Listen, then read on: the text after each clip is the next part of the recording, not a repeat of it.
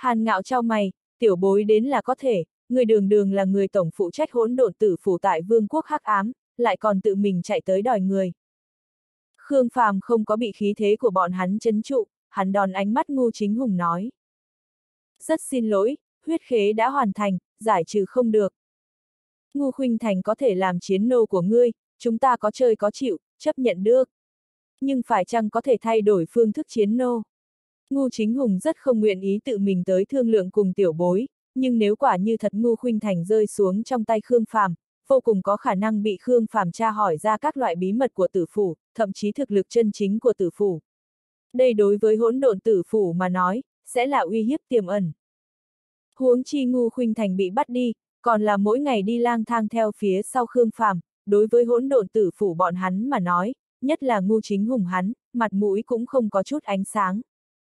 Càng hỏng bét hơn chính là, chẳng may Khương Phàm thật trà đạp ngu khuynh thành, lại sinh ra hài tử, càng là vô cùng nhục nhã. Khương Phàm cười nói, ngài cũng nghĩ muốn mang cô ta đi. Ngu chính hùng cũng lộ ra mấy phần cười. Nếu như người nguyện ý, điều kiện tùy tiện mở. Ta không nguyện ý, ta cũng không có điều kiện. Khương Phàm lôi kéo Ngu Khuynh Thành nói. Theo ta đi, về thánh điện bố trí động phòng. Cứu ta! Ngô Khuynh Thành mang đầy nước mắt nhìn Ngô Chính Hùng. Khương Phàm, người thật nghĩ thông suốt, người có bất tử thiên bia, cùng việc ngươi trở thành kẻ địch của hỗn độn tử phủ, cũng không tồn tại bất kỳ xung đột nào. Nếu như bây giờ ngươi rộng lượng thả Ngô Khuynh Thành đi, hỗn độn tử phủ sẽ nhớ ân tình của ngươi, cũng trong tương lai, thời điểm ngươi cần sẽ toàn lực phối hợp. Nếu như ngươi nhất định phải tra tấn Ngô Khuynh Thành, ân oán này sẽ càng để lâu càng nhiều. Trả thù đến từ hỗn độn tử phủ, ngươi sẽ không tiếp nổi, vô hồi thánh địa càng không tiếp nổi. Khương Phàm quay đầu nhìn Ngô Chính Hùng. Ta mặc dù chỉ mới mười mấy tuổi, nhưng ta đã hiểu một đạo lý, nếu như ngài sống mấy chục năm cũng đều không hiểu, vậy câu nói này ta tặng cho ngài. Không có người nào sẽ cảm kích ngài thiện lương, bọn hắn ngoại trừ được một tấc lại muốn tiến một thước, thì vẫn là được một tấc lại muốn tiến một thước. Ngu chính hùng nhìn Khương Phàm thật sâu.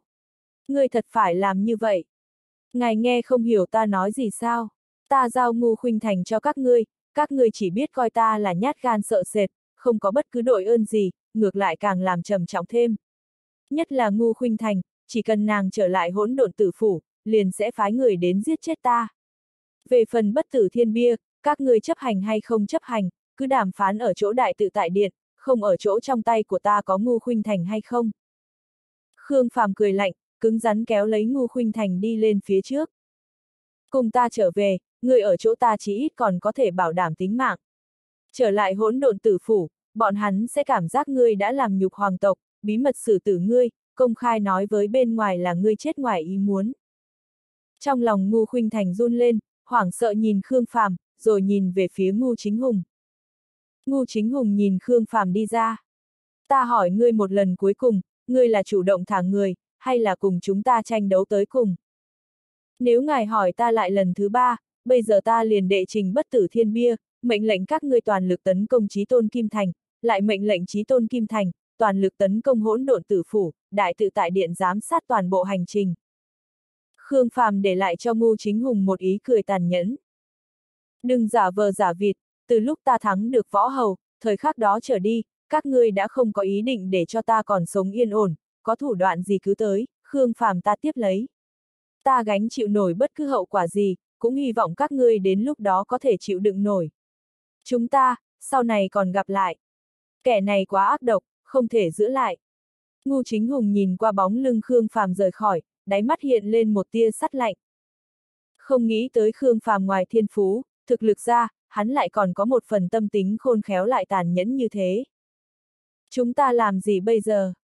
Bọn người ngu thiên đạo đi tới, hai mắt sung huyết, đều kìm nén phần ác hỏa. Ngu chính hùng quay đầu nhìn Nguyệt Hoa Thiên Bảo, đối diện ánh mắt Đông Hoàng Thánh Kiệt, nhưng không có nói thêm cái gì, sau đó cưỡi hùng sư màu tím rời khỏi. Tiểu gia hỏa này vẫn rất cường thế. Đông Hoàng Thánh Kiệt nghĩ là Khương Phàm sẽ thừa cơ yêu cầu điều kiện, sau đó thả củ khoai lang bỏng tay ngu khuynh thành này, không nghĩ tới vậy mà hắn vẫn cưỡng ép giữ lại, còn hung hăng cảnh cáo ngu chính hùng. Tiểu gia hỏa có cá tính, Đông Hoàng Như Yên nói. Đây không phải cường thế, hắn là đáng sợ, không hề giống hài tử mười mấy tuổi. ta cũng không muốn ở chung cùng loại người này. Ngươi không muốn cũng phải đi, đây là mệnh lệnh của thánh thú. Đông Hoàng Thánh Kiệt nhìn qua phương hướng Khương Phàm rời khỏi, nói. Thời điểm hắn nhìn thấy cây hỏa vũ kia, biểu hiện rất quái dị, không phải hiếu kỳ, mà là cảnh giác. Ta hoài nghi hắn có chỗ phát giác, cố ý không tiếp nhận sốt cuộc bên trong hỏa vũ có bí mật gì? Ta nhớ không lầm, hình như nó đã ở chỗ này hơn 100 năm rồi. sốt cuộc hỏa vũ phong tồn bí mật gì, ngay cả thần giáo cũng đều không hoàn toàn xác định được, nhưng thần giáo từ đầu đến cuối vẫn không từ bỏ truy tra.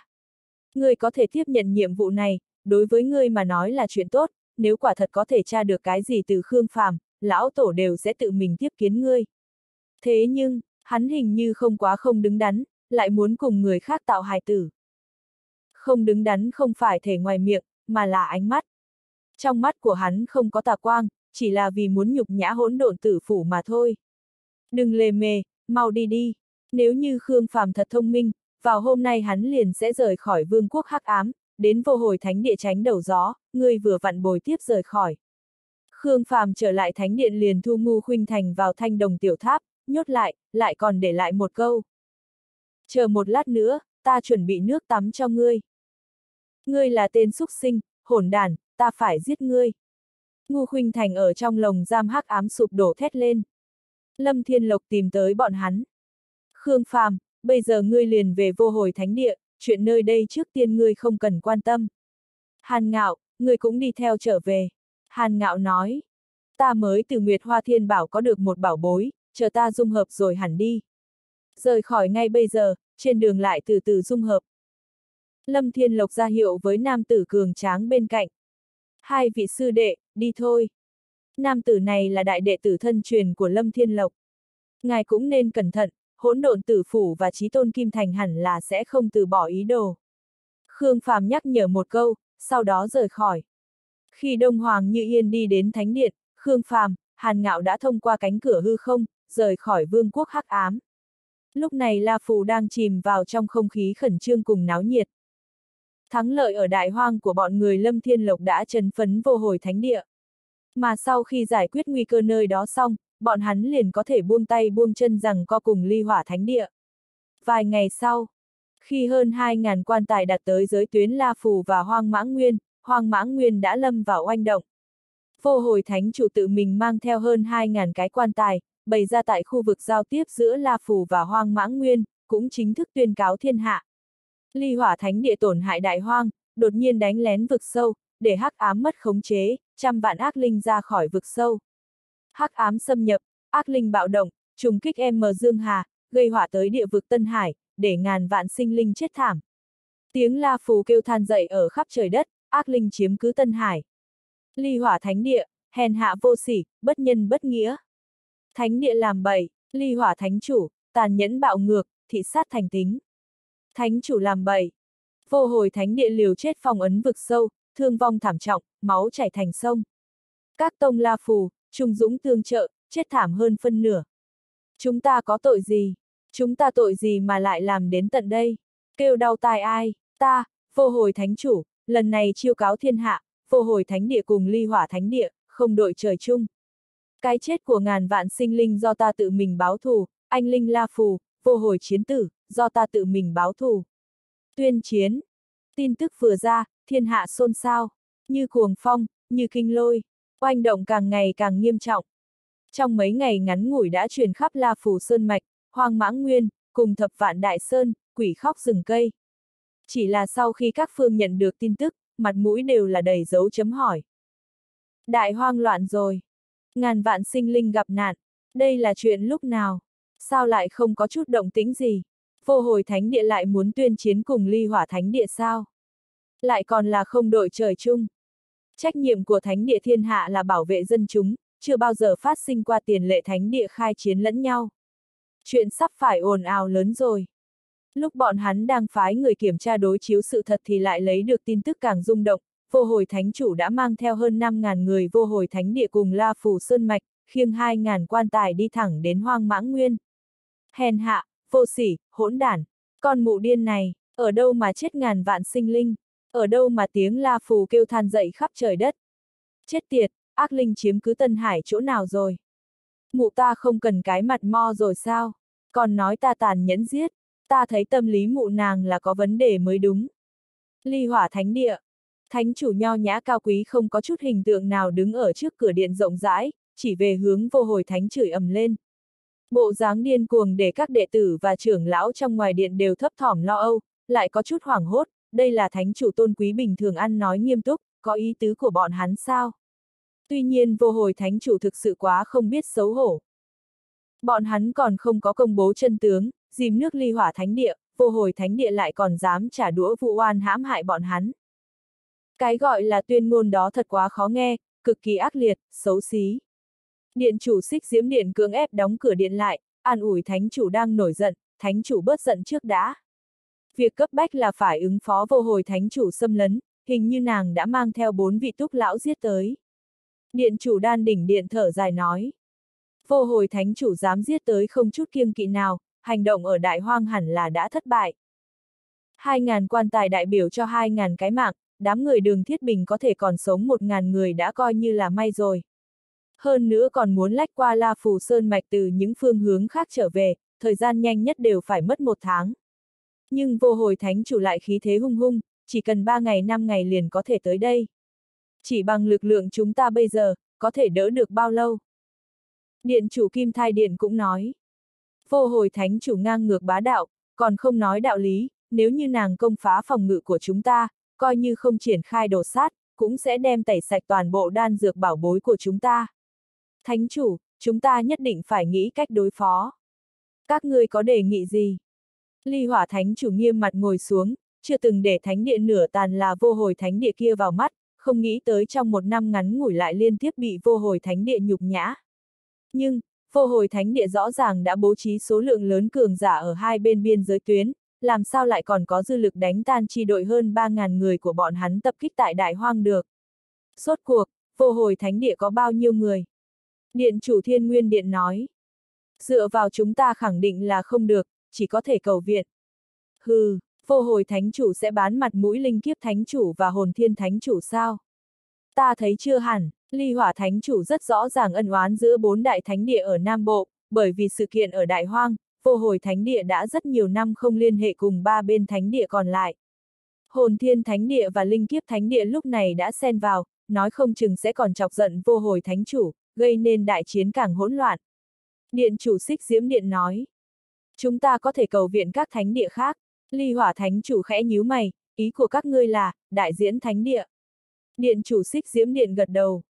Không sai, liên minh tôn chủ thánh địa ở Tây Bộ, đại diễn thánh địa. Chỉ có bọn hắn mới có tư cách nhúng tay, cũng có năng lực ngăn vô hồi thánh chủ lại, mà thời gian cũng kịp. Ly hỏa thánh chủ chăm chú suy nghĩ, thật phải đem chuyện Nam Bộ đâm đến Tây Bộ sao? Thương huyền có 26 thánh địa, cùng chia liên minh ở 5 nơi. Ly hỏa thánh địa chính là liên minh tôn chủ ở Nam Bộ, đương nhiên là trên danh nghĩa. Tôn chủ Nam Bộ lại cầu viện tôn chủ Tây Bộ. Lại còn bởi vì lãnh địa của mình bị thánh địa đánh. Thánh chủ, ta biết ngài cảm thấy rất mất mặt, nhưng nếu không quyết định, vô hồi thánh chủ sẽ đánh đến đây, con mụ điên kia nếu hô to ra khẩu hiệu báo thù gì đó thì chuyện gì cũng đều làm ra được. Điện chủ xích diễm điện cũng không muốn đem chuyện xấu Nam Bộ truyền đến Tây Bộ, nhưng việc đã đến nước này, chỉ có thể như vậy. Ly hỏa thánh chủ trầm mặc thật lâu, ngẩng đầu nhìn về phía điện chủ năm điện. Ngũ đại điện chủ toàn bộ chắp tay hành lễ, chờ đợi quyết định của hắn. Thôi, mời đại diễn thánh địa ra mặt đi. Ly hỏa thánh chủ đã ra quyết định, nhưng trong lòng vẫn tuôn ra một cảm giác nhục nhã khó nói nên lời. Điện chủ xích diễm điện nói. Ta còn ngân xà chiến xa, vừa đi vừa về tầm nửa tháng. Đi đi, giải thích rõ ràng sự kiện phát sinh và hậu quả của nó với đại diễn thánh chủ. Những người khác, tuyên bố với bên ngoài cho ta, hắc ám đại hoang không có hỗn loạn, vô hồi thánh chủ khuếch đại sự thật, ý muốn cướp bóc đan dược của thánh địa chúng ta. Còn có, truyền lệnh hoang mãng nguyên, tất cả cường giả linh hồn cảnh trở lên, bất luận là người, hay là yêu thú, trong thời gian ngắn nhất phải tới thánh địa tập kết, cùng nhau đóng giữ pháp trận phòng ngự. Vô hồi thánh địa, thánh chủ dẫn người đến hoang mãng nguyên, đoán chừng bây giờ đã náo lên rồi. Khương Phàm vừa trở lại vô hồi thánh địa liền nhận được tin tức bạo kinh này. Thánh chủ thật uy vũ. Khương Phàm rung động, đổi trắng thay đen xác thực lợi hại, ly hỏa thánh chủ đoán chừng đang cách bình chướng mắng nhau với thánh chủ đây. Tuy nhiên, kẻ ác cần có kẻ ác hơn, chỉ có như thế mới có thể để cho ly hỏa thánh địa trung thực xuống được. Hảo huynh đệ, ngươi trở lại rồi, nhớ ngươi muốn chết. Chu Thanh Thọ tìm tới Khương Phàm, mở rộng vòng tay kích động nhào về phía Khương Phàm. Khống chế một chút. Khương Phàm tranh thủ thời gian tránh khỏi, giờ khóc giờ cười nói, ở chỗ này thế nào rồi? Chu Thanh Thọ xoạch miệng, cũng không tệ lắm, chính là có chút, tiếc nuối, tiếc nuối cái gì, không có được nạ yêu. Đó là chuyện sớm hay muộn thôi. Với mị lực này của ta, còn không chinh phục được nữ tử sao? Vậy ngươi tiếc nuối cái gì? Chu Thanh Thọ nhìn trái phải một cái, tiến đến Khương Phàm bên cạnh, còn đan dược truyền kỳ không? Khương Phàm đã hiểu, không có. Có những biện pháp khác, kích thích linh văn hay không? Cái này tạm thời còn không có. Thật không có. Thật không có, đời ta đều phải bị cái tên ngu xuẩn tiêu phượng ngô kia đè lại sao? Chu Thanh Thọ phiền muộn bĩu môi. Trước đó đối với Thánh Linh Văn không có cảm giác gì, bởi vì lục phẩm tinh vân linh văn mình đây đã rất ưu tú, cũng coi là cấp bậc thiên tài. Nhưng, khi thấy tiêu phượng ngô có được đan dược, thăng hoa linh văn, thức tỉnh huyết mạch, gây nên oanh động tại vô hồi thánh địa, hắn cảm thấy áp lực. Khương Phàm hiểu tâm tình Chu Thanh Thọ, vỗ vỗ bả vai hắn nói. Bây giờ không có cơ hội, không có nghĩa tương lai không có cơ hội. Ngươi cứ việc chăm chú tu luyện, góp nhặt năng lượng, thật đến khi có cơ hội, ta sẽ ưu tiên cân nhắc ngươi. Không cân nhắc muội muội của ngươi. Đúng, trước tiên là muội muội ta. Không cân nhắc Yến Khinh Vũ. Thứ hai là Yến Khinh Vũ. Không cân nhắc cô cô ngươi. Đúng nhỉ, còn có cô cô ta. Không cân nhắc bọn người Yến Tranh. Cũng phải cân nhắc. Ta đây, sắp xếp như thế nào? Ngươi cút đi, tuyệt giao. Chu Thanh Thọ tái xanh mặt hất tay Khương phạm ra. Ca ca. Khương Uyển Nhi, Yến Khinh Vũ, còn có đào Hoàng đã lâu đều từ đằng xa chạy đến. Bởi vì điều động các tông la phù bị, bọn hắn tạm thời ở lại nơi này, thuận tiện đợi Khương Phàm trở về. Trong lòng Khương Phàm tuôn ra cơn sóng nhiệt, ngạc nhiên chạy tới. Mấy tháng ngắn ngủi, lại giống như mấy năm không thấy. Sau khi hàn huyên một phen, Khương Phàm lấy địa tâm hỏa liên tử còn có các loại dược liệu, đậu vàng trong thanh đồng tiểu tháp đều cho đao hoàng. Đao hoàng ở thiên khải bí cảnh một mực áp chế cảnh giới, cũng đã nhận được không ít cơ duyên, sau khi trở lại vô hồi thánh địa đã đột phá đến lục trọng thiên, nói không chừng địa tâm hỏa liên tử có thể giúp nó xông lên đến thất trọng thiên. Ca ca, sau khi các huynh đều phải ở lại tại vô hồi thánh địa sao? Khương Uyển Nhi rất rung động, chỉ mấy năm ngắn ngủi mà thôi, vậy mà ca ca từ cạnh góc sơn cốc bạch hổ quan đã đi tới mức độ này, nàng thật là mừng thay cho hắn. Từ nay về sau, lại không ai có thể khi dễ ca ca, cũng không ai có thể khi dễ Khương gia. Khương Phàm gật đầu, hỏi. Các ngươi thì sao, muốn ở lại chỗ này, hay là về La Phù? muội muốn về Bạch Hổ Tông. Khương Uyển Nhi biết ở lại vô hồi thánh địa có thể sẽ tốt hơn cho trưởng thành của mình, nhưng nàng vẫn nhớ mong Bạch Hổ Tông hơn, ở đó có người thân của nàng. Ta muốn chờ Bạch Hổ Tông chân chính ổn định, sau khi đi ra bên ngoài thế giới nhìn. Yến Kinh Vũ rất rõ ràng Khương Phàm đã không còn là Khương Phàm trước đó nữa, tranh lệch giữa hai người càng lúc càng lớn, nàng mừng thay cho Khương Phàm, nhưng cũng phấn khích nghĩ đến lúc mình đi đây đi đó. Điều kiện tiên quyết là Bạch Hổ Tông có thể chân chính đặt chân tại La Phù, lang gia Hoàng Triều không còn là uy hiếp. Khương Phàm tôn trọng lựa chọn của các nàng. Tiêu Phượng Ngô đâu, sao không thấy hắn, Chu Thanh Thọ nói. Tiêu Phượng Ngô, Thương Hàn Nguyệt, còn có cơ lăng huyên đều đang bế quan tu luyện. Ở đâu, ta đi qua nhìn một chút. Thánh chủ phong ấn bọn hắn tại bí cảnh dưới mặt đất, do các trưởng lão thoái ẩn tự mình trông coi, nói là trước khi nàng từ ly hỏa thánh địa trở về, bất kỳ người nào cũng không được quấy nhiễu. Khương Phàm dùng thời gian thanh nhàn khó có được bồi muội muội ba ngày, sau đó tránh khỏi tất cả mọi người, lặng lẽ rời khỏi vô hồi thánh địa. Nguy cơ tại đại hoang thâm uyên giã giải quyết, ly hỏa thánh địa trải qua chuyện này cũng sẽ trung thực hơn, hắn không cần thiết lại cố kỵ lang ra hoàng triều. Khương Phàm phải giải quyết phiền phức bị ép thả trước đó của bọn họ, đại hoàng tử. Cửu công chúa. Trước khi La Phù cùng lang gia hoàng triều một lần nữa hình thành rằng co, khống chế quyền chủ động. Người muốn xông vào hoàng cung bắt người. Đan hoàng rất bất đắc dĩ, đứa nhỏ này đúng là không có một khắc nhàn rỗi. Ta trà trộn vào lang gia hoàng triều, tìm hiểu tình huống trước. Có cơ hội bắt người thì bắt, không có cơ hội thì tạo ra, nhưng thực sự không có nữa, ta sẽ rút về. Ngươi hẳn là nên sửa đổi tính tình một chút, làm việc không nên cứ xông đầu về phía trước, sau đó lại định mưu. Có một số việc, là cần định mưu sau, có một số việc, chính là cần hành sự tùy theo hoàn cảnh. Thuở nhỏ Khương Phàm sinh tồn tại đại hoang mật lâm, hoàn cảnh đặc biệt ở đây đã dạy dỗ hắn phải chủ động xuất kích, chủ động tìm kiếm. Ngươi không tìm kiếm khắp nơi, linh thảo bảo dược sẽ không chủ động đưa ra. Ngươi không chủ động xuất kích, thì mãnh thú sẽ chủ động vồ giết tới. Hoàng thành. Sau khi đại hoàng tử trở về sinh hoạt rất tồi tệ, cũng không phải ai hạn chế hắn, cười nhạo hắn, mà là chính hắn lâm vào trong lo nghĩ bực bội. Đường đường là trưởng tử lại bị bắt đi cầm tù nửa năm. Phần sỉ nhục này sẽ theo hắn cả đời, trở thành vết bẩn vĩnh viễn xóa không được. Hắn đã bỏ bao công sức muốn có được hoàng vị, vậy mà lúc mình bị cầm tù lại giao cho trên tay lục hoàng tử. Hai đả kích cực lớn này để hắn bực bội lại tức giận. Nhưng hắn không cam lòng thất bại, mỗi ngày đều tính toán làm sao để một lần nữa thắng được lòn tin của phụ hoàng, làm sao thay thế lục hoàng tử trở thành thái tử mới của hoàng triều. Đại ca, ngủ rồi sao? Cửu công chúa vào đêm khuya đến bái phỏng phủ đệ đại hoàng tử. Là cửu muội, chờ một lát.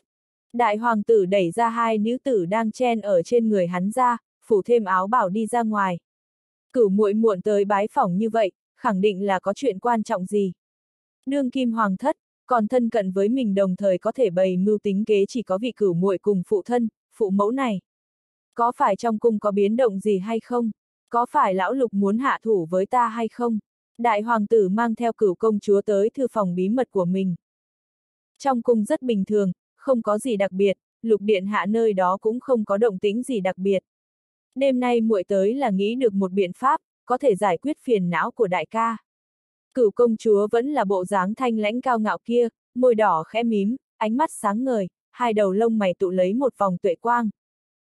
Ngoại trừ thanh xuân, thân thể ngây ngô, chỉ từ vẻ mặt thì hoàn toàn không giống như là tiểu cô nương mười mấy tuổi. Mau nói ta nghe một chút. Đại hoàng tử tranh thủ thời gian ngồi thẳng lại. Mặc dù cửu muội tuổi còn nhỏ, nhưng thông minh tuyệt luân, suy nghĩ linh hoạt, ngay cả rất nhiều lão nhân trong cung đều bội phục. Rời khỏi hoàng thành, chỉnh đốn quân doanh Bắc Cương. Quân doanh Bắc Cương, nơi đó có cái gì mà phải chỉnh? Chỉnh đốn quân doanh Bắc Cương chỉ là lấy cớ, mục đích chủ yếu hay là giấu tài, kiên nhẫn chờ đợi. Có ý gì? Đại hoàng tử trao mày, bây giờ chính là thời khắc mấu chốt để cạnh tranh cùng lục đệ, sao có thể rời khỏi? Cái này không phải là yếu thế sao? Sẽ để những tộc lão cùng các thế gia vẫn còn kiên trì chen chúc bên cạnh mình nghĩ như thế nào? Cửu công chúa giải thích, nàng nói. Gần đây chúng ta đều đang tính toán chèn ép lục hoàng tử như thế nào, tranh được phụ hoàng sủng ái như thế nào, nhưng chúng ta đều sai. Nếu phụ hoàng xác định lục điện hạ làm thái tử, liền không khả năng tùy tiện lại sửa lại. Đây dù sao cũng là đại biểu hoàng triều thay đổi một chuyện quan trọng, còn đã chiêu cáo thiên hạ.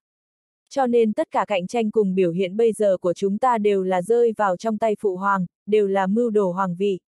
Cái này sẽ chỉ rước lấy phản cảm và thất vọng, nếu như vô ý dùng sức quá mạnh lại náo loạn ra gì đó, hoặc bị lục điện hạ lợi dụng, phụ hoàng sẽ còn nhận định ngươi thành nhân tố bất an của hoàng triều, vậy thì rất phiền toái. Cho nên muội đã nghĩ lại, bây giờ trước hết phải để cho phụ hoàng không ghét. Như thế nào mới không ghét, đương nhiên là huynh không tranh không đoạt, thản nhiên tiếp nhận quyết định của người. Sau đó, làm tiếp chút chuyện thay hắn loại bỏ ưu phiền, ví dụ như chủ động xin đi giết giặc tiến vào chiếm giữ Bắc Cương, chỉnh đốn quân doanh phương Bắc, chấn thủ phòng tuyến Thương Châu đang gần như mất khống chế. Đại hoàng tử trao mày, âm thầm nắm chặt nắm đấm. Mặc dù cửu muội nói có chút đạo lý, nhưng cứ đi như thế, thật sự là không cam tâm. Đại ca, không phải muội cứ để cho huynh nhận thua như vậy, mà là để cho huynh chờ cơ hội. Cơ hội gì, lão lục tự mình tìm đường chết. Đại hoàng tử hừ lạnh, sắc mặt cực kỳ khó coi. Không sai. Còn không sai. Đại ca, huynh suy nghĩ kỹ một chút, lang gia hoàng triều chúng ta không thể nào cùng la phù một mực bình tĩnh ở chung như vậy được, chỉ cần phụ hoàng tiêu trừ tai họa ngầm đan quốc để lại, liền sẽ một lần nữa tuyên chiến. Đến lúc đó một khi chiến tranh bộc phát, hai bên vô cùng có khả năng đều sẽ đánh nhau sống chết. Lục Điện Hạ nếu là thái tử, khẳng định nóng lòng biểu hiện, đích thân tới Tây Cương tác chiến, bởi như vậy, lúc nào hắn cũng có thể gặp được nguy hiểm. Coi như hắn ở lại Hoàng Thành, lấy tâm tính đám người Khương ra kia, nói không chừng cũng sẽ làm ra cử động ám sát. Nếu như lục điện hạ chết rồi, cơ hội của đại ca liền đến. Trước đó hầu như cửu công chúa cũng nghĩ đến làm sao để thay đổi kịch biến, áp chế lục hoàng tử, nhưng sau khi nghĩ sâu tính kỹ, nàng đã chấp nhận một tiếp nhận hiện thực không nguyện ý. Chính là chỉ cần lục hoàng tử còn sống, phụ hoàng sẽ không khả năng tùy tiện sửa đổi quyết định. Dù sao vị trí thái tử cũng không phải trò đùa, mà phụ hoàng từ nhỏ đã thiên vị lục hoàng tử, nếu không đã sớm lập đại ca làm thái tử. Từ bây giờ tình huống nhìn lại, chỉ khi lục điện hạ chết, đại ca mới có cơ hội. Chết như thế nào? Khả năng duy nhất chính là chiến tranh đến từ La Phủ Sơn Mạch. Đại hoàng tử không tùy tiện bị thuyết phục, nếu như hắn không chết. Nếu như hắn lại lập công, cửu công chúa lắc đầu nói. Vậy chúng ta cũng chỉ có thể chấp nhận số mệnh, tuy nhiên cũng không tính là hỏng bét, huynh lấy thân phận hoàng tử tọa trấn Bắc Cương, chỉ cần vận dụng thỏa đáng, liền có thể giống Khương Nguyên Liệt lúc trước, một mực khống chế Bắc Cương, không thể làm hoàng, cũng được coi là vương. Đại hoàng tử ngửa tựa ở trên ghế, ánh mắt lấp lóe, tâm tình càng buồn bực hơn. Chấp nhận số mệnh. Hắn từ trước tới giờ không tin số mệnh, càng không chấp nhận số mệnh. Đại ca, cửu muội là vì tốt cho huynh. Bây giờ huynh tranh thủ tất cả tình cảm, đều sẽ nhận lấy phụ hoàng phản cảm, còn có lục điện hạ cảnh giác. Nếu như huynh nhất định phải ở lại trong hoàng thành, một khi Tây Cương bộc phát chiến tranh, phụ hoàng thậm chí sẽ chủ động phái huynh đến tiền tuyến. Dù sao, huynh cũng là quen thuộc Tây Cương nhất, nếu như lục hoàng tử thừa cơ dở trò xấu, rất có thể huynh sẽ chết tại Tây Cương, chết tại La Phù thậm chí là trong tay tên hỗn đản Khương Phàm kia. Bây giờ chỉ có huynh chủ động đến Bắc Cương mới có thể thay đổi cái nhìn của phụ hoàng đối với huynh, mặc dù cho rằng huynh có dã tâm, nhưng thời khắc mấu chốt lấy lên được càng thả xuống được. Chỉ khi huynh đến Bắc Cương, lấy lý do tọa chấn chỉnh đốn quân doanh, mới có thể tránh chiến tranh ở Tây Cương, tránh khỏi lục điện hạ hãm hại. Chỉ khi huynh đến Bắc Cương, mới có cơ hội đứng lên một lần nữa. Sau khi cửu công chúa nói xong thì thoáng trầm mặc, lại dùng lời nói thấm thía an ủi đại hoàng tử. Đại ca, cục diện bây giờ đã thay đổi. Lục điện hạ đã thành thái tử, nắm giữ quyền chủ động, bây giờ chúng ta đã ở vào yếu thế, thực sự không thể chủ động tiến công. Ta không làm vương, chỉ muốn làm hoàng. Đại hoàng tử phẫn uất khó bình tĩnh nỗi, mình rõ ràng là trưởng tử, vì sao từ đầu đến cuối không được phụ hoàng coi trọng. Cũng bởi vì linh văn của mình là tứ phẩm sao. Khống chế hoàng triều dựa vào là năng lực, không phải thiên phú. Đại ca, huynh từ từ cân nhắc, nếu như nghĩ thông suốt, muội sẽ cùng huynh đến Bắc Cương, nếu như huynh vẫn kiên trì ở lại, muội cũng cùng huynh tranh thủ cơ hội. Cửu công chúa than nhẹ trong lòng, cáo từ rời khỏi. Mặc dù nói là lục điện hạ có thể sẽ chết tại Tây Cương, nhưng cuối cùng đây chỉ là kỳ vọng của bọn hắn mà thôi. Đại ca đến Bắc Cương mặc dù là có thể bảo mệnh, nhưng chỉ cần lục điện hạ không chết, rất có thể hắn sẽ vĩnh viễn không ra được. Bắc Cương, Bắc Cương, ta đã luân lạc tới mức phải đào vong sao. Đại hoàng tử thì thào khẽ nói. Không cam lòng, bực bội, tức giận.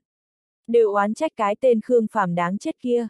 Nếu như không có sự xuất hiện của hắn, nói không chừng mình đã ổn thỏa lên được vị trí thái tử. Tên tạp chủng đáng chết, ta hận không thể ăn sống ngươi. Đại hoàng tử ngồi trong thư phòng đến hừng đông, lại yên lặng ngồi đến tận đêm khuya. Không có người nào biết hắn đang suy nghĩ gì, cũng không có ai biết hắn rốt cuộc đã trải qua những gì. Khi sắc trời sáng lên lần nữa, hắn đã đi đến Hoàng cung, cầu xin tọa trấn Bắc Cương. Nhân Hoàng vui vẻ đồng ý. Hắn đang nghĩ ngợi làm sao gõ cảnh cáo vị trưởng tử này, không nghĩ tới lại tự mình lui khỏi. Sau khi lục hoàng tử nhận được tin tức, lập tức cảm thấy không lành. Trong khoảng thời gian này hắn một mực nhẫn nhịn chính là chờ đại ca nhảy trên nhảy dưới chọc giận phụ hoàng, sau đó bị cầm tù bị khống chế, không nghĩ tới hắn lại lựa chọn lấy lui làm tiến. Đây có thể là do cửu công chúa đề nghị. Sau 5 ngày, đại hoàng tử mang theo gia quyến thị vệ của hắn, cùng với cửu công chúa tiến về Bắc Cương. Trong ngoài hoàng thành nghị luận ẩm ý. Trong mắt tất cả mọi người, đại hoàng tử trốn đi Bắc Cương, chính là thỏa hiệp của hắn, tiếp nhận an bài của hoàng thất liên quan tới thái tử.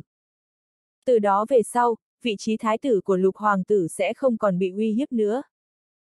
Đại ca, huynh đã nghĩ thông suốt thật rồi sao? Cựu công chúa cùng đại hoàng tử ngồi chung bên trong một chiếc xe vua rộng rãi. Mặc dù nàng rất vui mừng khi đại ca có thể tiếp nhận hiện thực, nhưng thời khắc rời khỏi hoàng thành trở đi, sự bình tĩnh trên mặt đại ca đã dần dần biến mất, thay vào đó là tư thái buông thả. Nhất là đôi mắt kia, lại lóe ra hào quang điên cuồng. Ta nghĩ thông suốt. Đại hoàng tử nhếch miệng, hừ lạnh hừ cười. Huynh đang mưu tính cái gì? Cửu công chúa hỏi trực tiếp. Đại hoàng tử nhìn chằm chằm cửu công chúa nhìn một hồi, mới cười nói. Ngươi nhắc nhở ta, ta ở lại hoàng cung, xác thực sẽ chỉ chướng mắt, ngại mắt phụ hoàng, ngại mắt lục đệ. Chỉ có ta rời khỏi, bọn hắn mới có thể buông lỏng, mới sẽ không lại nhìn ta chằm chằm. Sau đó thì sao? Cửu công chúa biết, vị đại ca này của mình khẳng định là có suy nghĩ điên cuồng gì đó. Bây giờ La Phù Sơn Mạch so với trước kia đã khác nhau rất lớn, không chỉ có được nạp lan gia tộc và đan quốc, còn được vô hồi thánh địa đến đỡ, tính nguy hiểm sẽ càng ngày càng mạnh. Nếu như Hoàng thất không trọng thương La Phù trước khi bọn hắn phát triển, tương lai Tây Cương Hoàng Triều sẽ lại khó an bình, ngay cả sinh tồn phát triển của Hoàng Triều cũng đều sẽ phải nhìn sắc mặt La Phù. Cho nên, ta dự tính Hoàng thất sẽ ở răm ba tháng liền muốn tuyên chiến với La Phù, càng sớm càng tốt. Nhưng muốn áp chế La Phù nói nghe thì dễ, chỉ là bên kia, mới tăng ba trưởng lão được vô hồi bảo vệ, hạn chế liền đủ để Hoàng Triều khó chịu. Cho nên, trận chiến tranh này nhất định sẽ vô cùng gian nan, cũng sẽ tiếp tục thời gian rất lâu. Lấy tính cách đám tên điên khương ra kia, vô cùng có khả năng sẽ tiếp cận lục hoàng tử, nghĩ trăm phương ngàn kế giết chết hắn. Ta không ngóng trông lục hoàng tử chết, đương nhiên chết là tốt nhất. Nhưng ta có thể xác định, lục hoàng tử này từ nhỏ chỉ biết tu luyện, nếu quả như thật đích thân tới tiền tuyến, chắc chắn lỗ hổng trồng chất, sẽ bị người của Khương gia dày vò chật vật không chịu nổi. Nếu như trong chiến tranh hoàng thất gặp phải ngăn trở lớn, phụ hoàng tất nhiên đem trách nhiệm quy tội lục hoàng tử, cũng sẽ phạt nặng. Sau đó thì sao? Cửu công chúa chăm chú lắng nghe. Chỉ cần ta có thể trước ngày đó, triệt để khống chế quân doanh Bắc Cương liền có thể chỉ huy trăm vạn hai bên, thẳng tiến Tây Cương, tại thời kỳ đặc thù đến tập kích đột nhiên. Lấy trăm vạn thiết kỵ vũ khí hạng nặng, cho La Phù một đợt tẩy lễ thảm liệt, tạo cơ hội cho Hoàng thất, cầm xuống một trận đại thắng. Lại bằng vào nhân vọng của ta tại Tây Cương nhiều năm, tự mình chỉ huy cường giả Tây Cương khởi xướng phản kích, tạo mấy trận thắng lợi, rất có thể phụ hoàng liền sẽ một lần nữa cân nhắc, ai mới là nhân tuyển chân chính tiếp quản hoàng triều. Trong mắt đại hoàng tử lóe ra ánh sáng nóng bỏng. Hắn còn chưa thua, hắn còn có cơ hội. Cơ hội chính là bộc phát chiến tranh với La Phù trong tương lai. Cửu công chúa cũng lộ ra nụ cười, đại ca chính là đại ca, khôn khéo cay độc, lớn ở tính toán. Nhất là sự hào hùng này để nàng càng thưởng thức. Tuy nhiên nàng vẫn đưa ra dị nghị. Đại ca, huynh suy nghĩ không sai, nhưng ba triệu thiết quân Tây Cương không thể động, đây là giới luật tiên tổ để lại. Đó là trước đó thôi, bây giờ đại hoang đã không còn hung tàn như năm đó nữa. Ta muốn đích thân đến tuyến đầu Bạch Hổ quan nhìn tình huống, sau đó một lần nữa chỉnh đốn quân doanh Bắc Cương, bảo đảm tình huống an toàn, tận khả năng điều trăm vạn thiết quân ở hai bên, tùy thời chuẩn bị gấp rút tiếp viện Tây Cương. Đại hoàng tử kích động. Quân doanh Bắc Cương để đó 200 năm không dùng, đây là thời điểm để hoạt động một chút, về phần bọn thiết quân quân doanh này rốt cuộc có thể phát huy ra bao nhiêu năng lượng, liền nhìn mình điều phối thế nào. Ta giúp huynh. Cửu công chúa gật đầu, mặc kệ cuối cùng sẽ như thế nào, nhưng đây đúng là biện pháp tốt. Nhưng, muốn trọng chỉnh quân doanh Bắc Cương không phải chuyện dễ dàng. Từ sau khi Khương Vương Phủ thất thế, 36 cứ điểm quan ải Bắc Cương dần dần rời khỏi khống chế, có xu thế xưng bá riêng phần mình. Mặc dù không đến mức chống lại hoàng thất, nhưng muốn để bọn hắn nói gì nghe nấy, nhất định phiền phức rất nhiều, nói không chừng còn phải náo ra chút nhiễu loạn. Nếu như vấn đề nào xử lý không tốt, khi bọn hắn gấp rút tiếp viện Tây Cương, trong lúc đó đại hoang xâm lấn, hậu quả càng không thể tưởng tượng nổi. Đừng nói động đến thái tử vị trí, có thể giữ vững cái đầu cũng coi như may mà rồi. Có cửu muội giúp ta, việc này nhất định sẽ thắng hơn một nửa. Đại hoàng tử cười mở cười to, nếu cửu muội cảm thấy có thể thực hiện, mình lại càng không có gì phải lo nữa. Quân doanh Bắc Cương, ta đến rồi. Rời khỏi hoàng thành rồi. Cơ hội tốt. Khương Phàm chui vào khu vực kinh kỳ không lâu liền đạt được tin tức đại hoàng tử, bị giáng chức tới Bắc Cương, hắn lập tức chạy về hướng Bắc, ngày đêm đuổi theo đội xe. Đội xe của đại hoàng tử rời khỏi khu vực kinh kỳ, trên đường đi rất điệu thấp, nhưng vừa bước vào địa vực Bắc Cương, đội xe bắt đầu gióng chống khua chiêng, mỗi khi gặp thành trấn cỡ lớn tất nhiên phải ngủ lại, cùng các tướng lĩnh thành chủ mật hội. Cái này cũng không tốt ra để tay. Khương Phàm huy động hai cánh, đứng ở trên tầng mây, xa xa ngắm nhìn đội xe. Đội xe của đại hoàng tử vô cùng to lớn, hắn không chỉ có mấy trăm cận vệ, còn có hơn quân đội 3.000 người triệu tập từ thành khôi binh, trong trong ngoài ngoài bảo vệ vô cùng nghiêm mật. Nhìn thêm một lúc, nói không chừng có thể đợi được cơ hội. Khương Phàm từ trà trộn vào Tây Cương, vòng vào nơi này, trước sau giày vò nửa tháng. Tuy nhiên cửu công chúa cũng đi theo, cơ hội xác thực khó có được. Nếu như đợi thêm nửa tháng mà vẫn không có cơ hội thì sẽ cân nhắc từ bỏ. Khương Phàm ở mấy ngàn thước trên không quan sát hoàn cảnh Bắc Cương, tính toán cách ra tay. Nhưng, đội xe của đại hoàng tử không hạ trại ở trong rừng, không phải chọn hoang dã trống trải thì chính là vào cổ thành phồn hoa. Nếu như vào thành, tất nhiên vào phủ thành chủ ở. Khương Phàm nghĩ hết biện pháp tới gần nhưng đều không thể thành công, có lần đã thử chui vào phủ thành chủ, suýt chút nữa bị phát hiện, chỉ có thể yên lặng rút đi. Mười ngày sau, đại hoàng tử tới gần khu vực Thương Châu. Hắn có đến thành Bạch Hổ hay không? Khương Phàm bỗng nhiên nghĩ đến nếu đại hoàng tử đã gióng chống khua chiêng tuần tra, hẳn là sẽ không buông tha tiền tuyến quan trọng nhất đầu tiên của Bắc Cương, thành Bạch Hổ. Tại nơi khác, hắn thực sự không tốt để ra tay, thành Bạch Hổ thì lại có thể thử một chút. Đánh cược một lần, chúng ta đến thành Bạch Hổ làm chuẩn bị. Nếu như hắn tới đó, ta sẽ ra tay. Nếu như không đến nơi đó, ta sẽ từ bỏ mà rời khỏi. Khương Phàm huy động hỏa dực, lướt qua tầng mây, tiến vào Thương Châu trước đại hoàng tử, chạy thẳng đến thành Bạch Hổ. Thành Bạch Hổ. Tại Sơn Lâm gần cứ điểm thứ 8. Diêm bá, thiên mục đại tướng. Ngươi lưu thủ tại Thương Huyền ngàn năm sao? Ngươi lại để lại bao nhiêu hỏa vũ ở Thương Huyền? Ta đã thức tỉnh hoàng huyết, ngươi đang ở đâu? Khương Phàm đứng trên cây già trước sơn cốc, nhìn cái hố sâu dưới mặt đất đào ra trước đó kia, thì thảo khẽ nói. Thần triều trung liệt đều đã phong ấn bản thân, chấn thủ tại Đông Nam Thiên Môn. Duy chỉ có thiên mục là đang du đãng thế gian, là ai tại đang dẫn hắn, là ai đang im ắng bố cục. Nếu hắn để lại hỏa vũ khắp nơi, có thể đã phát giác thần huyết đã thức tỉnh, nhưng vì sao vẫn biến mất không thấy. Khương Phàm lắc đầu. Đã biết mình là ai, biết sứ mệnh của mình, nhưng, Khương Phàm không biết sau khi mình chết đã xảy ra chuyện gì. Mình trùng sinh như thế nào? Là sinh mệnh hoàn toàn mới, hay là đoạt xá tân sinh? Liên tiếp xuất hiện hỏa vũ, lại gánh chịu lấy bí mật như thế nào? Lúc này, Khương Phàm bỗng nhiên cảnh giác, hắn nhìn phía bên cạnh thạch ốc. Vách tường thạch ốc dần dần hiện ra huyết văn đỏ hồng, nhìn thấy mà giật mình, quỷ dị như máu tươi. Huyết văn dần dần xen lẫn thành pháp trận phức tạp, sau đó nở rộ, xen lẫn huyết khí, ngưng tụ thành một bóng người già nua. thân, thiên mục, lễ bái ngô hoàng. Bóng người màu đỏ ngòm đi ra khỏi pháp trận, quỳ xuống thăm hỏi Khương Phàm đang ở bên ngoài. Khương Phàm nhìn thân ảnh vừa quen thuộc vừa xa lạ, tâm tình lại có chút phức tạp, người biết ta sẽ trở về.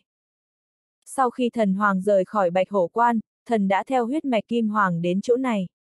Thần không biết khi nào ngài sẽ đến, nhưng thần đoán sau khi ngài thức tỉnh trí nhớ kiếp trước, hẳn là sẽ trở lại nơi đây. Cho nên thần đã để lại hồn niệm ở đây để giải thích. Bóng người màu đỏ ngòm phiêu hốt bốc hơi, thanh âm già nua phiêu đáng trong u cốc trống trải. Ta đang nghe, hãy nói cho ta biết hết thảy. Khương Phàm nắm tay. Bóng người màu đỏ ngòm cung kính hành lễ, nói. Sau khi thần hoàng vẫn lạc tại chiến trường bách tộc, thì hài hồn phách đã bị hoàng tộc các phương điên cuồng đánh cướp. Là thiên hậu đã liều chết dung chuyển đông nam thiên môn, tụ tập lại một số hoàng huyết tàn hồn của ngài, cũng dẫn tàn quân thần triều giết ra khỏi chiến trường bách tộc. Tin tức ngài vẫn lạc tại bách tộc chiến trường nhanh chóng truyền khắp thương huyền. 12 hoàng đạo thương huyền lập tức liên hợp, xông vào lãnh địa thần triều, đổ sát vạn ức sinh linh. Bắc Thái đế quân hạ xuống pháp chỉ, nếu như thiên hậu hiến thân, thần triều quy thuận, sẽ bảo đảm vạn thế thần triều truyền thừa vạn thế. Sau đó, thiên hậu sẽ bỏ pháp chỉ, chiêu cáo thương huyền, vạn thế thần triều.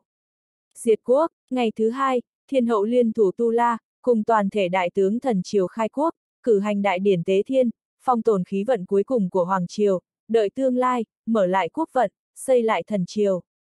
Sau đó, 36 vị đại tướng dẫn 100.000 cấm quân, toàn thể hóa thạch, lấy khí tức vĩnh viễn phong ấn Đông Nam Thiên Môn, trầm luân tại cấm khu hoang hải, chờ đợi tương lai tái nhập bách tộc chiến trường, tái chiến đăng thiên kiều. Tu La chế tạo tuyệt thế huyết quan, phong tồn đầu lâu thần hoàng, sau đó bỏ qua cơ thể lao tới hoàng tuyền, lấy hoàn cảnh đặc biệt tại côn lôn quỷ sơn, liều chết bảo vệ. Bởi vì lúc ấy thân ngài đã chết hồn đã diệt, luân hồi đứt đoạn, lại không có cơ hội phục sinh, thiên hậu liền chiến 10 trận tại Long Lân chi đỉnh, giết vào vạn long xào, săn bắt luân hồi long hoàng, kéo vào cửu u hư không. Lấy huyết mạch luân hồi long hoàng, cắt đứt thiên đạo, nghịch loạn em mờ dương, lấy nhân lực kháng trời, vì thần hoàng mà chữa trị con đường luân hồi. Sau đó, thiên hậu do chín vị thánh thú tương trợ, ngồi một mình trên con đường luân hồi, hủy đi kỳ cốt đốt kỳ huyết, hướng về hư không vô tận. Kêu gọi, ngài trở về, giọng thiên mục đại tướng bình tĩnh đung đưa ở trên không quanh quẩn khắp sơn cốc, rõ ràng lọt vào tai, câu câu thấu hồn. Khương phàm hoảng hốt, lệ rơi đầy mặt. Thiên hậu, tu la, quốc vận, thần triều, hoang hải cấm khu, côn lôn quỷ sơn, long lân chi đỉnh, vạn long chi xào, cắt đứt thiên đạo, nghịch loạn em mờ dương, lấy thân kháng trời, chữa trị luân hồi. Đây chính là hậu sự mà hắn muốn biết mãi sao. Đây chính là thần triều đã từng, bằng hữu đã từng, thiên hậu đã từng sao.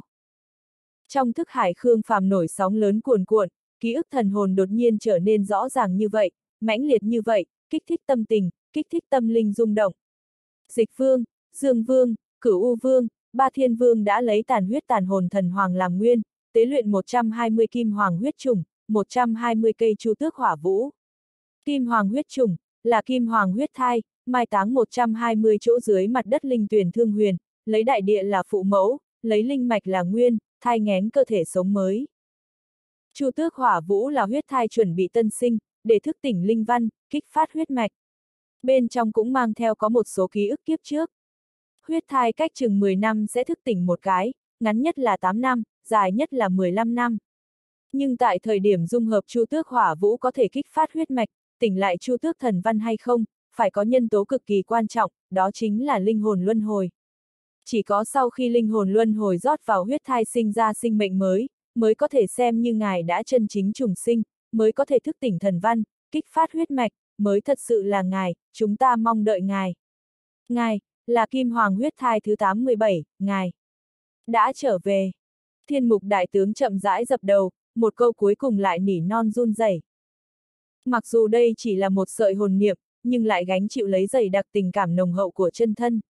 Chuyện này đã chuẩn bị một ngàn năm, trôn giấu quá nhiều khổ sở.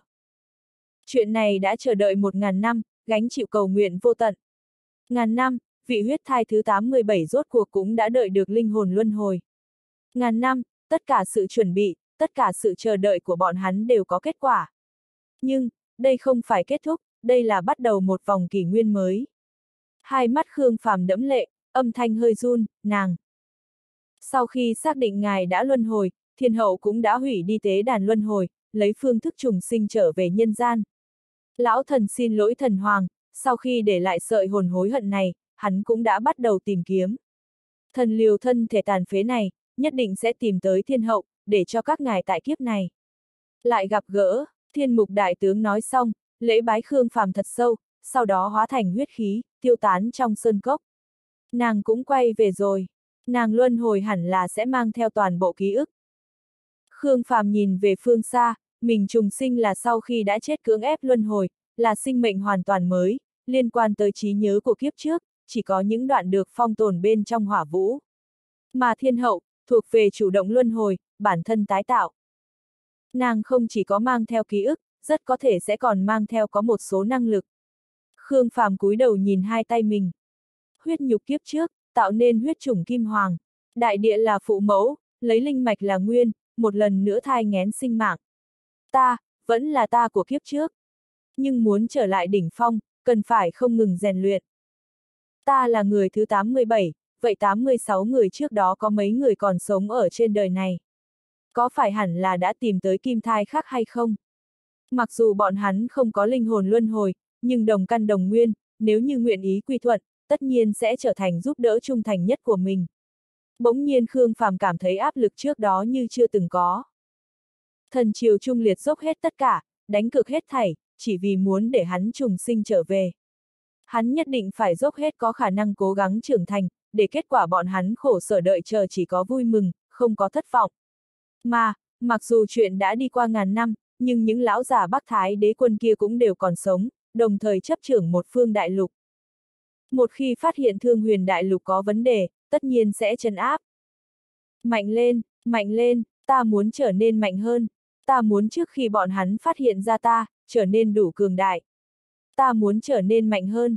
Ta muốn so với năm đó còn mạnh hơn nữa. Ta muốn trưởng thành, ta muốn báo thù, ta muốn trùng kiến. Vạn thế thần triều, Khương Phàm dùng sức nắm chặt nắm đấm, trong lồng ngực sôi trào lên hào hùng chưa bao giờ có. Ba ngày sau, đội ngũ của đại hoàng tử và cửu công chúa đã đi tới thành Bạch Hổ. Bây giờ thành Bạch Hổ thoạt nhìn vẫn náo nhiệt như lúc trước. Mặc dù không có Khương Vương Phủ, nhưng Bạch Vương Phủ, Triệu Vương Phủ, còn có Lý Vương Phủ, đã sớm di chuyển đến nơi này. Hơn 200 ngàn thiết quân tập kết, ngược lại đã tăng cường lực lượng thủ vệ Bạch Hổ Quan. Chỉ là Tam Đại Vương Phủ đều tranh giành quyết liệt lẫn nhau, để phòng ngự của Bạch Hổ Quan trở nên rất không ổn định. Đại Hoàng tử, cửu công chúa, khăng khăng chờ màn đêm buôn xuống tại cứ điểm, tự mình nhìn đại hoang bạo loạn trong đêm. Mặc dù Tam Đại Vương Phủ cùng cứ điểm phòng giữ cực lực phản đối, nhưng thực sự không lay chuyển được Đại Hoàng tử. Cuối cùng chỉ có thể mời Đại Hoàng tử đến phòng ngự vững chắc nhất ở cứ điểm đầu tiên, cũng triệu tập hơn 8 vạn lực lượng dự trữ đến nơi này. Cứ điểm đầu tiên từ trên xuống dưới, tụ tập hơn 5 vạn người. Không cần khẩn trương như vậy, ác linh mãnh thú bình thường đều vào không được, hôm nay liền có thể tiến đến sao. Các ngươi cứ việc bố phòng, cứ như thường ngày.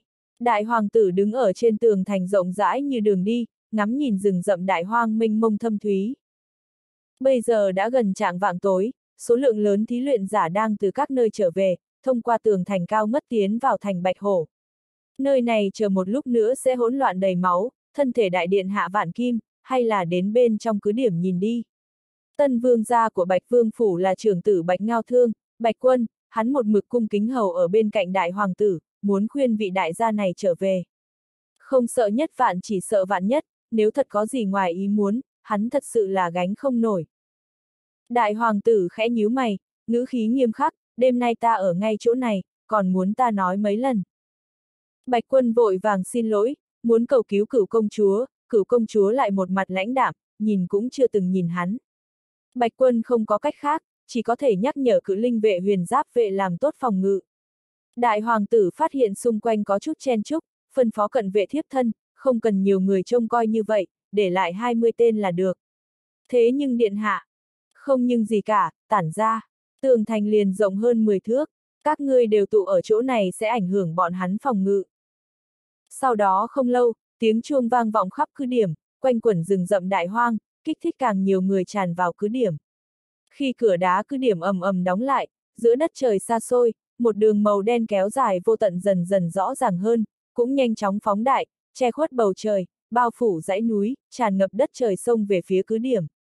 Đại hoàng tử, cửu công chúa khiếp sợ nhìn hình ảnh hỗn loạn kia. Hắc ám lao nhanh, vô biên vô hạn.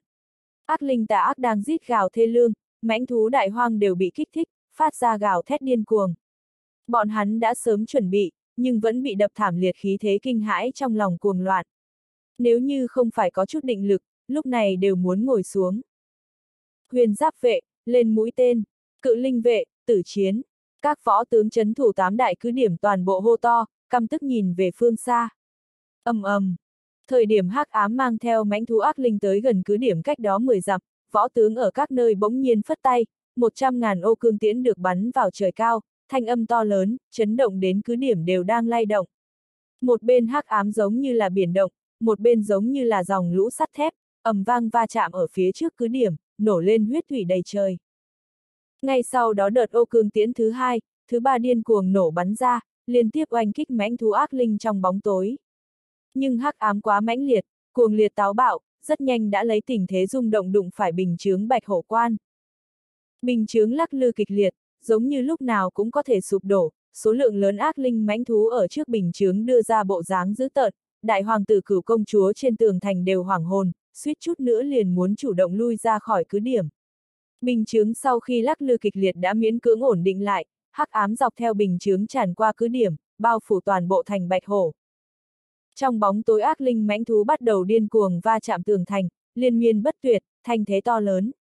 Tường thành lắc lư ù ù, cửa thành kết loạn hưởng, bình chướng đang khổ cực kiên trì sau một thời gian ngắn liên tiếp mở ra vết nứt. Số lượng lớn ác linh mãnh thú kêu gào dữ tợn, thuận vết nứt sông lên đầu tường. Giết! Toàn bộ cự linh vệ kích phát võ pháp, đội lên phía trước, triển khai chém giết cùng mãnh thú ác linh. Tràng cảnh khủng bố lại thật lớn, chém giết điên cuồng lại hỗn loạn, tràn ngập kéo dài hơn 50 dặm cứ điểm. Đại hoàng tử và cửu công chúa âm thầm hồi hộp, không thể không lui đến biên giới tường thành. Đám cận vệ đều trắng bệch cả mặt, hô hấp khó khăn, rốt cuộc cũng tự mình cảm nhận được sự nguy hiểm của đại hoang, những khinh thường trước đó sớm đã tan thành mây khói. Theo hỗn chiến tăng lên, cự linh vệ bọn họ đều giết đỏ cả mắt, nhao nhao quát tháo bọn cận vệ hoàng thất vướng bận cút ngay, bọn hắn không thể không kiên trì lui lại, tận lực đưa ra. Đúng vào lúc này, một cự linh vệ, gầy gò đột nhiên bị đẩy lên phía trước sông vào bình chướng sau đó lại bị mãnh thú đánh bay, ba cự linh vệ khác cũng bị đánh bay tới hướng bọn thị vệ hoàng thất ở phía sau. Bọn thị vệ hoàng thất cuống quýt giúp đỡ. Qua! Wow. Cự linh vệ, há miệng phun máu. Ta có đan dược. Đại hoàng tử phất tay ra hiệu, lúc này nên biểu hiện một chút, ủng hộ khí thế. Bọn thị vệ tranh thủ thời gian ôm lấy vị, cự linh vệ, tuổi trẻ này đưa đến trước mặt đại hoàng tử. Đại hoàng tử lấy ra một viên đan dược từ trong nhẫn không gian, đưa tới trước mặt cự linh vệ. Ăn xong, tiếp tục chiến đấu, bảo hộ thành bạch hổ. Cự linh vệ, nâng tay lên đột nhiên bắt lấy tay đại hoàng tử, sau đó ngẩng đầu lên, lộ ra một khuôn mặt đầy máu. A, à, Khương Phàm. Đại hoàng tử sững sờ, một cái tên được thốt ra, sau đó liền muốn lắc đầu, làm sao lại còn gặp ảo giác, nghĩ đến tên hỗn đản kia. Nhưng, cự linh vệ, bỗng nhiên thuận thế bóp lấy cổ đại hoàng tử, một tay khác hung hăng chộp tới cửu công chúa ở bên cạnh còn đang mờ mịt. ầm ầm, kim quang nở rộ, thánh viêm bạo động, hỏa dực được huy động, hai tay Khương Phàm bóp lấy đại hoàng tử cùng cửu công chúa, phóng tới không trung. Bọn thị vệ hoàng thất đều không kịp phản ứng, ánh mắt chỉ là theo bản năng thuận hỏa diễm mà nhìn về phía không trung. Ha ha, ha ha ha, đại hoàng tử, cửu công chúa, lại gặp mặt rồi. Khương Phàm cười to, trong thanh đồng tiểu tháp xông ra xiềng xích trắng kiện, kéo chặt lấy bọn hắn. Khương Phàm, đại hoàng tử, cửu công chúa rốt cuộc cũng hoàn hồn, khó có thể tin được mà nhìn người đột nhiên bắt bọn hắn. Đây là ác mộng sao? Ác linh đại hoang còn có thể tạo ảo giác. Các ngươi đã từng nói, chúng ta sẽ còn gặp mặt. Ta chờ lại chờ, các ngươi không đi tìm ta, ta nghĩ đến các ngươi nên đã tự mình tới. Vui mừng không? Khương Phàm cười to nhưng biểu hiện lại đột nhiên dữ tợn, quát tháo toàn trường, ai dám loạn động, ta xé nát bọn hắn. Cho đến giờ phút này, trên dưới cứ điểm đầu tiên mới phản ứng được, nhanh chóng lâm vào oanh động. Khương Phàm, hắn làm sao tại đây? Đang đùa sao? Sao ở đâu cũng có hắn thế, điên rồi sao? Tên hỗn đản này sao lại ở đây? Sao hắn lại có thể ở đây? Ai nói cho ta biết tại sao tên hỗn đản này lại ở đây? Bọn thị vệ hoàng thất triệt để điên rồi. Phụ mẫu nó, ngươi không thể dựa theo mưu kế mà tới làm việc sao? Ngươi luôn luôn thình lình xuất hiện như thế, huyên náo như thế khiến chúng ta rất khó chịu. Khương Phàm, thật là ngươi. Đại hoàng tử nổi giận, lại bị bắt. Chết tiệt, ta lại bị tên hỗn đản này bắt sao? Khương Phàm, người không nên ở đây. Cửu công chúa càng khó có thể hơn tin, không phải nói là Phù Đang và Hoang Mãng Nguyên đang có biến sao? Không phải nói là Phù đang trong nguy cấp sao? Khương Phàm không ở tiền tuyến, sao lại chạy tới nơi này? La Phù thế cục còn không có ổn định, Khương Phàm làm sao dám cưỡng ép bắt bọn hắn? Nên hay không nên, dù sao ta cũng đều đã tới. Đại hoàng tử, cửu công chúa, ta nhớ các người muốn chết đi được. Khương Phàm gắt gao bóp lấy cổ của bọn hắn, đầu ngón tay khảm vào da thịt, siết chặt lấy động mạch bên trong xương cốt. Ngươi, tên hồn đản ngươi, ngươi không phải gia nhập vô hồi thánh địa sao? Ngươi bây giờ bắt chúng ta, xem như vô hồi thánh địa đang can thiệp sự vụ hoàng triều, đây là tối kỵ. Cửu công chúa bị bóp đến trắng bệch con mắt, thân thể cũng bắt đầu run rẩy. Khương Phàm cười lạnh, ta muốn gia nhập thánh địa, nhưng còn chưa có chính thức công bố ra ngoài, không tính là can thiệp sự vụ hoàng triều.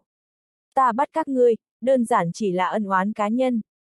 Khương Phàm, tốt nhất hôm nay ngươi nên giết chết ta, bằng không đợi ta lại thoát thân, ta sẽ dốc hết có khả năng, muốn mạng chó của ngươi, muốn cả nhà mạng chó Khương ra ngươi. Đại hoàng tử dùng sức nắm lấy cổ tay Khương Phàm, con mắt đỏ hồng nhìn chằm chằm hắn. Khương Phàm kéo bọn hắn đến trước mặt mình, gương mặt dữ tợn. Hai vị, các ngươi sẽ không còn có cơ hội, các ngươi phải chết, chịu hết khuất nhục mà chết, phải chết tại La Phù. Khương Phàm, ngươi lại còn dám về Bạch Hổ Quan. Bạch Quân lấy lại tinh thần, nhìn thấy kẻ thù giết phụ thân gần ngay trước mắt, đỏ ngầu cả mắt. Câu này đúng là nói nhảm, ta đây không phải đã tới à. Làm tốt chức trách thủ vệ Bạch Hổ Quan của các ngươi đi, cố mà giữ vững cứ điểm. Nếu không mãnh thú đại hoang sẽ xông vào cứ điểm đầu tiên, tăng thêm việc đại hoàng tử và cửu công chúa bị bắt tại nơi này của ngươi, rất có thể bạch ra các ngươi sẽ phải diệt tộc. Khương Phàm cảnh cáo một câu, cũng cảnh giác ô cương cung đã kéo lên ở phía dưới cứ điểm, còn có số lượng lớn cường giả đang kích hoạt linh văn. Khương Phàm, thả hai vị điện hạ, nơi này không phải nơi ngươi có thể dương oai, lập tức thả người cho ta. Nghĩ rõ ràng xem ngươi đang làm cái gì, không muốn chết liền ta thả người cho. Bọn thị vệ hoàng thất điên cuồng giận dữ mắng mỏ, ngưng tụ võ pháp cường hãn trong tay, toàn bộ đều khóa chặt Khương Phàm. Khương Phàm kéo đại hoàng tử cùng cửu công chúa vào thanh đồng tiểu tháp. Ai dám đụng ta một phân một hào, ta lập tức vặn đầu bọn hắn xuống ném cho các ngươi. Không nên nghĩ là ta đang nói đùa, Khương Phàm ta nói được thì làm được. Bạch hổ quan sau một đêm bạo loạn lần nữa khôi phục bình tĩnh, nhưng không đợi các cứ điểm thở phào, từ cứ điểm đầu tiên truyền ra tin tức lại nhanh chóng oanh động các đại cứ điểm khác, thành bạch hổ càng khiếp sợ hơn. Khương Phàm lại trở về. Khương Phàm giả mạo cử linh vệ, bắt sống đại hoàng tử cùng cửu công chúa. Tên điên cuồng này thật đúng là cái gì cũng nghĩ ra được, cái gì đều làm ra được. Khương Phàm điên hay không không rõ, nhưng đám bọn thị vệ hoàng thất kia sợ là muốn điên rồi. Ai có thể nghĩ Khương Phàm sẽ không một tiếng động mà đuổi theo đội xe hoàng thất tới đây chứ, còn thừa dịp đại hoang náo động bắt hai vị điện hạ lại. Tên điên này làm việc thật đúng là xuất quỷ nhập thần. Toàn thành oanh động, nghị luận ẩm ý. Tất cả chi đội phòng giữ cứ điểm không lo được nghỉ ngơi, đều dùng tốc độ nhanh nhất tụ tập đến trước cứ điểm đầu tiên. Khương Phàm, bàn bạc điều kiện đi, rốt cuộc ngươi muốn thế nào? Thị vệ thống lĩnh đã tỉnh táo lại, rằng co với Khương Phàm. Khương Phàm bị lực lượng bốn phương tám hướng bao vây, không trung cuồn cuộn mây đen, lôi điện bạo động, lợi kiếm gào thét ở xung quanh, dày đặc sắc bén, phía dưới còn có nồng đậm cát bụi đang cuồng loạn. Năng lượng vô cùng táo bạo, tùy thời cũng có thể làm cho Khương Phàm mất mạng. Để cho ta tiến vào đại hoang. Sau đó thì sao? Không thể ít hơn trăm dặm. Lý do? Còn đòi lý do, ngươi nghĩ ta sẽ báo cáo tình huống với ngươi sao? Bớt nói nhảm, ta đếm đến 10, không thả ta đi, ta ném ra một cánh tay của đại hoàng tử. Khương Phàm, ngươi nên nghĩ rõ ràng ngươi đang làm gì. La Phù và Lang Gia Hoàng Triều đã ký kết hiệp nghị hòa bình, lúc này ngươi ra tay, chính là đang chọn lên chiến tranh. Lang Gia Hoàng Triều sớm muộn đều sẽ khai chiến, ta chủ động nhấc lên, vừa vặn bớt để các ngươi kiếm cớ. Bây giờ ta bắt đầu đếm, 10. Khương Phàm vừa dứt lời, một cánh tay đầy máu từ trong thanh đồng tiểu tháp bay ra. Tay áo kim văn màu đen, thể hiện thân phận của cánh tay. Khương Phàm. Toàn trường giận dữ mắng mỏ, hỗn đản này rõ ràng là đang đùa nghịch bọn hắn, không phải đếm tới 10 sao, trực tiếp liền đếm ra 10. Khương Phàm đón kiếm khí đi qua. Ai dám ngăn cản ta, cánh tay thứ hai sẽ được đưa ra tới. Nam tử khẩn trương khống chế kiếm khí nhìn về phía thị vệ thống lĩnh. Thị vệ thống lĩnh giấy dụa trong lòng, muốn ngăn lại, nhưng lại không dám cản. Nếu như đại hoàng tử thật bị Khương Phàm chặt thành từng khúc, chờ sau khi còn sống trở về, chuyện đầu tiên liền sẽ lăng trì xử tử hắn. Có thị vệ khác nhỏ giọng nhắc nhở. Thống lĩnh, Khương Phàm sẽ không tự mình tới, rất có thể còn có bố trí gì khác. Ví dụ như, huyết ngục đang mai phục ở trong đại hoang. Nếu như Khương Phàm tiến vào đại hoang, chúng ta lại theo tới, nói không chừng liền sẽ chúng mai phục. Bạch quân bỗng nhiên tiến đến thị vệ thống lĩnh, nhỏ giọng nói nhỏ. Ta có đề nghị, không biết có thể hay không nói. Mau nói. Trực tiếp bắt lấy Khương Phàm, mặc kệ đại hoàng tử và cửu công chúa. Ngươi điên rồi. Thị vệ thống lĩnh cao mày, hỗn đản này sao có thể nói ra lời như vậy. Đại hoàng tử bị bắt một lần đã để hoàng thất hổ thẹn, nếu như lại bị bắt lần thứ hai, mặt mũi hoàng thất để ở đâu? Nếu như người bởi vì cưỡng ép bắt Khương Phàm mà tổn thương hai vị điện hạ, hoàng thất bắt đầu sẽ trách phạt ngươi, nhưng trong lòng sẽ cảm kích ngươi, nhất là lục hoàng tử. Đáy mắt bạch quân hiện lên tia sắt lạnh, ý vị sâu xa nhắc nhở thị vệ thống lĩnh. Thị vệ thống lĩnh nhìn chằm chằm bạch quân, ngươi là muốn hại chết ta. Ta là đang giúp ngươi, ngươi là đang hại ta. Thị vệ thống lĩnh đột nhiên giữ tợn. Hắn là thị vệ thống lĩnh, nếu vì công lao mà không tiếc giết hại chủ tử, chính là bất trung bất nghĩa. Lục hoàng tử xác thực sẽ hài lòng, nhưng tuyệt đối sẽ không để ý sống chết của hắn, hoàng thất càng không khả năng lại dung hạ tha hắn. Nếu như Khương Phàm bị bức ép đến mức nóng nảy sau đó không phải là trực tiếp sát hại đại hoàng tử, mà là làm nửa sống nửa chết lại ném đi ra.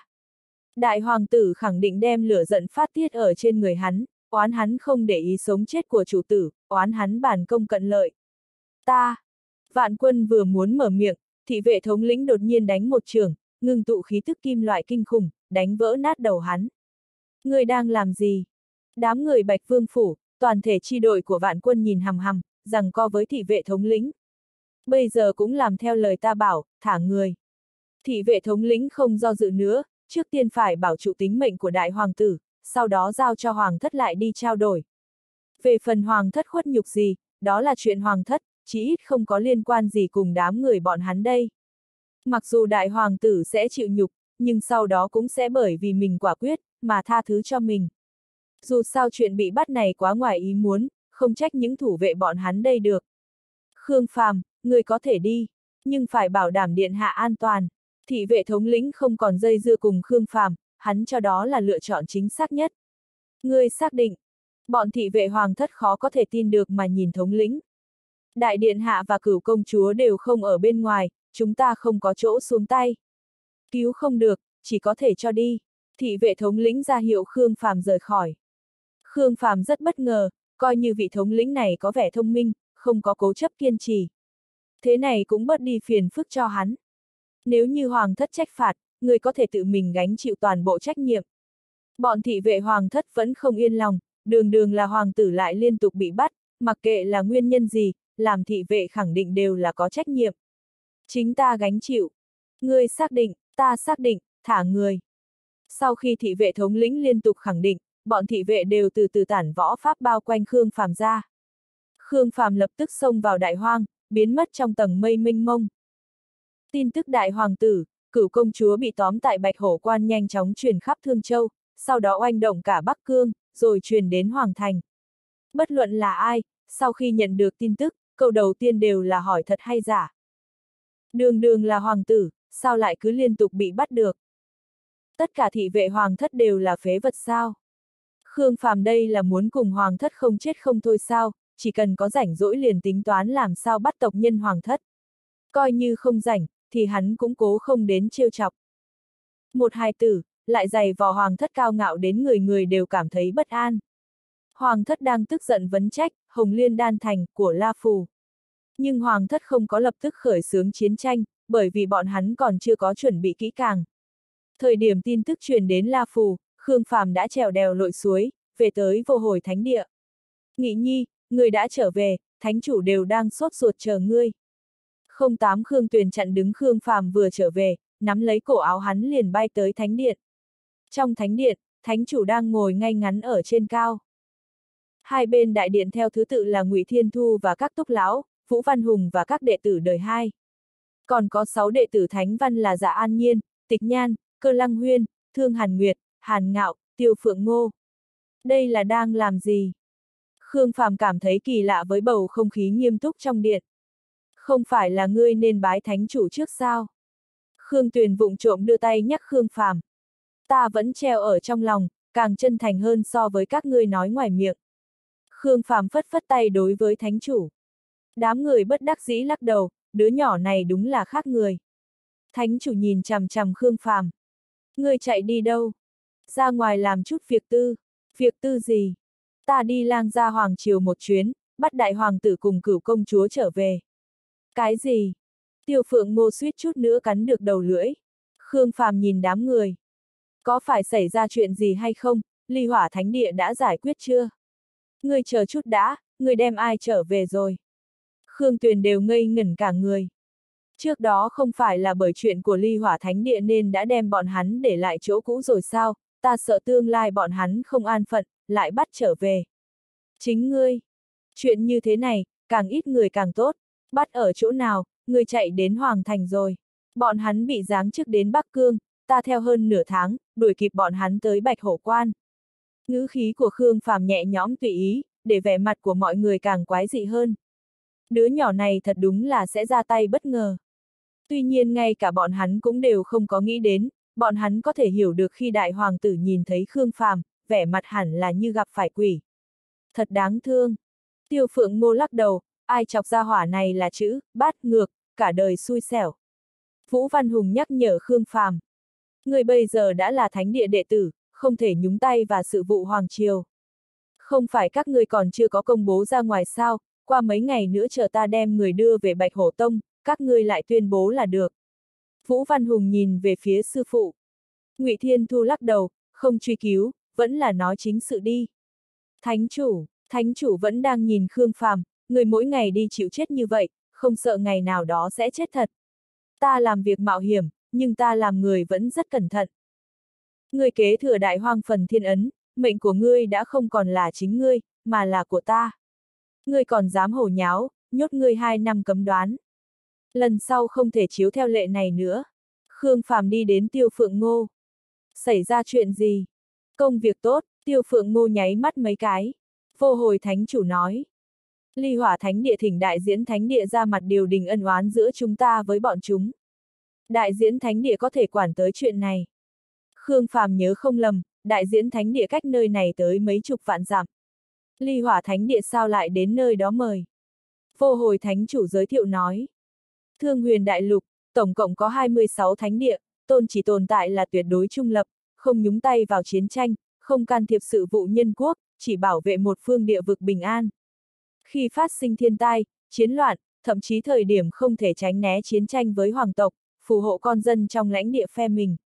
26 thánh địa, phân thuộc địa vực khác nhau tại Thương Huyền, cũng kết thành quần thể khác biệt. Ví dụ như chúng ta nơi này, tính cả đại hoang thánh địa trước đó, năm đại thánh địa liên hợp thành thánh địa Nam Bộ. Bình thường bảo vệ lãnh địa riêng phần mình, nếu như gặp tình huống đột phát, có thể liên thủ ứng phó. Ngoài ra còn có Liên minh Thánh địa Bắc Bộ, Liên minh Thánh địa Tây Bộ, Liên minh Thánh địa Đông Bộ, cùng Liên minh Thánh địa Trung Bộ. Trong tất cả thánh địa liên minh số lượng đều không giống nhau, thực lực mạnh yếu cũng không giống nhau. Tất cả liên minh thánh địa đều có một thánh địa có sức ảnh hưởng nhất, xưng là tôn chủ, ở chỗ chúng ta đây chính là ly hỏa thánh địa.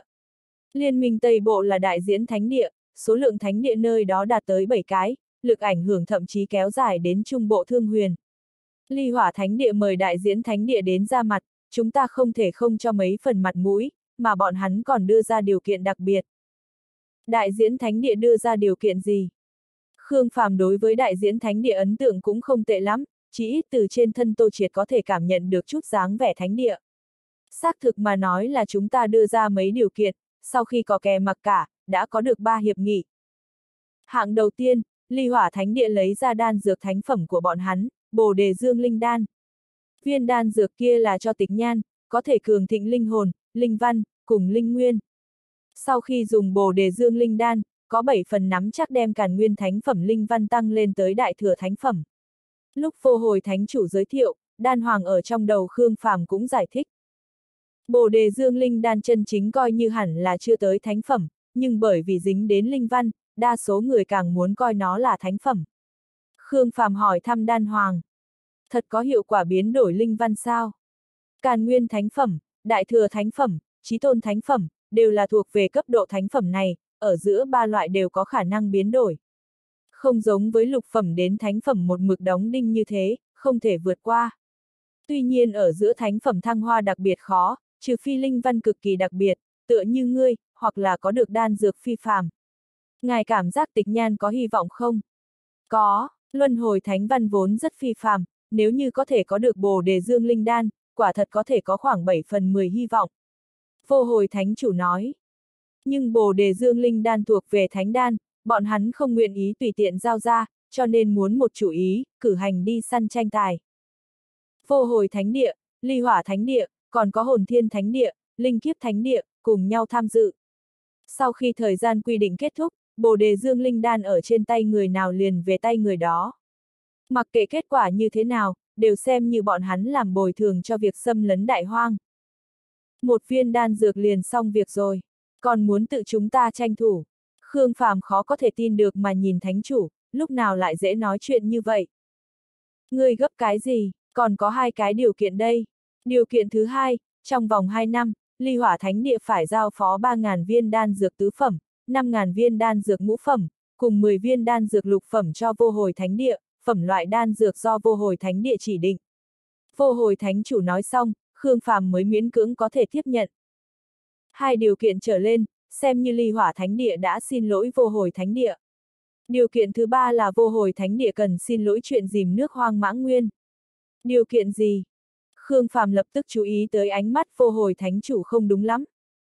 Ngươi, bọn hắn sẽ chọn lựa năm đệ tử cùng cảnh giới vây công ngươi. Nếu như ngươi có thể thắng, việc này xóa bỏ, nếu như ngươi thua, ngươi sẽ bị áp tại ly hỏa thánh địa 2 năm. Đồng thời, vô hồi thánh địa còn phải công khai xin lỗi. Năm kẻ vây công, ngài cứ như vậy mà tin tưởng ta. Khương Phàm dở khóc dở cười. Ngươi cũng là võ hầu của vương quốc hắc ám, người ly hỏa thánh địa chọn ép không được ngươi.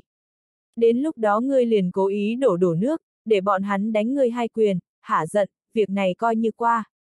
Năm người, năm người đó, chẳng may lại mời kẻ ngoại viện nào, giết chết ta thì sao? Khương Phàm lắc đầu, ly hỏa thánh địa cũng không phải loại lương thiện gì. Đại diễn thánh địa làm điều giải có tác dụng gì? Ba cái điều kiện này, thuộc về điều kiện hòa giải giữa chúng ta cùng ly hỏa thánh địa. Mặc kệ cuối cùng bồ đề dương linh đan về ai, mặc kệ ngươi thắng hay thua, ân oán hai bên đều xem như xóa bỏ. Từ nay về sau, hai bên tuyệt đối không thể lại bộc phát chiến tranh, cũng không thể phát sinh sinh tử cảnh trở lên, hay hoặc là vượt qua trăm linh hồn cảnh đối kháng, nếu không đại diễn thánh địa sẽ cưỡng ép nhúng tay. Trừ ba điều kiện này ra, đại diễn thánh địa nguyện ý tới liên minh thánh địa Nam Bộ mở ra vĩnh hằng thánh sơn, cùng đệ tử thiên tài liên minh thánh địa Tây Bộ ở cùng một chỗ, truy đuổi vĩnh sinh chi linh. Vô hồi thánh chủ nói đến đây, bọn người dạ an nhiên đều tập trung tinh thần lắng nghe. Trước khi Khương Phàm đến, thánh chủ vừa vặn đang giới thiệu đến nơi đây. Vĩnh Hằng Thánh Sơn, là bí cảnh truyền kỳ do bảy đại thánh địa Tây Bộ cùng nhau khống chế. Cái tên Vĩnh Hằng đã được truyền thừa từ lâu, từ khi phát hiện đến bây giờ, có ghi chép đã qua 50.000 năm. Hình dạng mặt đất nơi đó có nguyên thủy nhất, huyết mạch yêu thú cổ xưa nhất, dược thảo quý giá nhất, nơi đó có vô số cơ duyên. Mà bản thân Vĩnh Hằng Thánh Sơn đã phong bế, chỉ có Vĩnh Hằng chi linh trăm năm nở rộ một lần, tác động đến cấm chế Vĩnh Hằng, mới có thể xuất hiện vết nứt yếu ớt. Mỗi lúc đến đó, Liên minh Thánh địa Tây Bộ sẽ cưỡng ép giam cầm cái khe kia, bố trí con đường, cho phép tinh anh linh hồn cảnh trở xuống tiến vào bên trong. Vĩnh Hằng chi linh vô cùng thần bí, danh xưng vạn hoa chi vương, có được hiệu quả phi phàm. Ví dụ như tầm bổ sinh mệnh, có thể để ngươi giữ vững trạng thái tinh thần, trạng thái thân thể mười mấy tuổi lâu dài. Mười mấy tuổi vẫn luôn được công nhận là thời kỳ tu võ vàng son, bất luận là tinh thần, linh văn trưởng thành, hay thiên phú diễn biến, đều cực kỳ sinh động. Nếu như có thể lâu dài giữ vững trạng thái này, tốc độ phát triển nhất định viễn siêu hơn người khác. Lại ví dụ như khởi tử hồi sinh, khi dùng vĩnh hằng hoa linh chừng 10 năm, mặc kệ là nhận tổn thương trí mạng cỡ nào, chỉ cần không phải đạt trình độ tới mất mạng trong nháy mắt, thì vẫn có thể để cho ngươi từ cõi chết trở về. Hay là còn so sánh như biến đổi linh văn, chỉ thích hợp để dùng cho thánh phẩm linh văn, có thể để ngươi từ càn nguyên thẳng tới đại thừa, đồng thời không có bất kỳ lo lắng gì, cũng có thể để đại thừa thánh văn có tỷ lệ nhất định trùng kích lên trí tôn thánh phẩm. Sau khi vô hồi thánh chủ nói xong, bất luận là Khương Phàm hay là bọn người dạ an nhiên đều hô hấp dồn dập, ánh mắt sáng rực nhìn thánh chủ. Tẩm bổ thân thể, khởi tử hồi sinh, thăng hoa linh văn. Thế gian lại còn có linh túy phi phàm như thế này. Thứ nàng nói, chẳng lẽ là chú tước yêu hồn hoa? Đan Hoàng nói nhỏ ở trong đầu Khương Phàm, ngài biết sao?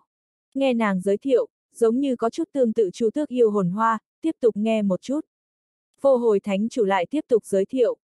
Bởi vì Vĩnh Hằng Thánh Sơn trăm năm vừa mở, mỗi lần mở ra đều sẽ trở thành thịnh hội lớn nhất của Liên minh Thánh địa Tây Bộ, tất cả thánh địa đều sẽ điều động đệ tử thiên tài của bọn hắn, xông vào bên trong thám hiểm. Coi như không chiếm được Vĩnh Hằng Chi Linh, linh yêu linh túy khác ở bên trong cũng là cơ duyên lớn lao. Nghe nói nơi đó còn trôn giấu bí cảnh đặc biệt, mỗi lần mở ra, chắc chắn sẽ có người đạt được bảo bối phi phàm.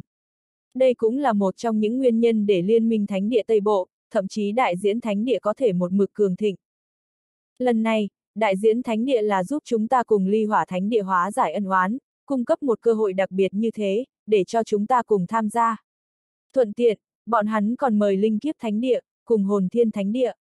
Khương Phàm nói, thánh chủ, có thể giới thiệu cụ thể vĩnh hằng chi linh không?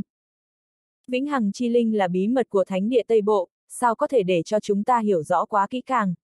Các ngươi không cần hy vọng xa vời đến vĩnh hằng chi linh, mục tiêu chủ yếu là bí cảnh cùng linh bảo nơi đó, người người đều tranh thủ chiếm được đại cơ duyên một lần. Lúc nào mở ra? Về khoảng cách lần vĩnh hằng chi linh nở rộ đã qua hơn 120 năm, Liên minh Thánh địa Tây Bộ cũng đã chờ không kịp, cho nên vẫn một mực đang nghiêm mật giám sát. Cho đến mấy tháng trước, bọn hắn đã nhận ra phòng ấn Thánh Sơn có dấu hiệu buông lỏng. Dựa theo kinh nghiệm, Vĩnh Hằng Chi Linh dự tính sẽ nở rộ sau 2 tháng nữa. Kéo dài bao lâu? Thời gian Vĩnh Hằng Chi Linh nở rộ bất định, ngắn thì 3 tháng, lâu là nửa năm. Thời gian vừa đến, nó liền tàn lụi, một khi tàn lụi, Vĩnh Hằng Thánh Sơn liền tự động phong bế. Lúc nào thì chúng ta xuất phát? Cho các ngươi thời gian chừng 10 ngày để chuẩn bị, 10 ngày sau, trước khi chúng ta khởi hành đến đại diễn thánh địa. Trước tiên phải giải quyết ân oán giữa ly hỏa thánh địa, sau đó cùng đại diễn thánh địa tiến về Vĩnh Hằng Thánh Sơn. Vô hồi thánh chủ nhìn bọn người Khương Phàm ở phía dưới. Lần hành động này, dạ an nhiên là đội trưởng. Đây cũng là lần đầu các ngươi liên hợp hành động, phải hiểu rõ sâu thêm, càng phải bồi dưỡng ăn ý, và phải tìm kiếm cơ duyên. Hàn ngạo, mặc dù ngươi không có đại hoàng ấn, nhưng chỉ cần rời khỏi vô hồi thánh địa, các ngươi chính là người một nhà, đừng có khúc mắc gì. Bọn người giả an nhiên cung kính lĩnh mệnh. Thánh chủ, chỉ có mấy người chúng ta sao? Hàn ngạo đột nhiên hỏi. Còn có giả an nhiên cùng yêu thú của Khương Phàm, hết thảy 9 người. Vì sao không có lâm nam sư tỷ? Ta đoán tất cả thánh địa đều sẽ mang đệ tử cửu trọng thiên thuộc tính mộc, mặc kệ là thi đấu săn giết, hay là mở ra vĩnh hằng bí cảnh, một hệ linh văn cửu trọng thiên ở trong rừng rậm tiềm lực sẽ được phóng đại vô hạn, còn có thể điều tra có thể phòng ngự, cũng có thể tấn công. Huống chi, Lâm Nam sư tỷ cũng am hiểu chiến đấu. Hàn Ngạo nói đến Lâm Nam sư tỷ chính là đệ tử thân truyền của sư phụ hắn, Lâm Thiên Lộc. Không phải thánh phẩm linh văn mà là lục phẩm lôi văn thụ, nàng có được hai khí hải mộc hệ, lôi hệ độc lập xen lẫn nhau, lại có thể đem hai loại mộc hệ lôi hệ bất tương dung dung hợp một chỗ. Thiên phú cực mạnh, tính tình lại ổn trọng. Bây giờ đã là linh nguyên cảnh cửu trọng thiên, Ngụy Thiên Thu nói. Tin tức đã mang đến vương quốc hắc ám, mấy ngày nữa Lâm Nam sẽ trở về, nhưng Lâm Nam sẽ không tham gia thi đấu đi săn, sẽ chỉ cùng các ngươi đến vĩnh hằng bí cảnh. Hàn Ngạo không hiểu. Vì sao, thế lực thi đấu săn giết quá ngang nhau, có ý nghĩa gì? Ở vấn đề này, bọn người Ngụy Thiên Thu và vô hồi thánh chủ vô cùng thống nhất ý kiến. Dù là ly hỏa thánh địa nơi đó mang theo hai ba người cửu trọng thiên, bọn hắn nơi này cũng sẽ không phái một cửu trọng thiên tham gia săn giết thi đấu. Vì là để tôi luyện dũng khí, ăn ý, và kích phát tiềm lực của bọn hắn. Bọn người Khương Phàm không còn chất vấn, liên tiếp hành lễ, quay người lui ra.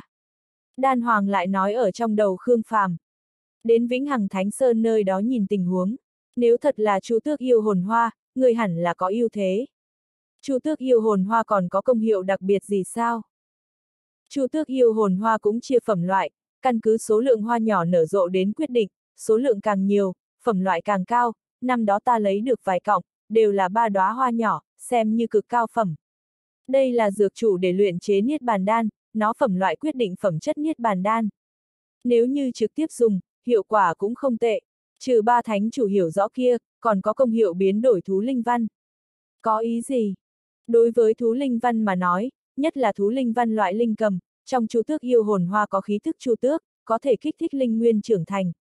Chu tước là vạn cầm chi tổ, bên trong chu tước yêu hồn hoa có khí thức đến từ lão tổ tông, đương nhiên có thể kích phát lực lượng tổ mạch linh cầm. Còn có thể trưởng thành đến vấn đề gì, phải nhìn tạo hóa của riêng mình. Nếu như ngươi dùng, ta không rõ sẽ xuất hiện thay đổi gì. Có lẽ, có thể sớm thôi động linh nguyên cùng huyết mạch của ngươi biến đổi chăng? Vĩnh Hằng Thánh Sơn. Khương Phàm âm thầm chờ mong, bất kể có phải là Chu Tước yêu hồn hoa hay không, đều muốn cầm gốc kia hoa linh kia tới tay. cúi đầu suy nghĩ gì đó. Dạ an nhiên kỳ quái nhìn Khương Phàm đang cúi đầu đi đường ở bên cạnh, lúc nào lại thành thật như vậy. Cô dung hợp hạt giống ngũ hành rồi. Khương Phàm lấy lại tinh thần. Bốn năm tháng không gặp, khí chất dạ an nhiên đã thay đổi thật nhiều, cảm giác càng thêm linh động, càng thêm mỹ lệ, thật giống như tinh linh tự nhiên được thay ngén, khí chất đặc biệt, khiến cho người khác phải mê muội. Nhờ có thánh chủ tương trợ, hạt giống ngũ hành dung hợp rất thành công, linh văn cũng đạt tới đại thừa thánh văn, cảnh giới vừa đột phá đến lục trọng thiên. Chúc mừng cô! Khương Phàm mừng thay cho dạ an nhiên, dung hợp hạt giống ngũ hành không chỉ đơn giản là biến đổi linh văn tăng cường cảnh giới, càng mang ý nghĩa tương lai nàng sẽ rộng lớn hơn, tiềm lực sẽ trưởng thành hơn. Cũng chúc mừng ngươi, trở thành võ hầu của vương quốc hắc ám. Hư danh mà thôi, ta đi về trước. Khương Phàm cười cười, bước nhanh chạy đi. Dạ an nhiên ngừng lại, nhìn bóng lưng Khương Phàm có chút hoảng hốt. Cứ như vậy mà đi rồi. Bọn người thương Hàn Nguyệt có chút nhíu mày, hai người này làm sao vậy, không phải nói Khương Hồng và Võ Dạ Thiên Lan cũng đã bắt đầu thảo luận chuyện đính hôn sao, sao lại cảm thấy lạ lẫm như vậy? Chẳng lẽ Khương Phàm thật thích Thường Lăng như thế? Cũng không phải, từ khi Khương Phàm từ vương quốc hắc ám trở về đến bây giờ, giống như cũng chưa tới Dược Sơn nhìn qua Thường Lăng. Tên kỳ quái. Khương Phàm giao đại hoàng tử cùng cửu công chúa cho bọn người Khương Hồng Võ đang chuẩn bị rời khỏi, sau đó trở lại Sơn Cốc bế quan. Hắn muốn trở nên mạnh hơn, hắn phải không ngừng trở nên mạnh mẽ. Vạn thú thiên hoàng quyền là lựa chọn tăng cường thực lực hàng đầu. Không chỉ có uy lực phi phàm, chủ yếu hơn chính là thuận tiện tu luyện. Trên đường từ Bạch Hổ Quan trở về, mỗi đến hắn đều sẽ trốn đi, ở bên trong ý thức hải diễn biến quyền pháp mới. Cho tới bây giờ, đã diễn dịch ra năm bộ thánh quyền. Quyền thứ 21, huyễn điệp quyền. Quyền thứ 22, thứ phong quyền. Quyền thứ 23, kim thiền quyền. Quyền thứ 24, yêu bức quyền. Quyền thứ 25, liệt hạt quyền. Vạn thú thiên hoàng quyền bắt đầu từ quyền thứ 21, từ tẩu thú, biến thành yêu trùng. Thiếu đi mấy phần cường thế bá liệt, nhiều hơn mấy phần khống chế quỷ bí, thích hợp với quần chiến. Ví dụ như thứ phong quyền, tựa như là, lưu kim hỏa vũ, thăng hoa, có thể trong thời gian rất ngắn ngưng tụ ra hàng trăm thứ phong, khởi xướng bạo kích chí mạng. Ví dụ như huyễn điệp quyền, có thể lợi dụng liệt diễm, phóng xuất ra huyễn ảnh đầy trời, lại bằng vào quỹ tích nó nhẹ nhàng, khiến cho kẻ địch khó phân biệt thật giả. Khương Phàm đắm chìm tu luyện trong ý thức hải, cẩn thận nghiên cứu mỗi một thánh quyền. Trong lòng không suy nghĩ đến bất cứ chuyện gì khác, rất tập trung tinh thần. Khương Phàm Dạ an nhiên đi đến sơn cốc, lấy dũng khí muốn cùng Khương Phàm nói chuyện. Khương Phàm lại cau mày, không hề hay biết. Khương Phàm, ta muốn cùng ngươi nói chuyện, có rảnh không? Khương Phàm, dạ an nhiên nói liên tục mấy lần, đều không có được đáp lại, nàng khẽ mím môi đỏ, yên lặng rời khỏi sơn cốc. Mười ngày sau, đám người đầy lòng mong đợi tập kết trước thánh điện. Vô hồi thánh chủ, ngụy Thiên Thu, Hoác Thiên Túng, cùng hai vị trưởng lão và 18 đệ tử thân truyền, toàn bộ trình diện. Còn có Lâm Nam trở về gấp từ vương quốc hắc ám. Khuôn mặt nàng xinh đẹp, mang theo nụ cười nhạt, ánh mắt lại hiện ra sự nghiêm nghị dáng người nàng cao gầy, áo váy bó sát ngắn phát họa ra tư thái hoàn mỹ, 19 tuổi chính là giai đoạn ngây ngô lui đi hướng đến thành thục, để toàn thân nàng tản ra mị lực đặc biệt. Cho dù là đứng trước mặt dạ an nhiên, tịch nhan như muốn quốc khuynh thành, cũng không thua kém nửa phần. Hàn ngạo mặc dù kiêu ngạo tự phụ, nhưng ở trước mặt lâm nam lại tự giác yếu đi mấy phần khí thế, ngẫu nhiên liếc nhìn nàng trong ánh mắt mang theo vài phần hâm mộ. Nhưng, bọn hắn đã đợi lại đợi, từ đầu đến cuối không thấy bóng dáng Khương Phàm. Khương Phàm đâu, ta đi gọi. Tiêu Phượng Ngô không đợi nổi, hắn nhanh chóng phóng tới sơn cốc Khương Phàm sống một mình. Khương Phàm. Tiêu Phượng Ngô đã gọi ba tiếng nhưng không có phản ứng, một bàn tay đập vào bờ vai Khương Phàm. Khương Phàm bỗng nhiên bừng tỉnh, căm tức nhìn Tiêu Phượng Ngô, nổi điên làm gì. Đến lúc rồi, tất cả mọi người đang chờ ngươi. Tiêu Phượng Ngô chẳng quan tâm hắn buồn bực hay không, cứ nắm lấy cánh tay liền kéo dậy, chạy ra bên ngoài. Đã 10 ngày. Khương Phàm đều ngồi nhìn thời gian. Thật phục ngươi, chuyện kích thích như thế, ngươi lại còn có thể ổn định tinh thần tu luyện, ta đều đã 10 ngày không ngủ. Tiêu Phượng Ngô hưng phấn hai mắt cũng tỏa ánh sáng, không kịp chờ đợi muốn cùng những thiên tài thánh địa này luận bàn. Mọi người đều đã đến đông đủ, xuất phát. Chờ sau khi Khương Phàm đuổi tới, thánh chủ phất tay giơ lên cường quang hừng hực, ù ù điếc tai, lay động dãy núi, một tòa cung điện hùng vĩ ẩm vang đứng vững. Bọn người Ngụy Thiên Thu, Hoắc Thiên Túng liên tiếp đi đến bảo điện. Bên trong vô cùng rộng rãi, ngoại trừ đại điện rộng rãi ra, còn có số lượng lớn gian phòng. Có chút dùng để cất giữ bảo vật, có chút dùng để ở. Đến lúc đó gọi ta. Khương Phàm nói với Tiêu Phượng Ngô, sau đó tìm tới một căn phòng tiếp tục bế quan. Hắn làm sao vậy, trạng thái hình như không đúng. Hàn ngạo kỳ quái nói thầm. Thất tình. Tiêu Phượng Ngô không để ý. Thất tình. Chân đứng hai thuyền, dạng thẳng chân chứ sao. Tiêu Phượng Ngô tràn đầy phấn khởi đánh giá cung điện. Mấy ngày nay, ai ở cùng hắn? Cơ lăng huyền dơ lông mày xinh đẹp lên, nhìn dạ an nhiên và tịch nhan. Không có. Không có nữ tử bồi tiếp, sao lại mệt mỏi thành như thế này? Thương Hàn Nguyệt dở khóc dở cười, nhà đầu này cái gì cũng đều nói ra như thế cả. Ánh sáng bảo điện chiếu xa vạn trượng, giống như là mặt trời đang bay lên không, rất nhanh đã biến mất trong tầm mắt mọi người. Cung tiễn thánh chủ. Phương Thành Vân và các túc lão, các trưởng lão nhao nhao hành lễ. Chỉ mong có thể thuận lợi. Phương Thành Vân, Giang Thành Tử lắc đầu thở dài. Mặc dù ly hỏa thánh địa nguyện ý xuất ra, bồ đề dương linh đan, để bồi thường, nhưng có thể đạt được hay không, vẫn là ẩn số. Ngay cả chuyện mời đại diễn thánh địa đến mở, Vĩnh Hằng Thánh Sơn, cũng tràn đầy biến cố và nguy cơ. Cho đến bây giờ, những cái gọi là xin lỗi cùng bồi thường này, cũng còn chỉ là trên miệng. Nhưng cũng không có cách nào khác, dù sao cũng là vô hồi thánh địa bọn hắn mạo phạm ly hỏa thánh địa trước, ly hỏa thánh địa cao ngạo lại tự phụ, không thể nào cúi đầu đơn giản như vậy được. Cũng may thánh chủ đã tranh thủ đến, hơn 3.000 viên, đan dược làm bồi thường, đó là thật sự chỗ tốt, nhất là 10 viên, lục phẩm, đan dược. Tuy nhiên, bọn hắn luôn cảm thấy hai ngày này thánh chủ có chút là lạ, giống như đang tính toán cái gì đó. Chỉ mong lão nhân gia nàng đừng gây sự ở Tây Bộ. Đại diễn thánh địa. Đại diễn sơn mạch kéo dài mấy vạn dặm, như minh mông vô cương, như một thế giới độc lập. Núi cao chập trùng, liên miên vô tận, rừng rậm rậm rạp, mây mù tràn ngập, những con sông lao nhanh, răng khắp nơi. Nơi này có tông môn san sát, cũng có cổ thành liên miên. Nơi này có hoang nguyên bằng phẳng, cũng có núi lửa bộc phát ngẫu nhiên. Nơi này có liên miên dược viên, cũng có hiểm cảnh bí ẩn. Nơi này giống loài yêu thú đạt tới mấy chục ức, nơi này có con dân bộ lạc sinh tồn, số lượng cũng có ức vạn. Chính là nương tựa theo mảnh đại diễn sơn mạch cổ lão mà minh mông này, đại diễn thánh địa từ đầu đến cuối có thể hưng thịnh không suy. Càng đáng quý chính là, đại diễn thánh địa ở trong dãy núi này có được lực uy tín tuyệt đối, được người người kính ngưỡng. Tại thời điểm vô hồi thánh địa chạy tới nơi này, ly hỏa thánh địa, linh kiếp thánh địa, hồn thiên thánh địa, đều lấy sớm đi đến. Khi ly hỏa thánh chủ cực lực hòa giải, hồn thiên thánh địa, linh kiếp thánh địa đều đã tự mình đồng ý liên hợp cùng ly hỏa thánh địa, liên thủ chèn ép vô hồi thánh địa. Thánh địa liên minh Nam Bộ, quả thực là năm bè bảy mảng. Vốn là chỉ còn bốn đại thánh địa, lại còn không nghĩ hợp tác, chỉ lo đối kháng. Nếu như không phải là vì chuyện này, ta cũng không biết Nam Bộ đã loạn thành như thế. Thánh địa khai chiến, đây chính là chuyện hiếm lạ ngàn năm cũng chưa từng xảy ra. Bọn hắn thật đã quên sứ mệnh thánh địa rồi sao? Bốn đại thánh địa khu vực trung ương hình như cũng bắt đầu chú ý tới sự kiện lần này. Trong đại diễn thánh địa, đại diễn thánh chủ cùng mấy nam tử túc lão cấp bậc đứng bên trên cao phong vạn trường nhìn qua rừng rậm tràn ngập mây mù. Đã từng là liên minh Nam Bộ cũng tạm được, bởi vì trận kịch biến tại đại hoang ngàn năm trước kia, để tất cả đại thánh địa bọn hắn bằng mặt không bằng lòng. Đại diễn thánh chủ chậm rãi lắc đầu. Một trận kịch biến đại hoang, chôn vùi đại hoang thánh địa, ước vạn sinh linh chết thảm, cũng suýt nữa tác động đến La Phủ Sơn Mạch. Vô hồi thánh địa trước sau 9 lần cầu cứu tôn chủ ly hỏa thánh địa đều bị cự tuyệt, hoàn toàn bất đắc dĩ chỉ có thể cầu cứu linh kiếp thánh địa, hồn thiên thánh địa, vậy mà bị cũng không nhìn đến.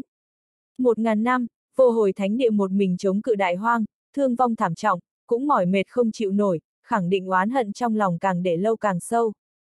Một vị túc lão nói, Thánh chủ, ngài muốn hóa giải mâu thuẫn của bọn họ, chỉ sợ không quá hiện thực.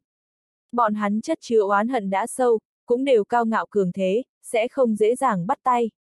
Đại diễn thánh chủ nói, ta đưa bọn hắn đến nơi này, chỉ là để bọn hắn nhìn thấy thánh địa khu vực Tây Bộ mạnh bao nhiêu, lại là làm thánh địa thế nào. Không hy vọng xa vời bọn hắn có thể bắt tay giảng hòa, chỉ ít có thể ổn định lại tinh thần ngẫm lại làm sao duy trì liên minh Nam Bộ đã vô cùng không chịu nổi mặt mũi. Tuy nhiên, tuy nhiên cái gì? Các túc lão đều nhìn về thánh chủ. Vô hồi thánh chủ vậy mà đã đạt đến niết bàn cảnh thất trọng thiên rồi, đây thật là để cho ta cảm thấy ngoài ý muốn. Lúc đại diễn thánh chủ xuất hiện tại ly hỏa thánh địa, một khắc này đã liền nhận ra khí thức vô hồi thánh chủ có gì đó quái lạ. Vô hồi thánh chủ đang cực lực ẩn giấu, áp chế. Nhưng hắn rất xác định, cảnh giới vô hồi thánh chủ đã vượt qua niết bàn lục trọng thiên. Tất cả túc lão cũng hơi nhíu mày, khi nghe được tin tức này đều rất không thể tưởng tượng nổi. Từ sinh tử cảnh tiến vào niết bàn cảnh cần trải qua khảo nghiệm sinh tử, đã vô cùng khó khăn, nhưng sau khi tiến vào niết bàn cảnh, muốn lại bước lên một trọng thiên càng là gian nan, có ít người thậm chí trong quá vượt qua sinh tử cảnh trình liền hao hết toàn bộ tiềm lực truy cứu cả đời mà dừng bước tại đây. Mà muốn từ tam trọng thiên đột phá đến tứ trọng thiên, tiến vào trung giai đơn giản là khó hơn lên trời. Tất cả các túc lão thánh địa, cơ bản đều ở tam trọng thiên, tứ trọng thiên là cực kỳ hiếm thấy. Thánh chủ, phổ biến kẹt tại lục trọng thiên. Bởi vì bước qua lục trọng thiên, chẳng khác nào tiến vào cao giai niết bàn cảnh, thân thể bắt đầu chuẩn bị biến đổi đến thánh nhân. Một vị túc lão hỏi. Không phải là ngài cảm giác, đại hoang thâm uyên có gì đó quái lạ sao? Đại hoang thâm uyên xác thực có gì đó quái lạ. Không chỉ có vô hồi thánh chủ là cao giai niết bàn, vị túc lão tên là ngụy Thiên Thu kia lại là trung giai niết bàn tứ trọng thiên, mà cũng đang dùng thứ gì đó để áp chế ngụy trang, thoạt nhìn là tam trọng thiên. Đại diễn thánh chủ lấy danh nghĩa, Vĩnh Hằng Thánh Sơn, đều mời Thánh Địa Nam Bộ đi theo, kỳ thật cũng là nói bóng nói gió để hiểu rõ một chút. Phụ thân, một tiểu nha đầu non nớt đáng yêu mặc váy hoa xinh đẹp đi tới đỉnh núi. Tiểu niệm nhi, sao con lại tới đây? Đại diễn thánh chủ nhìn thấy nữ nhi bảo bối của mình thì không khỏi lộ ra nụ cười từ ái. Tiểu niệm nhi, núi cao như vậy mà tự mình chạy tới sao? Mấy vị túc lão cũng đều lộ ra nụ cười. Tiểu kim dẫn con tới. Đi theo phía sau tiểu nha đầu là một con tiểu kim bằng thần tuấn. Đây là một con kim bằng cấp bậc bán huyết, toàn thân kim vũ bóng loáng như gương, mỗi một sợi lông đều giống như lợi kiếm rèn đúc bởi tinh kim, vô cùng khiếp người, trong cặp mắt kia có kim quang lưu chuyển, giống như là hai vòng xoáy, khiến cho người khác không dám nhìn thẳng. Nhưng một con hung cầm đáng sợ như thế, lại nhu thuận đi theo sau lưng tiểu nữ hải nhi hai tuổi này. Vô hồi thánh địa sắp tới. Tiểu nha đầu như là búp bê phấn điêu ngọc trác, ngọt ngào đáng yêu, mắt to sáng lấp lánh nhìn phụ thân. Đúng vậy, ai nói cho con? Có người tên Khương Phàm không? Là có người như vậy, dìm nước ly hỏa thánh địa, huyên náo hai đại thánh địa không được an bình. Sao con lại quan tâm tới cái này? Lúc nào đến? Cũng nhanh thôi, không sao. Tiểu nha đầu nện bàn chân nhỏ, đi xuống núi cao. Tiểu kim bằng cũng nện móng vuốt, bay nhảy bay nhảy theo ở phía sau. Đại diễn thánh chủ cùng mấy vị túc lão trao đổi ánh mắt, đều lộ ra mấy phần cười khổ. Nhà đầu này từ khi sinh ra đến nay đã bắt đầu không giống những người khác lắm. Sao tiểu nữ lại biết có tên Khương Phàm kia, Tô Triệt nói sao? Trong thành đá đại diễn thánh địa, ly hỏa thánh địa, hồn thiên thánh địa, linh kiếp thánh địa sớm đã tới, đang tập hợp một chỗ chờ đợi vô hồi thánh địa. Bởi vì ba vị thánh chủ bí mật liên hợp, các đệ tử và trưởng lão phía dưới coi như hòa hợp. Khương Phàm sẽ đến không? Thái Long hùng tráng khôi ngô, kim giác trên trán tản ra khí tức lăng lệ, hai cánh tay khoát trước ngực, nhìn qua phương Nam. Hắn đương nhiên phải tới. Ly hỏa thánh địa vẫn đang chờ giết chết hắn đây. Thác bạt hoàng nghiêm mặt, một trận lịch luyện tại thiên khải bí cảnh vậy mà lại hao tổn hai thánh linh văn, thật vô cùng nhục nhã. U Dương Yên vẫn còn trong tay Khương Phàm, cũng không biết sống hay chết, có bị lăng nhục hay không. Tên kia đã là thất trọng thiên rồi, không thể tưởng tượng nổi. Thái Long đấu với Khương Phàm trên Long Hổ Đài tại Thiên Khải Bí Cảnh đã nhận kích thích, sau khi về thánh địa hắn đã điên cuồng khổ tu, trong vòng mấy tháng ngắn ngủi mới tiến vào lục trọng thiên, nhưng Khương Phàm vậy mà đã đột phá đến thất trọng thiên, lại còn tiến vào cao giai linh nguyên cảnh. Từ lục trọng thiên đến thất trọng thiên cần lắng động, cần cơ duyên đặc biệt, nóng lòng đột phá chắc chắn sẽ để lại tai họa ngầm. Chỉ dựa vào điểm này, ta thấy cái tên Khương Phàm kia khó thành đại khí. Một nam tử lười biếng tựa trên cột đá, buông thóng tầm mắt, khinh thường hừ một tiếng. Vô hồi thánh địa đều có những thiên tài nào. Một nữ tử tóc ngắn trên đầu ngón tay ngưng tụ từng sợi lôi quang màu tím, thản nhiên hỏi. Ba thánh văn cơ lăng huyên, thương hàn nguyệt, hàn ngạo. Nghe nói cơ lăng huyên là mạnh nhất, nhưng cơ lăng huyên chưa từng tới thiên khải bí cảnh, tình huống liên quan tới nàng không có người nào hiểu rõ. Còn những người khác như Na Yêu là thạch hóa linh văn đáng để chú ý, Lâm Nam là song sinh linh văn cần thiết phải chú ý, còn có mấy lục phẩm linh văn cũng rất mạnh. Ha ha, mới ba thánh văn thôi sao, trách không được vô hồi thánh địa lại xuống dốc. Nhưng với hoàn cảnh La Phù như thế, có thể nuôi dưỡng ba tên cũng không tệ rồi. Mặc dù chỉ có ba người, nhưng thiên phú đều rất mạnh. Cơ Lăng Huyên là đại thừa thánh văn, Thương Hàn Nguyệt là băng tinh thánh văn, Hàn Ngạo là dực long thú linh văn.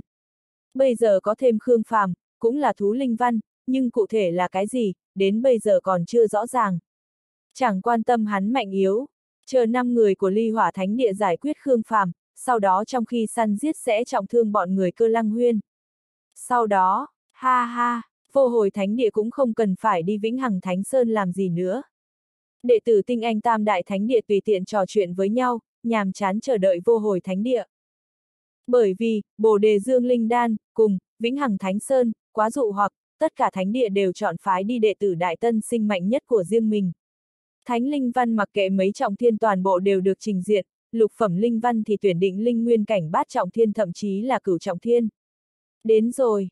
Thác bạt hoàng nhảy đến trên tảng đá trước mặt, ngắm nhìn phương Nam. Hỗn đản đáng chết, rốt cuộc ta cũng chờ được ngươi. Lề mà lề mề, tuy nhiên vẫn tới. Ta muốn nhìn xem ai là Khương Phàm, có ba đầu sáu tay gì mà dám giết hại úy thiên lang, bắt sống U Dương Yên, còn dìm nước hoang mãng nguyên. Ta đối với tên Dực Long kia càng cảm thấy hứng thú. Nếu có cơ hội, ta muốn cùng hắn tỉ thí một chút. Tất cả đệ tử thánh địa đều liên tiếp đứng dậy, đáy mắt lấp lóe tinh mang, tựa như là ác lang đang chờ đợi cừu non. Tới rồi. Ly hỏa thánh chủ cùng hồn thiên thánh chủ và linh kiếp thánh chủ nháy mắt. Hai vị thánh chủ chậm rãi gật đầu, nếu đã đồng ý hợp tác liền sẽ không đổi ý. Huống chi, hai thánh chủ bọn họ đối với biểu hiện cường thế trong khoảng thời gian này của vô hồi thánh chủ cũng vô cùng bất mãn. Bảo điện hùng vĩ rộng rãi, ánh sáng chiếu xa vạn trượng, kéo lấy khí lãng mãnh liệt từ không trung giáng lâm.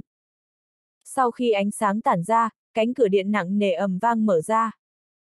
Dạ an nhiên, tịch nhan, cơ lăng huyên, thương hàn nguyệt liên tiếp từ bên trong đi ra. Tư sắc khác nhau, lại đều mỹ lệ làm rung động lòng người. Hoặc là linh tú, hoặc là lãnh diễm, hoặc là đáng yêu, hoặc là cường thế, hiện rõ ràng trên người các nàng. Rất nhiều thánh địa đệ tử đều âm thầm kinh diễm. Hàn ngạo, tiêu phượng ngô, tiểu kim hầu, đao hoàng theo sát phía sau. a à, bọn hắn có sáu người sao? Hai con yêu thú kia là sao, cũng muốn tính vào à? Không có cảm nhận được cảnh giới đặc biệt, bọn họ không có an bài đệ tử cửu trọng thiên đến sao? Đó là giả an nhiên, đi theo phía sau chính là tiêu phượng ngô, bọn hắn đều là cùng Khương Phàm tiến vào thiên khải bí cảnh. Bọn hắn gia nhập vô hồi thánh địa rồi, hay là đệ tử La Phù được mời chào tới trợ trận. Tịch nhan, lúc ấy ly hỏa thánh địa bắt nữ hài nhi kia đi, nàng cũng tới. Nàng là thánh linh văn, luân hồi thánh văn loại linh hồn. Khương Phàm đâu? Tất cả đệ tử thánh địa đang nghị luận, bên trong bảo điện đột nhiên truyền ra tiếng hét thê lương. Khương Phàm, ngươi là tên xúc sinh, ta làm quỷ cũng sẽ không buông tha ngươi. Ta phải giết ngươi, ngươi là tên điên, ngươi cái đổ biến thái, ngươi đóng ta trong bóng đêm bao lâu rồi. Ngươi muốn làm gì, tên hồn đản ngươi, a à, cùng với vài tiếng trọng kích, tiếng thét đã im bặt lại. Sau đó, trong tay Khương Phàm bóp lấy một nữ hài tóc tai bù xù, từ trong bảo điện đi ra, ánh mắt bén nhọn quét về phía hồn thiên thánh địa, rơi vào trên thân thác bạt hoàng. Khương Phàm, Đáy mắt thác bạt hoàng lập tức nổi lên lửa giận, hỗn đản này vậy mà dám ở ngay trước mặt bọn họ cố ý kéo U Dương Yên đi ra. Đây là khiêu khích. Đây là nhục nhã. Đây là đang đánh vào mặt hồn thiên thánh địa bọn hắn. Các đệ tử hồn thiên thánh địa nhao nhao, trong mắt đều là sát khí, hung tợn nhìn chằm chằm Khương Phàm. Khương Phàm bóp lấy cổ U Dương Yên, đem mặt của nàng hất lên, lung lay về phía thác bạt hoàng. Còn nhớ cô ta không? U Dương Yên, Thánh linh văn hồn thiên thánh địa các ngươi, tên hồn đản ngươi, thả nàng ra. Đám đệ tử thiên tài hồn thiên thánh địa giận dữ mắng mỏ lấy Khương Phàm. Ngay cả hồn thiên thánh chủ cũng hơi nhíu mày, mắt lạnh nhìn Khương Phàm, cũng muốn xem hắn muốn làm gì. Xem ra các ngươi còn nhớ rõ. Nhớ là tốt, chuyện của chúng ta tại Long Hổ Đài còn chưa có thanh toán đâu. Thác bạt hoàng, ngươi nếu có thể còn sống rời khỏi Tây Bộ, Khương Phàm ta theo họ ngươi. Mệnh của ngươi, ta định trước. Khương Phàm đột nhiên giơ một đao lên chém xuống, đầu U Dương Yên rơi xuống đất. Toàn trường bỗng nhiên yên tĩnh. Tất cả mọi người giật mình. Trong đầu đều như đã giống, thời gian giống như bị ngưng lại. Bọn hắn khó có thể tin được mà nhìn cái đầu đang lăn xuống. Giết! Hắn giết U Dương Yên. Ngay trước mặt hồn thiên thánh địa, cứ như vậy mà chặt. Khương Phàm, tên khốn kiếp, người muốn chết. Các đệ tử hồn thiên thánh địa toàn bộ đều nổi giận lên, giết tới Khương Phàm. Nhưng, một khí thức kinh khủng từ bảo điện mãnh liệt lao ra, vô hình vô chất nuốt hết đệ tử hồn thiên. Toàn thân bọn hắn ớn lạnh, giống như bị mãnh thú hoang cổ tiếp cận, hô hấp dồn dập, hãi hùng khiếp vía. Thi đấu săn giết đã bắt đầu rồi sao? Vô hồi thánh chủ đi ra bảo điện, phía sau có hai vị túc lão ngụy Thiên Thu, Hoắc Thiên Túng đi theo, còn có các đệ tử thân truyền túc lão là Vũ Văn Hùng, Lâm Nam. Hắn giết U Dương Yên. Thác bạt hoàng chống đỡ áp lực kinh khủng, tức giận chỉ Khương Phàm. Không giết, giữ lại làm tai họa sao? Vô hồi thánh chủ thản nhiên nói. Tuy nhiên, giết ngay trước mặt hồn thiên thánh chủ, quả thật có chút quá mức. Nên phạt, dưới ánh mắt khó có thể tin của mọi người, vô hồi thánh chủ đi qua Khương Phàm, đầu ngón tay nhét qua gương mặt, nhẹ nhàng vỗ, phạt một bàn tay. Vô hồi thánh chủ, ngươi khinh người quá đáng. Các trưởng lão hồn thiên thánh địa đều nổi giận, đây là tới làm cái gì, khiêu khích sao, gây chuyện sao? Ha ha, không khi dễ các ngươi, chờ các ngươi khi dễ ta sao? Vô hồi thánh chủ phất tay lấy đi bảo điện, nhìn về phía ly hỏa thánh chủ. Mấy ngày không gặp, khí sắc khá tốt hơn rồi, có phải lại cần ăn đòn rồi hay không?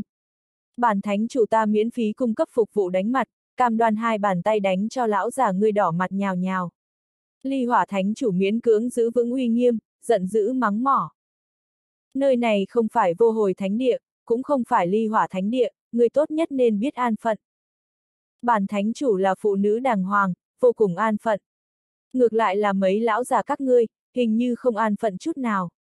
Tới sớm như vậy, thông đồng thế nào rồi? Sớm nói cho ta một chút, chuẩn bị hại chúng ta thế nào? Tốt nhất nên có chút tươi mới, đừng làm mánh khóe cũng mất mặt xấu hổ.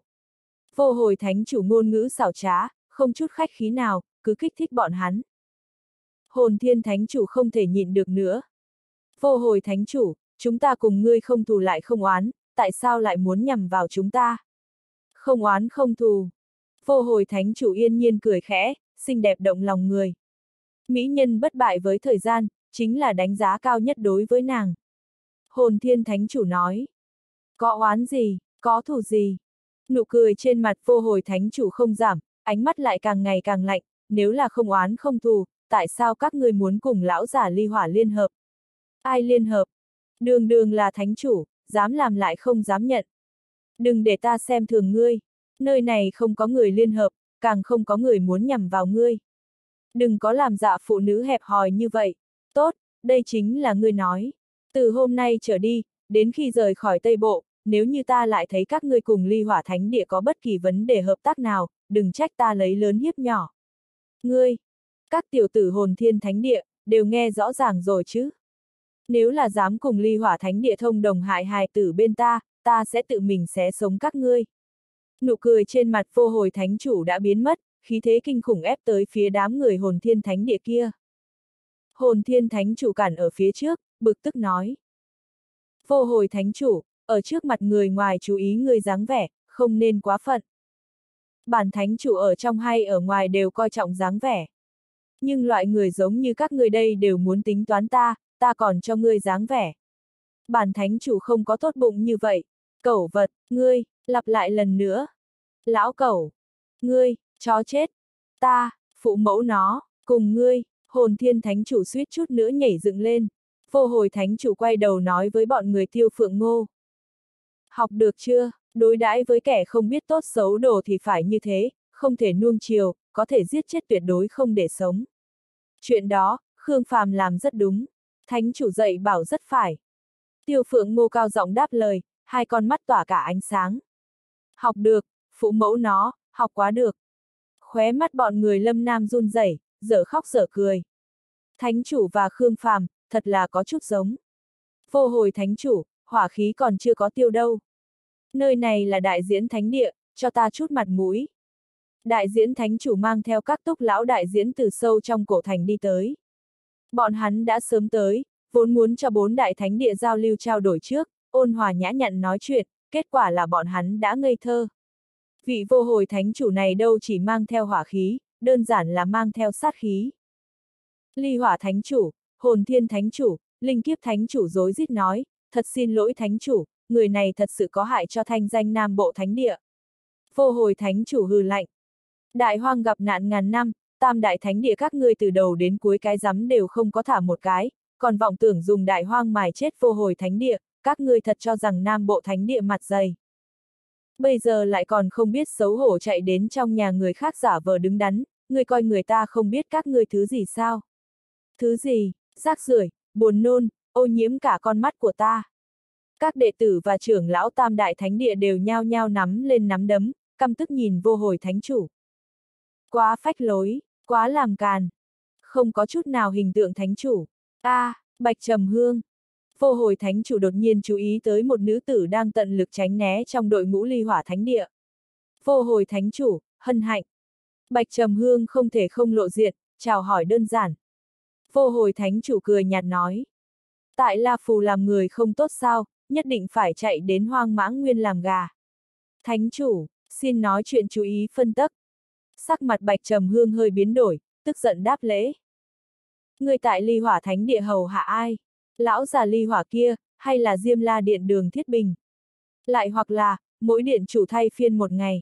Ly hỏa thánh địa thật tốt, biến thành hoa lâu rồi. Ngươi! Bạch trầm hương run rẩy cả thân thể, sắc mặt thoạt đỏ thoạt trắng. Các túc lão đại diễn đều hai mặt nhìn nhau, bọn hắn còn chưa từng thấy thánh chủ nhà ai, hào phóng, như vậy. Vô hồi thánh chủ di chuyển ánh mắt, cười nói. Đường Thiết Bình, giao nàng cho ta. Hừ. Đường Thiết Bình nhìn cũng chưa từng nhìn nàng. Ngươi ra điều kiện. Hừ. Ta không cần hai năm đan dược của các ngươi, một viên đều không cần. Đem nàng cho ta, ta không muốn sống, Ngươi tự tay chặt cho ta ném qua tới. Vô hồi thánh chủ vừa nói ra lời này, ly hỏa thánh chủ lập tức nói. Ngươi xác định. Xác định, ta một viên cũng không cần.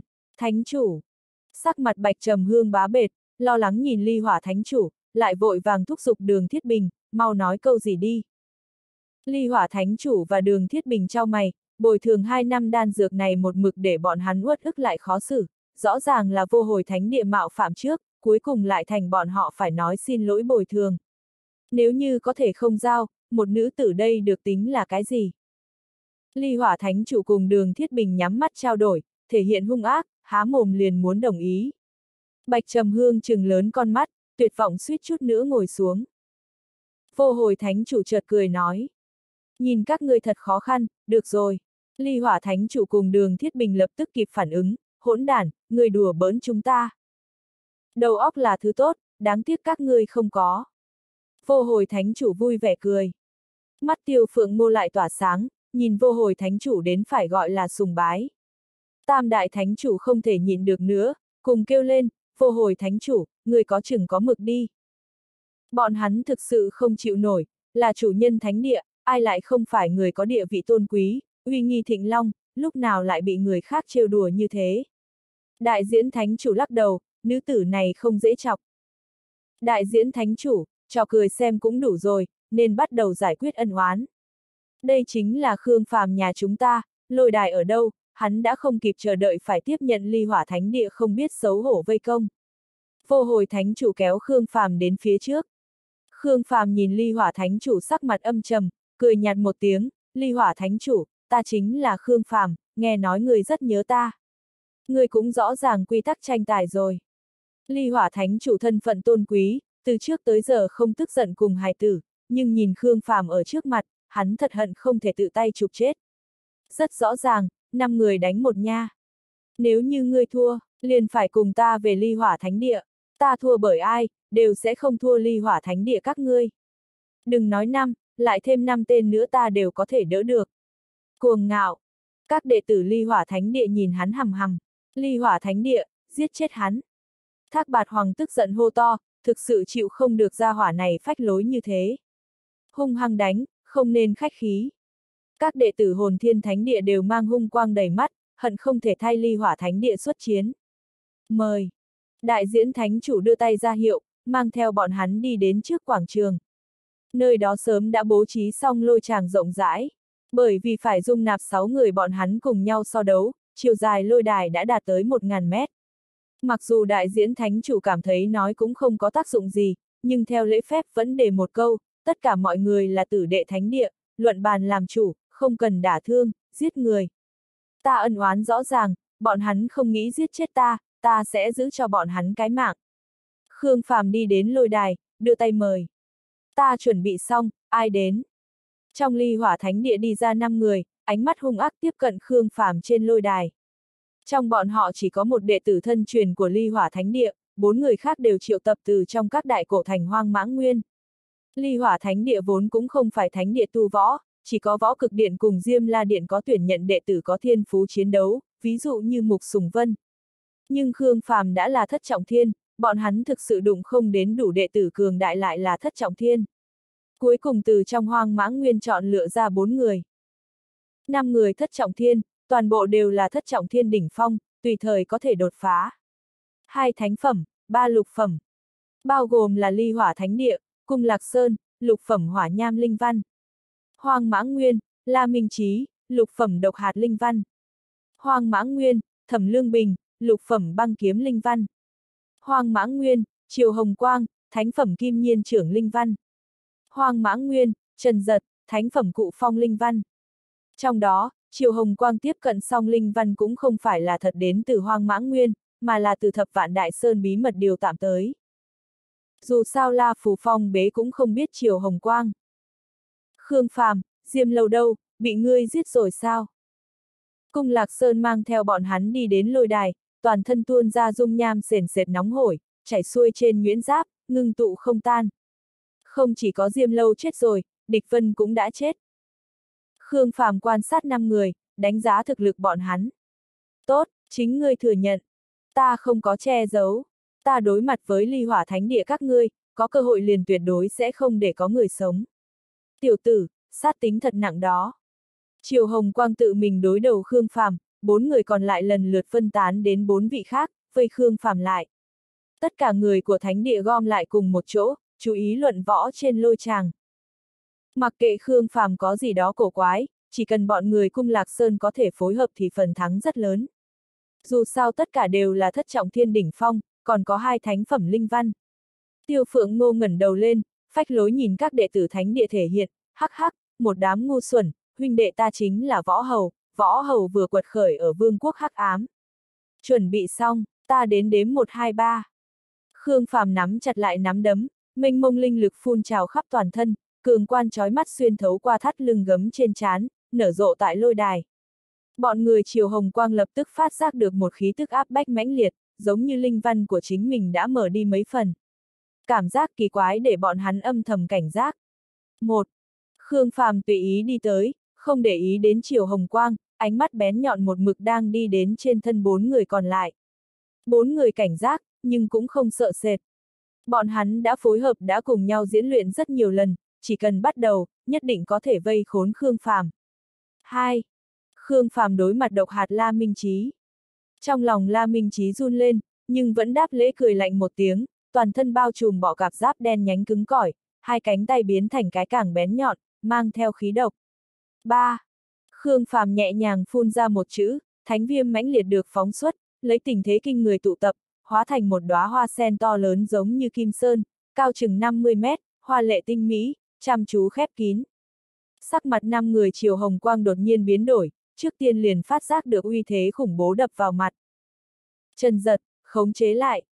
Cung Lạc Sơn lập tức thét lên ra lệnh thánh phẩm cụ phong linh văn, Trần giật. Trần giật thét dài, linh văn nở rộ, hai tay đẩy ra cuồng phong, cuồn cuộn khắp trời, bạo động mãnh liệt, giống như ác long cuồng dã quay quanh qua kim viêm liên hoa. ầm ầm, kim viêm liên hoa nở rộ, nhiệt độ kinh khủng sôi trào trong nháy mắt. Khí lãng cuồn cuộn, thánh viêm nổ tung, đụng chạm cuồng phong, quét sạch toàn trường. Lôi tràng lay động kịch liệt, mặt đất vỡ nát, tràng diện cực kỳ rung động.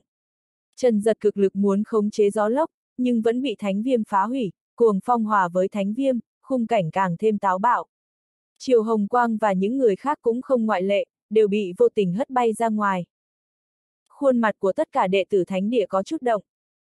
Khương Phàm nhanh chóng phóng tới trong liệt diễm, giống như con báo săn đang nhào về phía La Minh Trí. La Minh Chí bị cuồng phong và thánh viêm nuốt hết, bị nện ra ngoài trăm thước, hắn chấn kinh lại cảnh giác, khi rơi xuống đất trước tiên liền muốn đứng dậy. Nhưng, Khương Phàm đã tới, nháy mắt kéo căng bàn chân đánh thẳng đến cầm La Minh trí Răng rắc, cầm La Minh trí vỡ nát trong nháy mắt, đầu lưỡi đứt gãy, lực lượng kinh khủng mang theo hắn phóng lên tận trời. Khương Phàm đạp tan mặt đất, bay lên không, một chân quét đánh vào phần bụng La Minh trí. Bỏ cạp giáp lập tức vỡ vụn, nội tạng nhận phải trùng kích, bị xé nát với diện tích lớn.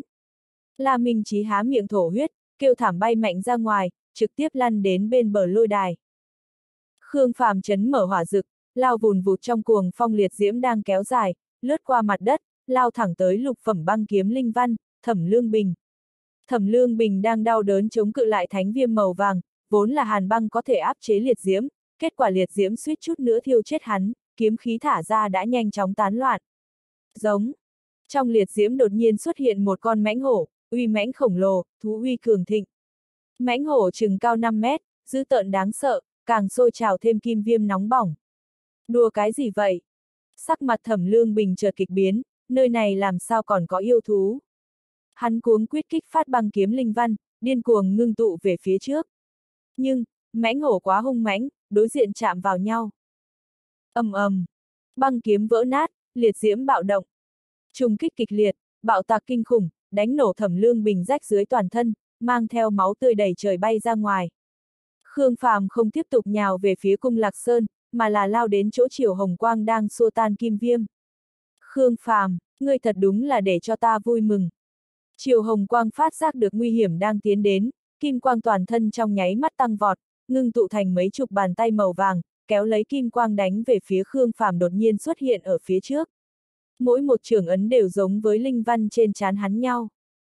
Mỗi một đạo trường ấn đều ẩn chứa khí tức kim loại muốn nổ tung. Mỗi một trường ấn đều không phải là võ pháp, mà là linh văn. Uy lực tuyệt luân, cường thế bá liệt, liệt diễm cuồn cuộn sau lưng Khương Phàm, tuôn ra thiên thạch giống như 12 trọng quyền. Thương Nhật băng quyền ẩn chứa năng lượng thánh viêm cực kỳ khủng bố, tinh chuẩn bạo kích toàn bộ kim đốt trường. Khí lãng, năng lượng sôi trào cuồn cuộn, trùng kích Khương Phàm và Triều Hồng Quang. Lực lượng toàn thân Khương Phàm vô cùng mãnh liệt, nửa bước đã lui, hắn chống đỡ năng lượng phóng tới chiều Hồng Quang, vung lên trọng quyền vượt qua 300 ngàn cực cảnh. Chiều Hồng Quang bị trận nổ chấn động đến mức phải liên tiếp lui về phía sau. Không nghĩ tới mình đã toàn lực thả ra thánh quyền, vậy mà lại có thể tùy tiện tan tác như thế, quả thật có chút ngoài ý muốn, cũng có chút hỗn loạn. Nhưng, lúc lui lại, đồng thời toàn thân hắn đã nở rộ kim quang cực hạn, cũng hội tụ về hai tay, ngưng tụ thành tầng tầng quyền cương. Keng! Khẩn thiết ngạnh kháng giống như hai ngọn núi thép va vào nhau, đinh tai nhức óc. Khương Phàm bị đụng bay, mênh mông kim quang giống như mãnh thú đang nuốt sống hắn. Nhưng, toàn bộ cánh tay phải của Triều Hồng Quang đã vỡ vụn, máu tươi vẩy ra, hắn kêu đầy thê lương thảm thiết. Khương Phàm bay lên, rơi vào bên ngoài mấy chục thước, không đợi đến khi rơi xuống, yêu báo trong ý thức hải cũng đã nở rộ, thánh viêm mãnh liệt, yêu báo thành hình, giống như đoạn ánh sáng lướt qua mặt đất, đánh tới triều hồng quang ầm ầm, thánh viêm nổ tung, chiều hồng quang bị vô đánh bay ra ngoài. Kim viêm liên hoa cùng năng lượng gió lốc dần dần tản ra, tình cảnh trên lôi tràng đã chấn kinh toàn trường. La Minh Chí nửa chết nửa sống gục ở chỗ này, thẩm lương bình máu thịt be bét kêu rên. Mạnh nhất chiều hồng quang vỡ vụn cánh tay phải, ngực rách dưới, cũng đang gục ở chỗ này kêu hét thê lương. Trần Giật và Cung Lạc Sơn trợn mắt hốc mồm nhìn một màn xung quanh, vừa mới xảy ra chuyện gì? Ý thức của ta vừa mới hỗn loạn, đã bỏ qua cái gì sao? Làm sao còn chưa hiểu gì mà đã thua ba tên rồi? Tất cả thánh chủ và các túc lão đều mang vẻ mặt nghiêm trọng, người khác không nhìn thấy, thế nhưng bọn hắn lại nhìn rất rõ ràng. Đại thừa thánh văn. Tên Khương Phàm này là đại thừa thánh văn. Sắc mặt ly hỏa thánh chủ cực kỳ khó coi, tính sai rồi. Lục phẩm thánh linh văn ở trước mặt đại thừa thánh văn không có chút phần thắng nào, dù có đến thêm mấy người nữa thì cũng đều không có hy vọng. Bọn người Thái Long đều trừng to mắt, khó có thể tin được mà nhìn trên lôi tràng. Vừa mới bắt đầu, liền kết thúc hơn phân nửa. Tên Khương Phàm này mạnh đến thế này sao? Ngươi chờ ở đó. Khương Phàm đưa tay chỉ chỉ Trần Giật, sau đó đi đến cung Lạc Sơn. Cung Lạc Sơn bừng tỉnh. Hắn gian lận, chắc chắn là hắn đã mang theo vũ khí gì rồi. Khương Phàm bỗng nhiên tăng tốc, giết tới cung Lạc Sơn. Hắn gian lận, các ngươi đều không nhìn thấy à. Toàn thân cung Lạc Sơn tràn ngập dung nham, hóa thành nửa người khổng lồ, tuôn ra một quyền giết tới Khương Phàm. Khương Phàm cất bước phóng tới, kim viêm mãnh liệt hóa thành hơn 100 khỏa hỏa tinh, đập tới người khổng lồ dung nham. ầm ầm, bạo tạc kịch liệt, người khổng lồ bị tạc chia năm xẻ bảy, thánh viêm mang theo dung nham dâng lên nuốt sống cung lạc sơn. Trần giật, người ngu rồi sao? Cung lạc sơn cực lực xua tan, nhưng nhiệt độ kim viêm lại cao hơn dung nham quá nhiều, treo đầy toàn thân. Nhận thua. Đường Thiết Bình lập tức hô to, Khương Phàm lại lao tới trong nháy mắt, một quyền đánh về phía đầu cung Lạc Sơn. Cung Lạc Sơn bạo động dung nham toàn thân, muốn ngạnh kháng Khương Phàm, nhưng không có bất cứ ý nghĩa gì. Một tiếng vang thật lớn, cung Lạc Sơn không còn hài cốt. Bị liệt diễm dung nham hòa tan sạch sẽ. Chúng ta nhận thua. Vì sao ngươi lại giết người? Trong ly hỏa thánh địa có người giận dữ mắng mỏ. Ta ra quyền bình thường, hắn gánh không được, trách ta sao? Khương Phàm thì quay người nhìn Trần Giật. Lăn xuống đi, nghe không rõ ràng sao, là lăn xuống. Ngươi không lăn, ta dạy cho ngươi lăn. Trần Giật bừng tỉnh, tức giận nhìn Khương Phàm, ta còn ở chỗ này, còn chưa có kết thúc. Ánh mắt Khương Phàm phát lạnh, toàn thân bạo động thánh viêm mãnh liệt. Mãnh hổ, cự tượng, liệp lang, đại xà, cùng bạo hùng, hỏa tích các loại, hơn 20 con kim viêm mãnh thú liên tiếp thành hình. Tuy nhiên toàn bộ hành trình chỉ chừng 10 giây mà thôi. Mỗi một con đều hung hãn, mỗi một con đều cuồng liệt. Bọn chúng gào thét trong kim viêm cuồn cuộn, thanh chấn toàn trường, bá thế kinh hồn, chiếm cứ hơn 200 mét không gian. Ngọa tào. Tiêu phượng ngô cũng đều hít một ngụm khí lạnh, nhiều như vậy. Ngay cả Khương Tuyền cũng hơi kinh ngạc, chỉ là linh nguyên cảnh thất trọng thiên mà thôi, nhưng sao có thể trong mấy giây ngắn ngủi phóng thích được nhiều mãnh thú như vậy? Làm sao hắn làm được? Xem như là đại thừa thánh văn, thì ít nhất phải có quá trình thả ra chứ. Trần giật run rẩy khóe mắt, bờ môi nhúc nhích một chút, ta nhận thua. Khương Phàm giống như là bách thú chi vương, bá thế kinh người, giọng nói to như chuông đồng, lăn xuống đi. Đừng khinh người quá đáng. Trần giật lập tức giận dữ mắng mỏ, nhưng sau một khắc, linh văn trên trán Khương Phàm càng đại thịnh, hơn 20 con mãnh thú lao nhanh tới, kéo lấy thánh viêm màu vàng xông về Trần giật. Dừng tay! Bọn người đường thiết bình lập tức muốn ngăn cản nhưng lại bị bọn người ngụy Thiên Thu tiếp cận. Trần giật giống to, phóng xuất ra gió lốc cuồng liệt, đón nhận mãnh thú. Nhưng những mãnh thú này cũng không phải năng lượng hóa hình mà Trần giật gặp phải trước đó, bọn chúng như thật sự có được linh hồn, cực kỳ cường hãn, mỗi một con đều không kém gì uy lực thánh pháp ầm ầm, bạo tạc kéo dài, vang vọng lôi đài. Trần giật điên cuồng dẫy ruộng, đổi lấy là chật vật tháo chạy, trong hơn 20 tiếng nổ mạnh, hai cánh tay hắn vỡ vụn, lồng ngực rách dưới, toàn thân bị kim viêm nóng hổi thiêu đốt, lăn xuống đài diễn võ. Tất cả các đệ tử thánh địa đều lắc lư ánh mắt, khó có thể tin nổi. Vốn cho rằng sẽ là trận quyết đấu đặc sắc, có thể ép Khương Phàm chật vật cầu xin tha thứ. Không nghĩ tới, tam quyền lưỡng cước liền kết thúc. Tìm cái gì, không chịu nổi một kích. Khương Phàm đứng trên lôi đài, nói với ly hỏa thánh chủ. Ta thắng, ân oán dìm nước hoang mãng nguyên xóa bỏ. Nhưng, chuyện ngươi suýt chút nữa giết chết phụ thân ta cùng tịch nhan, vẫn chưa xong. Ngươi tốt nhất đừng để ta sống đến niết bàn cảnh, nếu không, ta sẽ tự tay bổ ngươi. Ngươi là đang gây hấn với ta sao? Ánh mắt ly hỏa thánh chủ trở nên lạnh lẽo rét lạnh, lấy tuổi của hắn, lấy địa vị của hắn, còn chưa bao giờ bị một hài tử làm nhục khiêu khích qua như vậy. Đây không phải khiêu khích, đây là hạ chiến thư. Lão cẩu, ta muốn mạng của ngươi. Một câu cường thế cực điểm của Khương Phàm triệt để chọc giận trưởng lão cùng các đệ tử ly hỏa thánh địa. Đệ tử bát trọng thiên, cửu trọng thiên đều hận không thể đứng ra tự tay giáo huấn Khương Phàm. Đại diễn thánh chủ nhìn Khương Phàm thật sâu. Dìm nước hoang mã nguyên đã hiện ra hắn điên cuồng, biểu hiện tại thời khắc này, lại thể hiện ra sát tính mãnh liệt. Mà, hắn lại còn là đại thừa thánh văn. Sứ mệnh thánh địa là bảo vệ chúng sinh, có vẻ như không nên tồn tại người như thế này. Khương Phàm không để lọt vào mắt sự tức giận của ly hỏa thánh địa. Bồ đề dương linh đan đã chuẩn bị xong chưa?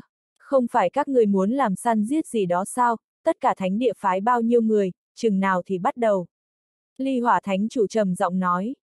Tất cả thánh địa đều mang theo khoảng 10 người, không kém bao nhiêu, nếu như thế này, trong vòng 5 ngày, cuối cùng bồ đề dương linh đan ở trên tay người nào thì sẽ liền về người đó. Các đệ tử hồn thiên thánh địa và linh kiếp thánh địa đưa ánh mắt sắc bén tiếp cận bọn người Khương Phàm. Bọn đệ tử vô hồi quá này phách lối. Nhất định phải hung hăng giáo huấn. Bọn hắn đúng là đã liên hợp. Giả an nhiên nhẹ giọng nhắc nhở. Đánh nổ bọn hắn. Cơ lăng huyên kích động, nếu như chỉ là ly hỏa thánh địa còn không sao. Khương Phàm biểu hiện đặc sắc như vậy, ta đều không thể chờ đợi được nữa. Toàn thân tiêu phượng ngô cũng đã tăng vào chiến ý, từ sau khi lột xác thành thánh linh văn, hắn còn chưa có thỏa thích phóng thích qua. Đại diễn thánh chủ nói. Phía trước sớm đã bố trí tốt một sơn lâm phạm vi trăm dặm, linh yêu cũng đều thanh lý qua. Ly hỏa thánh chủ nói. Lên đường đi, hôm nay liền bắt đầu. Đại diễn thánh chủ cười nhạt nói. Không nên gấp gáp, các vị là khách ở xa tới, ta với tư cách chủ nhân còn chưa có tiếp đãi các vị. Không ngại ở lại đêm nay trước, sáng sớm ngày mai lại bắt đầu. Các túc lão đại diễn thánh địa cũng nói. Bây giờ cũng đã xế chiều, buổi sáng ngày mai lại bắt đầu. Bọn người ly hỏa thánh chủ do dự một chút, vẫn tiếp nhận lời mời. Đi thôi, đến đại diễn thánh địa nhìn xem. Vô hồi thánh chủ mang theo bọn người Khương Phàm đi đến phía trước. Xin mời. Đại diễn thánh chủ tự mình dẫn đường. Trong thánh địa đã sớm bắt đầu bận rộn chuẩn bị tiệc tối, số lượng lớn thanh niên đệ tử nhao nhao tụ tập tại lối vào thánh địa, muốn nhìn các thiên tài đến từ Liên minh Thánh địa Nam Bộ một chút. Ngay cả Tô Triệt cũng đều ở trong đó. Khương Phàm, lại gặp mặt. Tô Triệt nhìn thấy Khương Phàm, cười lắc đầu. Cái tên gia hỏa luôn mồm phiền chán thánh địa này lại là đệ tử vô hồi thánh địa. Có cơ hội luận bàn một chút. Khương Phàm phất tay chào hỏi. Đám đệ tử thiên tài đại diễn thánh địa nhao nhao nhíu mày, cùng Tô Triệt luận bàn một chút. Tiểu tử này thật đúng là không biết trời cao đất rộng. Nếu có dũng khí như thế, bây giờ liền luận bàn đi. Thác bạt hoàng đứng cách đó không xa hừ lạnh. Tiêu phượng ngô nhìn sang bốn chỗ, vị huynh đệ tô triệt này, thánh địa các ngươi nuôi chó sao? Không có. Hình như vừa rồi ta có nghe được tiếng chó sủa. Ngươi muốn chết. Thác bạt hoàng giận dữ mắng mỏ. Còn rất vui mừng, không được liền làm thịt đi, đêm nay ăn thịt chó. Tiêu phượng ngô nháy mắt với thác bạt hoàng, người cảm thấy là nướng được, hay là hầm thì được.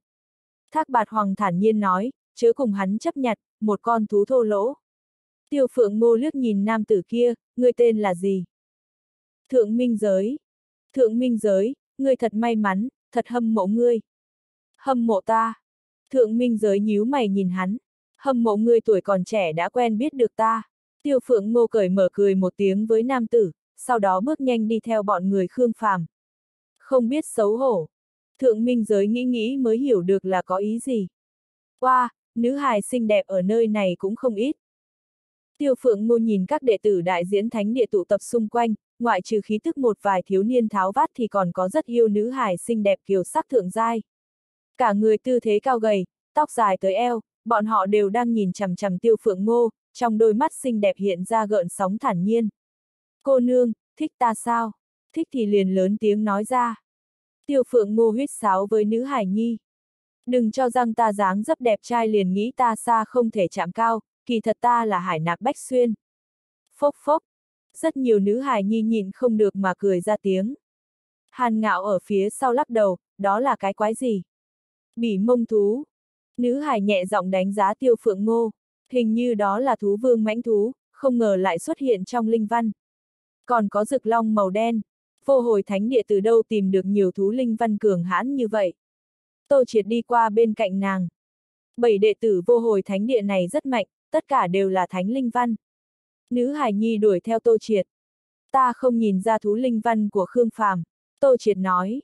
Ngày mai bọn hắn sẽ có thi đấu săn giết, nếu có hứng thú, người có thể đi nhìn.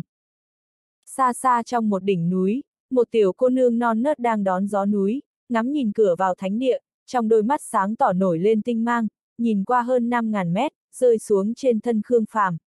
Hắn tới rồi.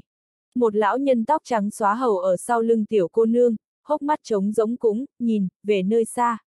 Hắn, tới. Tiểu cô nương thì thào khẽ nói, trên gương bên phấn nộn toát ra vẻ mặt phức tạp không hợp tuổi tác. Ngài muốn đi gặp hắn một chút không? Lão nhân thấp giọng hỏi, thân thể già nua hơi nghiêng về phía trước, tất cung tất kính. Hắn còn nhớ ta không? Tiểu cô nương mỉm cười, trong hốc mắt xinh đẹp bất chợt đầy lệ quang. Lão nhân khẽ nói, ngài đã chịu đau đớn ngàn năm hủy xương đốt máu, không phải vì muốn gọi hắn trở về sao? Hắn, đã trở về rồi, ta muốn gặp hắn. Tiểu cô nương thì thào nói nhỏ, ngàn năm thê lương, ngàn năm chờ đợi, chính là đang mong đợi có thể lại lần nữa trùng phùng, nhưng giờ khắc này, nàng lại do dự. Diêm bá đã hiểu thiên hậu đang do dự, nàng, còn quá nhỏ. Diêm bá biết thiên hậu yêu tha thiết thần hoàng, là tình yêu khắc cốt ghi tâm kia. Không tiếc để thần triều chôn vùi, đánh cực luân hồi của mình, nghịch loạn em mờ dương, giúp hắn trở lại nhân gian, chính là hy vọng có thể gặp nhau lần nữa. Nhưng, nàng nhất định phải là lấy trạng thái tốt nhất xuất hiện ở trước mặt hắn, mà không phải là trong hình hài một hài tử non nớt. Ta mang ngài đi qua nhìn, hắn sẽ không chú ý tới ngài. Diêm bá giống như là cái bóng hầu ở bên cạnh thiên hậu, không còn bóng dáng, lặng yên không một tiếng động. Ngay cả đại diễn thánh chủ cũng không biết bên cạnh nữ nhi bảo bối của mình đều có một bóng dáng khô gầy già nua đi theo mỗi ngày. Sau khi Khương Phàm đi đến đại diễn thánh địa, hắn cũng không đi theo bọn người Khương Tuyền đến yến hội gì đó, mà đi đến trang viên đại diễn thánh địa an bài cho vô hồi thánh địa, tiếp tục ngồi xếp bằng minh tưởng, khổ tu vạn thú thiên hoàng quyền trong ý thức hải. Thú quyền khác nhau, phương thức nghiên cứu khác nhau, cũng đều có uy lực khác nhau. Khương Phàm càng nghiên cứu, càng có thể cảm giác được chỗ phi phàm của vạn thú thiên hoàng quyền. Đơn giản là bao hàm toàn diện. Thậm chí Khương Phàm đều cảm thấy kỳ quái, tiên tổ Khương gia, Khương Nguyên Liệt lấy được bộ võ pháp này từ đâu? Đây là thánh cấp võ pháp thật sao? Liền xem như thánh cấp, cũng hẳn xem như là cao cấp nhất trong thánh cấp. Đao hoàng quay quanh ở trên cây bên cạnh, phun ra nuốt vào cái lưỡi tinh hồng của mình, cảnh giác hoàn cảnh xung quanh, để tránh người của thánh địa khác tới quấy rối. Đột nhiên, Khương Phàm không khỏi siết chặt tinh thần, mở ra ánh mắt sắc bén sáng tỏ.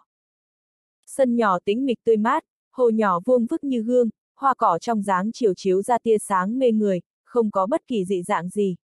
Khương Phàm cảnh giác một lát, vừa nhìn về phía đao hoàng trên cây. Đao hoàng cũng kỳ quái nhìn sang, không rõ ràng cho lắm. Khương Phàm lắc đầu, tiếp tục minh tưởng. Trên tường đá sân nhỏ thấp bé, giờ khắc này đang có hai bóng người đứng đấy, ẩn nấp trong vô hình. Tiểu cô nương yên lặng nhìn minh tưởng Khương Phàm, trên mặt tràn đầy nụ cười ngọt ngào, nước mắt cũng đã rơi như mưa. Vẫn bộ dáng kiếp trước, vẫn là hắn của đời trước. Ngàn năm trước, tình cảnh hắn chết thảm tại chiến trường bách tộc còn rõ mồn một trước mắt. Ngàn năm trước, chư tướng thần triều huyết tế thương thiên bi thương hò hét còn vang ở bên tai. Đảo mắt đã qua ngàn năm. Nàng ở cửu u thâm không hủy xương đốt máu, ngàn lần tỷ lần kêu gọi tu la tại côn lôn sơn khiêng quan tài mà chiến, vô số lần gào thét. Nhưng trung liệt của thần triều hóa thân tượng đá tại đông nam thiên môn, khổ sở đợi chờ. Hắn, cứ như vậy, mà trở về. Giật mình như một giấc mộng. Thần hoàng của ta, người yêu của ta, ta chờ chàng ngàn năm. Trong ký ức không trọn vẹn của chàng, có còn ta không?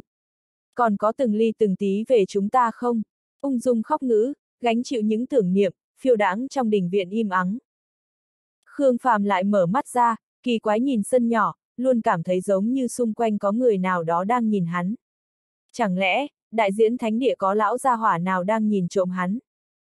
Hắn có gì để dò xét? Chẳng lẽ là đang tra linh văn?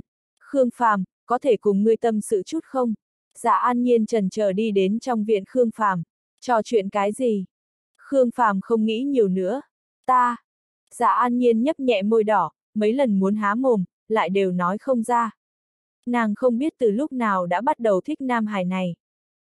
Có thể là tính cách của hắn, khí chất của hắn, phương thức làm việc của hắn để trong lúc vô tình nàng đã thưởng thức, mê muội.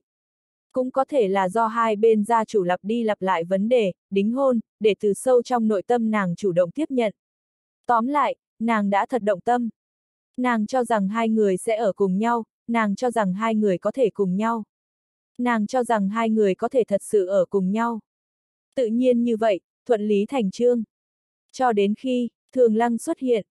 Khi hai người tay nắm tay nhau xuất hiện ở trong đại điện, một khắc này, nàng cảm giác lòng mình giống như bị cái gì đó nắm lấy.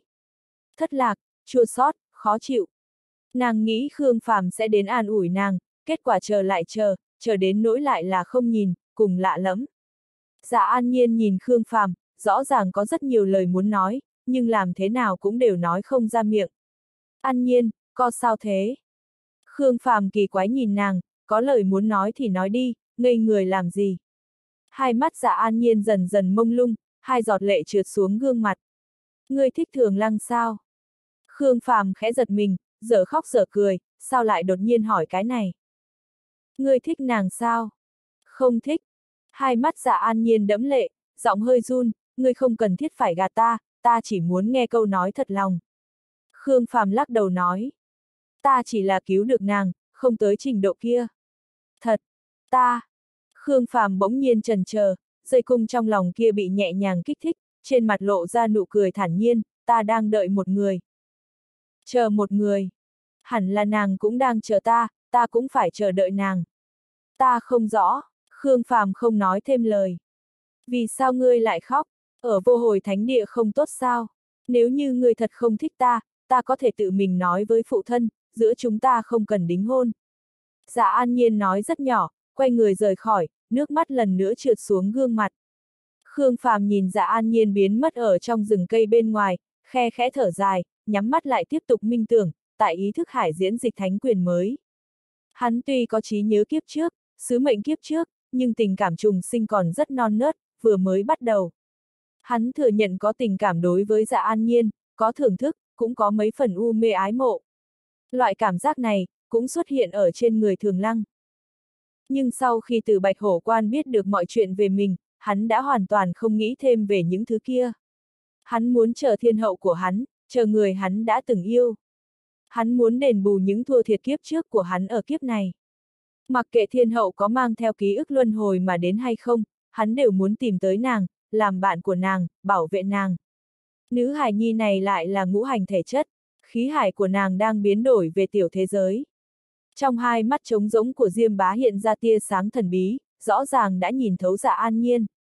Thường Lăng, An Nhiên, mới 16 tuổi đã có hai người rồi. Vẫn giống như trước kia nhỉ. Thiên hậu yên nhiên cười khẽ, lệ quang mông lung. Trong thoáng chốc liền nghĩ tới kiếp trước thay hắn bãi bình các chuyện riêng. Hắn anh hùng cái thế, hoàng uy cuồn cuộn, có 57 người cảm mến, tình cảm dây dưa không ngừng. Con dân Hoàng Triều nói chuyện say xưa, truyền là giai thoại, nhưng nàng lại không thể không dần dần ứng phó, ổn định hậu cung. Khương Phàm ở chỗ này an tĩnh tu luyện, bầu không khí tại yến hội lại dần dần bốc lửa. Khương Phàm đâu, không dám tới sao? Thác Bạt Hoàng đã đợi lại đợi, vậy mà từ đầu đến cuối vẫn không đợi được tên hỗn đản Khương Phàm kia. Gọi dạ an nhiên cũng không đến. Hai người cùng đi, ha ha, tuổi quá trẻ, tâm địa gian dảo vẫn rất nhiều. Tất cả thánh địa châm chọc khiêu khích, trước đó đều ngóng trông cùng Khương Phàm đọ sức luận bàn trong bữa tiệc, ép nhuệ khí của hắn một chút, kết quả vậy mà lại không gặp được. Vô hồi thánh địa có bốn nữ tử, ba nam tử, âm thịnh dương suy nha. Một tên nam tử lười biếng vuốt vuốt chén rượu, trong con mắt nhỏ dài lóe ra tia sắt lạnh, cố ý nhìn chằm chằm tiêu phượng ngô, mở miệng khiêu khích. Khương Phàm không đến, vậy đổi những người khác. Tóm lại hôm nay nhất định phải giết chết khí thế vô hồi thánh địa. Tiêu phượng ngô nhíu mày lại. Ngây thơ, dương khí nặng nhẹ thì nhìn số lượng sao. Ba người chúng ta đây đều là thú linh văn, dương khí to lớn, một người đỡ tám người được. Không giống các người đây, ngươi là uống say, nửa sống nửa chết có bộ dạng nam tử sao. Đùng. Trong hồn thiên thánh địa có người tức giận, khẽ nói, người biết hắn là ai không? Biết, họ Dương, tên Biện, tên này nghe thì biết rất bổ thận, thiếu cái gì bổ cái gì đó. Ai tên Dương Biện? Người của hồn thiên thánh địa nghe xong chợt có chút còn chưa hiểu tới, cho đến khi tiêu phượng ngô xuất hiện câu, bổ thận kia, thì bọn hắn đã hoàn toàn nổi giận. Thương Hàn Nguyệt lay món ngon mỹ vị trước mặt, mập mờ nhắc nhở tiêu phượng ngô. Hắn tên Hoàn Nhan Liệt, đại thừa thánh văn của hồn thiên thánh địa. Tiêu phượng ngô, người cũng là thánh linh văn rồi. Trách không được lại dám ở trước mặt chúng ta ngông cuồng như thế. Lúc này Thác Bạt Hoàng mới chú ý tới cái tên bị úy thiên lang truy sát này đã biến thành thánh linh văn.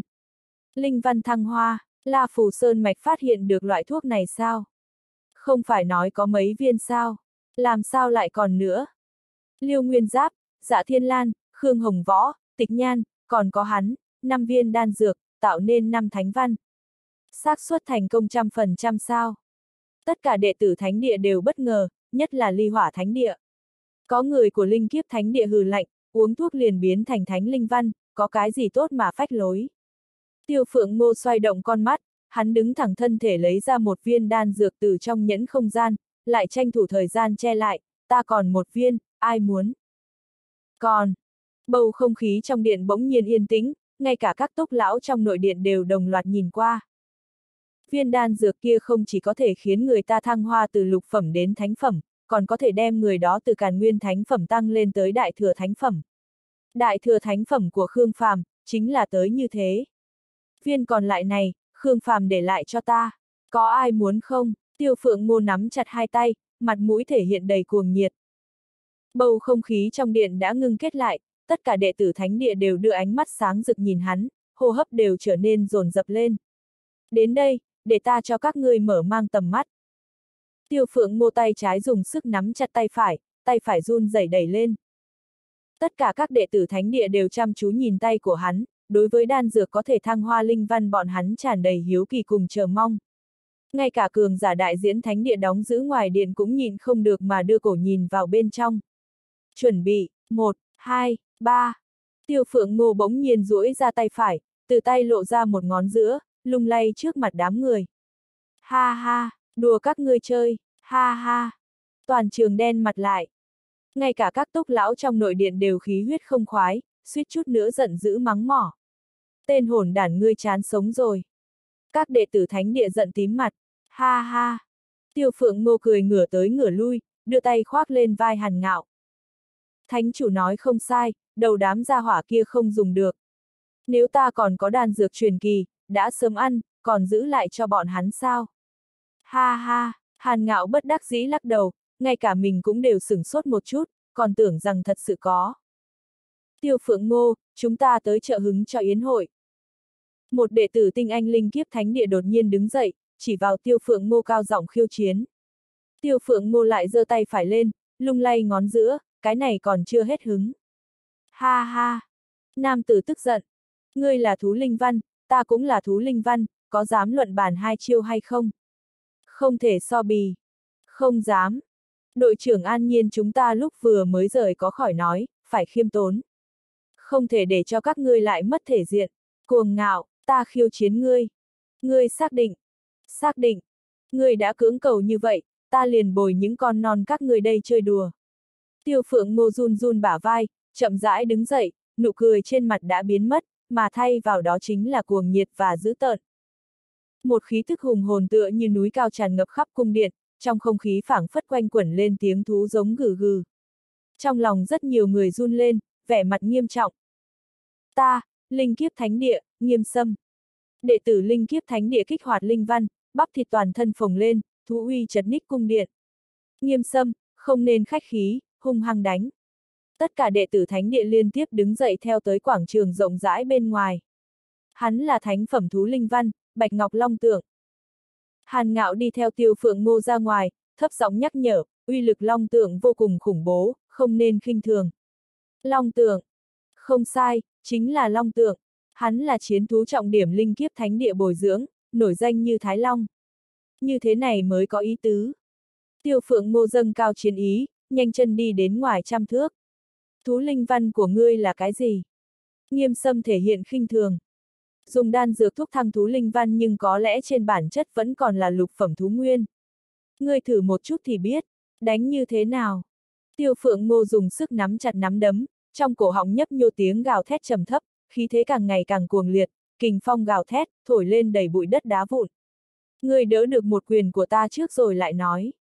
Nghiêm sâm hô to, da thịt toàn thân căng cứng, hiện ra đường vân bạch ngọc sắc, cứng rắn giống như là tinh kim thần thiết. Khí lãng cuồn cuộn khắp trời, mơ hồ như muốn hóa thành một con cự thú uy nghiêm, ngẩng đầu lên trời thét dài. Răng rác, mặt đất dưới chân nghiêm sâm sụp đổ, lan tràn mấy chục mét, hắn cuồng dã dảo bước tiến lên, xông về phía tiêu phương ngô. Bắp thịt toàn thân phồng lên, mênh mông lực lượng đang sôi trào, mỗi một bước rơi xuống đều tăng vọt một phần khí thế, thể trọng lại đều như tăng vọt ngàn cân, chấn động quảng trường lay động. Vô số gương mặt có phản ứng, ngay cả đệ tử tinh anh của đại diễn thánh địa đều âm thầm hít một hơi. Không hổ là bạch ngọc long tượng. a à, tiêu phượng ngô không sợ hãi, cơ bắp toàn thân hắn kịch liệt nhúc nhích, trong tiếng răng rắc giòn vang, hình thể tăng cường, y phục bị xé rách, bên trong xuất hiện nhuyễn giáp cứng cỏi. ầm ầm, Đại địa cương khí sôi trào, như kinh lôi oanh động, cuồn cuộn tại quảng trường. Đó là yêu thú gì? Vô số người kinh hô, giống như là cử viên, lại khom người về phía trước, bốn chân chạm đất, hai tay tráng kiện khoa trương. Khí tức huyết mạch kinh người trùng kích tất cả thú linh văn toàn trường. Răng rác, nghiêm sâm đạp tan mặt đất, bay thẳng lên trời, khí tức long tượng phun trào khắp toàn thân, mang theo uy thế hủy diệt, đánh tới hướng tiêu phượng ngô. Tiêu phượng ngô thân cao 5 mét, tứ chi vừa to vừa dài, gầm lên giận dữ, mặt đất sụp đổ, địa tầng đứt gãy, nắm đấm trắng kiện cuồng dã vòng kích, kình phong gào thét. Xa xa nhìn lại, giống như hai con ác thú cổ lão hung hãn, bên trong khí lãng va chạm vào nhau. Oanh! Thanh chiều một ngạt, thanh chấn đỉnh núi, khí lãng cuồng liệt hòa với năng lượng táo bạo sôi trào trong nháy mắt, khuấy động 500 mét lôi tràng. Loạn thạch bay lên, cát bụi đầy trời, các đệ tử thánh địa xung quanh nhao nhao lui lại. Nghiêm sâm, tiêu phượng ngô đánh chúng nhau, toàn thân hai người đều run rẩy, đều bị đánh bay ra ngoài. Nhưng, nghiêm sâm lui lại vài chục bước, còn có dừng lại, tiêu phượng ngô đã đứng yên định. Lập tức phân cao thấp. Giống.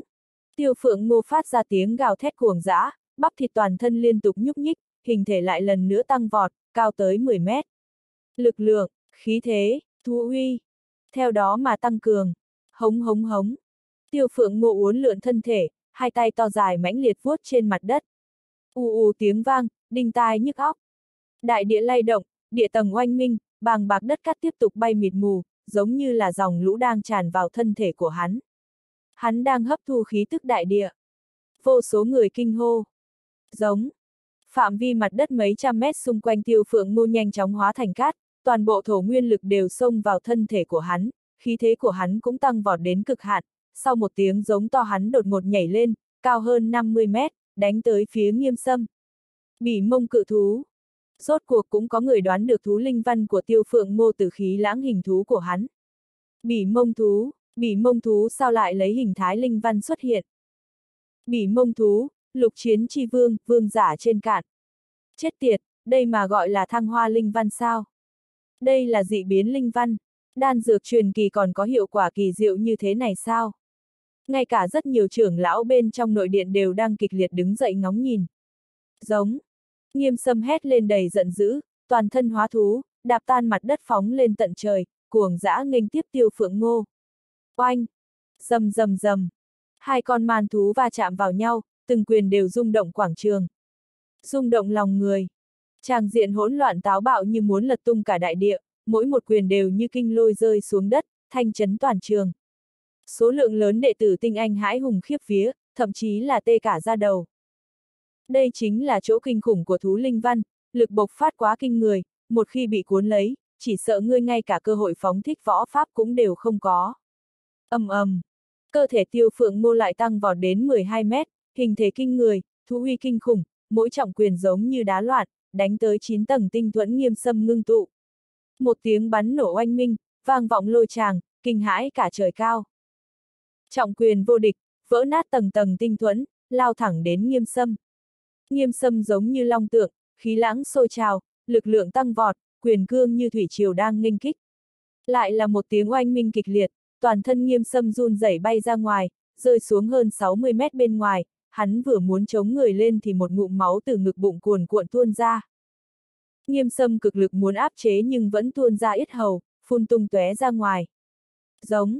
Tiêu phượng ngô vung hai tay lên, đập mặt đất, phát ra tiếng gào thét hùng hậu, thanh chấn đỉnh núi, vỡ nát cả tầng mây đầy trời.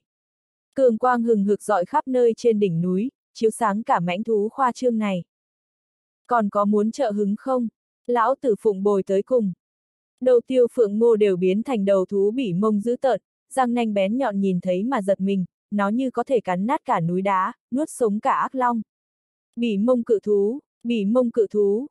Vô hồi thánh địa vậy mà lại có thể kích phát ra một lục chiến chi vương như thế này. Mặt ngoài thân thể của hắn hiện ra màu kim cương, có thể là kim cương bỉ mông.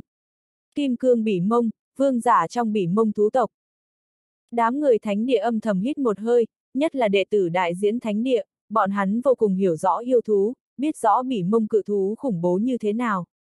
Ước chừng hơn 1.700 năm trước, đại diễn thánh địa đã từng may mắn có được một bỉ mông cự thú bảo vệ. Ta lên! Thái Long đi đến phế tích bừa bộn, ánh mắt cuồng nhiệt, chiến ý dâng cao. Bỉ mông cự thú. Quá làm cho hắn hưng phấn. Giống. Tiêu phượng ngô gầm thét, móng vuốt tráng kiện đập nát mặt đất, cuồng dã phóng tới Thái Long. Toàn thân Thái Long bao trùm áo giáp màu vàng óng, giao hòa chặt chẽ với cơ bắp hải cốt. Cơ thể hắn tăng vọt đến 5 mét, mặc dù ở trước mặt tiêu phượng ngô 12 mét vẫn còn hơi nhỏ chút, nhưng khí thế lại không hề yếu kém. A! À, Thái Long vùng trọng quyền lên, hung hăng nện ở mặt đất, một mảnh pháp trận kim quang nổ tung trong nháy mắt, trải rộng ra hơn 100 mét. Kim quang lộng lẫy chói mắt, pháp trận phức tạp huyền diệu. Nương theo âm thanh sột soạt chói tai, 55 sợi xiềng xích xông phá pháp trận, mũi nhọn sắc bén như mâu, thế như kinh lôi. Tiêu phượng ngô cuồng dã rơi xuống đất, khí lãng bạo động, mặt đất vỡ nát, số lượng lớn đá vụn bay loạn ra, nghênh kích xiềng xích. Nhưng, xiềng xích đột nhiên nhanh chóng rơi xuống, tránh khỏi đá vụn trùng kích mặt đất, hoàn toàn biến mất không thấy gì nữa. Sau một khắc, dưới chân tiêu phượng ngô phát ra ánh sáng, 55 sợi xiềng xích nương theo quang chiều màu vàng toàn bộ bạo khởi, oanh ra thịt cứng cỏi của kích tiêu phượng ngô, quấn chặt tứ chi thô cuồng. Trong tiếng kinh hô tại toàn trường bên, tiêu phượng ngô bị kéo chặt lấy. Giống. Tiêu phượng ngô hét lớn, lực lượng kinh khủng phun trào khắp toàn thân, làm thế nào cũng đều không thoát khỏi xiềng xích được.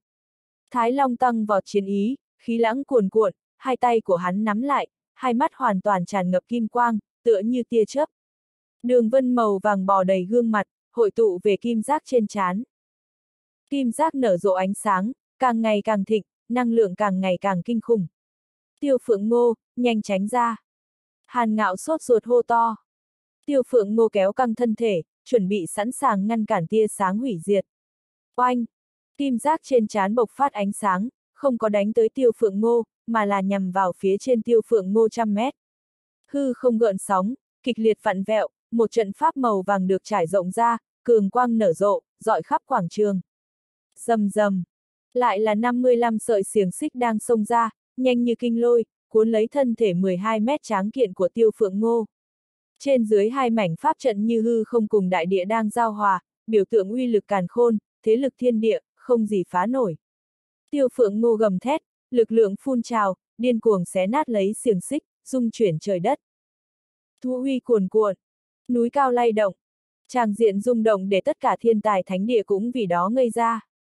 Xiềng xích càng quấn càng chặt, khắc vào trong da thịt, muốn giam cầm xương cốt ở bên trong.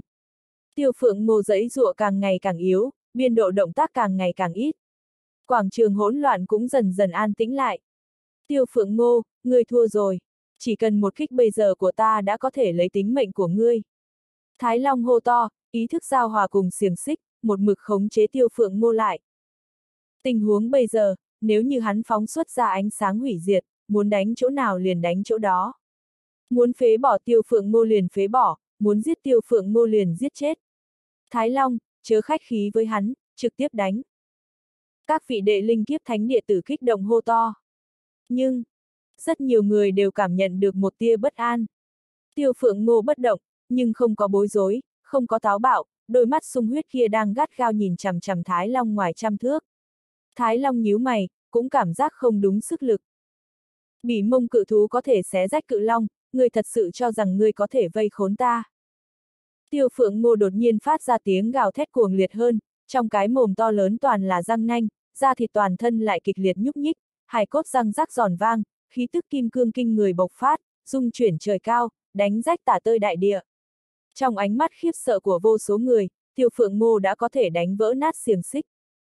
ầm ầm, tiêu phượng ngô bay thẳng lên trời, bốn cái móng vuốt chợt vỗ mặt đất, đánh tới phía Thái Long. Tốt! Thái Long chấn kinh lại càng cuồng nhiệt hơn, hắn cũng dậm chân phóng tới, ngang nhiên nghênh đón tiêu phượng ngô khổng lồ hung hãn. Tiêu phượng ngô bạo kích trọng quyền, đánh rách tả tơi không gian, cách mấy trăm mét đều như có thể rõ ràng cảm nhận được lực lượng bộc phát khủng bố đang phun trào trong cánh tay của hắn, huống chi là Thái Long đang ở ngay trước mặt. Đổi lại là những người khác, giờ phút này chỉ sợ đã nhún cả người, hoảng sợ nhận thua rồi. Thái Long thì khác, chiến ý của hắn vẫn như thủy triều, toàn thân sôi trào nhiệt huyết, một tiếng quát chói tai, đạp đất phóng lên, nắm đấm phun trào lên cường quang, như lôi đình bạo động, như con sông mênh mông, uy thế kinh người. Bành! Kim quang nổ tung, máu tươi vẩy ra. Nắm đấm của tiêu phượng ngô mang máu, bị cưỡng bức ngăn chặn lại. Thái Long ngửa mặt bay lên, cánh tay phải lắc lư, nhưng không chờ hắn rơi xuống đất, dưới chân cũng đã nở rộ lên pháp trận, đã nâng đỡ được hắn. Gần như đồng thời, hai bên trái phải đã hiển hiện ra pháp trận khổng lồ, năng lượng oanh minh bên trong, trên trăm sợi xiềng xích gào thét lao ra, như lôi đình nhanh chóng bạo kích, toàn bộ sông về phía tiêu phượng ngô. Tiêu phượng ngô cuồng dã, ngạnh kháng xiềng xích. Nhưng xiềng xích lại cực kỳ linh hoạt, liên tục xoay chuyển, cực lực dây dưa. Kim giác trên chán Thái Long nở rộ cường quang, dẫn dắt hai tòa pháp trận, kim quang ở bên trong loạn tung tóe, thanh chiều như sấm, liên tiếp xông ra hai ngọn núi thép nguy nga cứng rắn. Trên trăm sợi xiềng xích toàn bộ đều quay trở về, kéo lấy kim quang, liên tiếp đánh về phía tiêu phượng ngô. Tiêu phượng ngô đập mạnh mặt đất, địa tầng oanh minh, khí tức đại địa cuồn cuộn, toàn bộ tràn vào thân thể. ầm ầm, tiêu phượng ngô vung lên trọng quyền, mang theo khí tức đại địa bành trướng, ngạnh kháng kim sơn. Liên tiếp hai trận oanh minh chấn động quảng trường, hỗn loạn đỉnh núi. Tiêu phượng ngô, Thái Long, liên tiếp bị hất bay ra ngoài.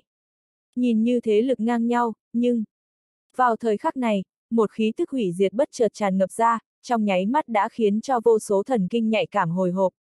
Nguy hiểm! Ánh mắt cơ lăng huyên sáng rực, nhìn chằm chằm kim quang trên chiến trường. Nhất định là Thái Long thừa cơ phát ra sát chiêu của hắn.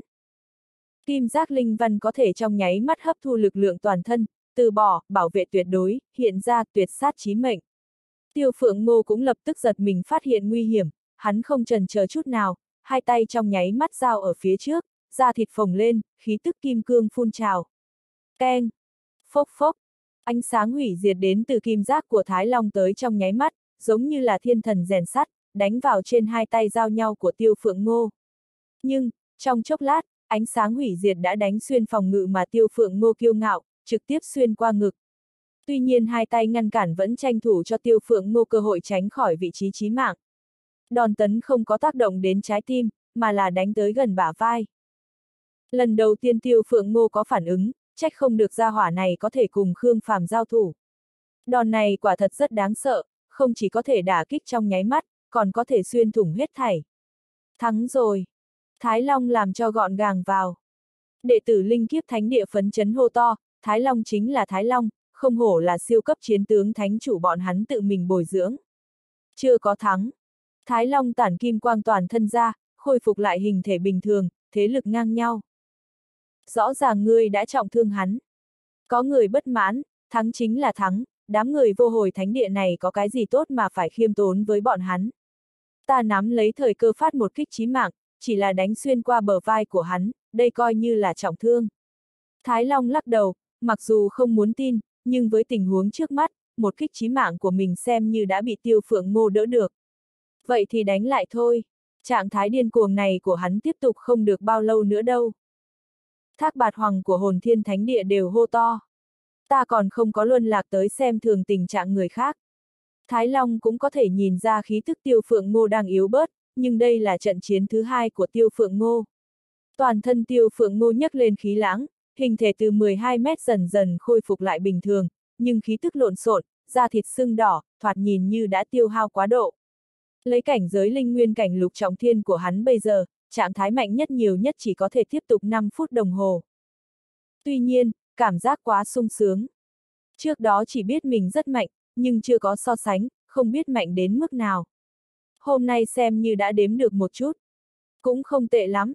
Cơ lăng huyên đều âm thầm gật đầu, nhặt được bảo vật. Thương Hàn Nguyệt cũng rất kinh ngạc, gia hỏa này sau khi thăng hoa linh văn lại có thể mạnh đến trình độ này. Đây chính là thánh linh văn được đan dược thúc thăng. Rất nhiều người khiếp sợ trong lòng, xem ra đan dược truyền kỳ không chỉ đơn giản là thăng hoa linh văn như vậy, thậm chí có thể kích phát ra một ít tiềm lực. Ví dụ như tịch nhan, hình như chính là luân hồi thánh văn đáng sợ.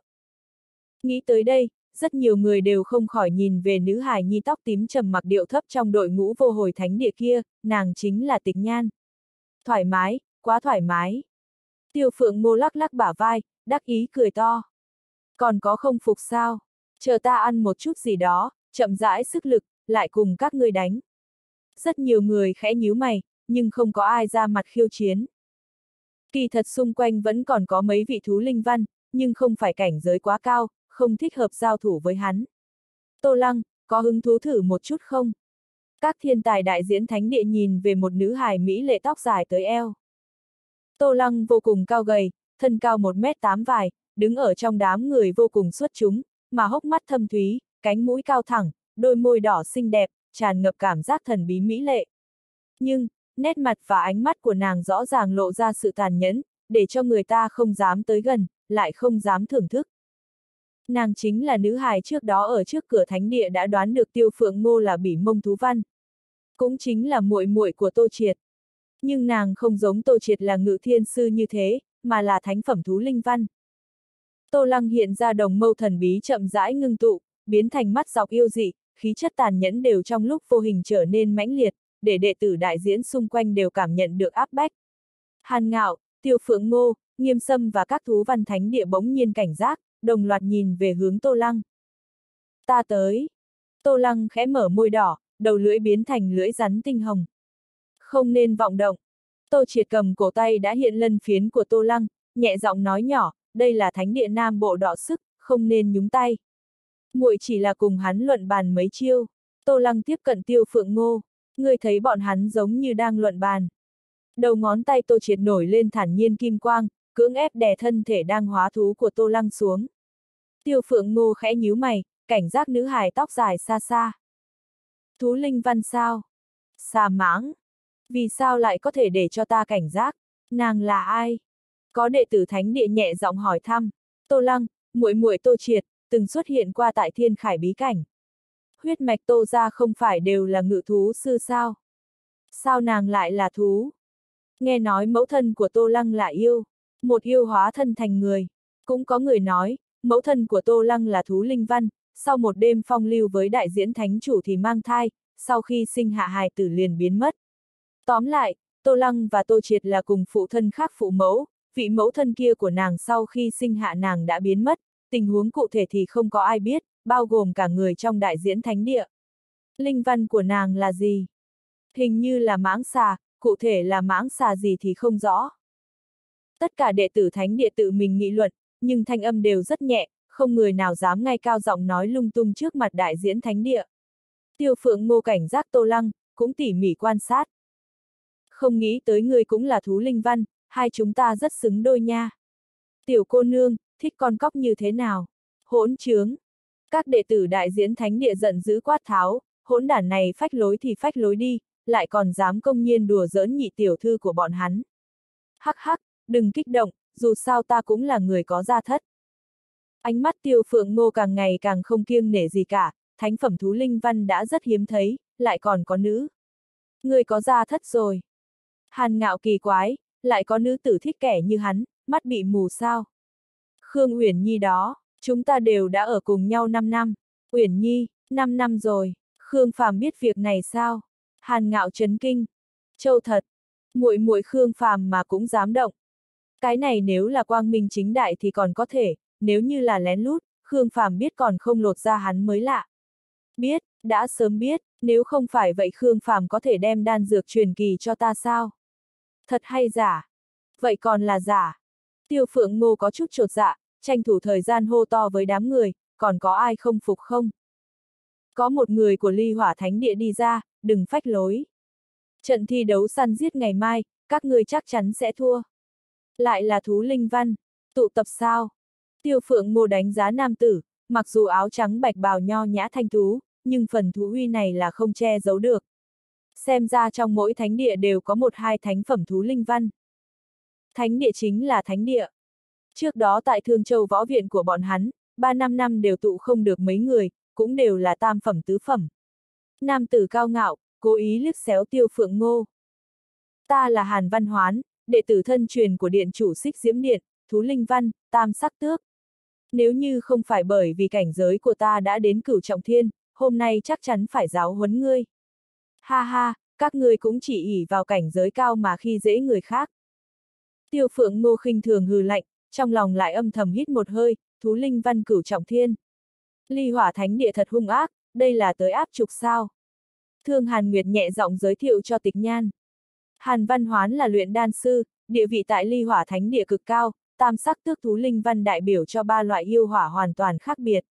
Mặc dù hắn tuổi còn trẻ, nhưng không giống với những kẻ như Mục Sùng Vân kia, không tính là đệ tử Đại Tân Sinh, bởi vì hắn bị chính thức khâm định là đệ tử thừa kế của điện chủ. Nếu như tương lai hắn có thể vượt qua sinh tử cảnh, điện chủ xích diễm điện chính là hắn. Luyện đan sư, thiên phú tốt như vậy, không tu võ lại đi luyện đan. Sau khi tiêu phượng ngô nghe được liền quay đầu kinh ngạc hỏi. Ba loại thánh phẩm yêu hỏa, càng thích hợp để luyện đan, hắn không có chọn sai.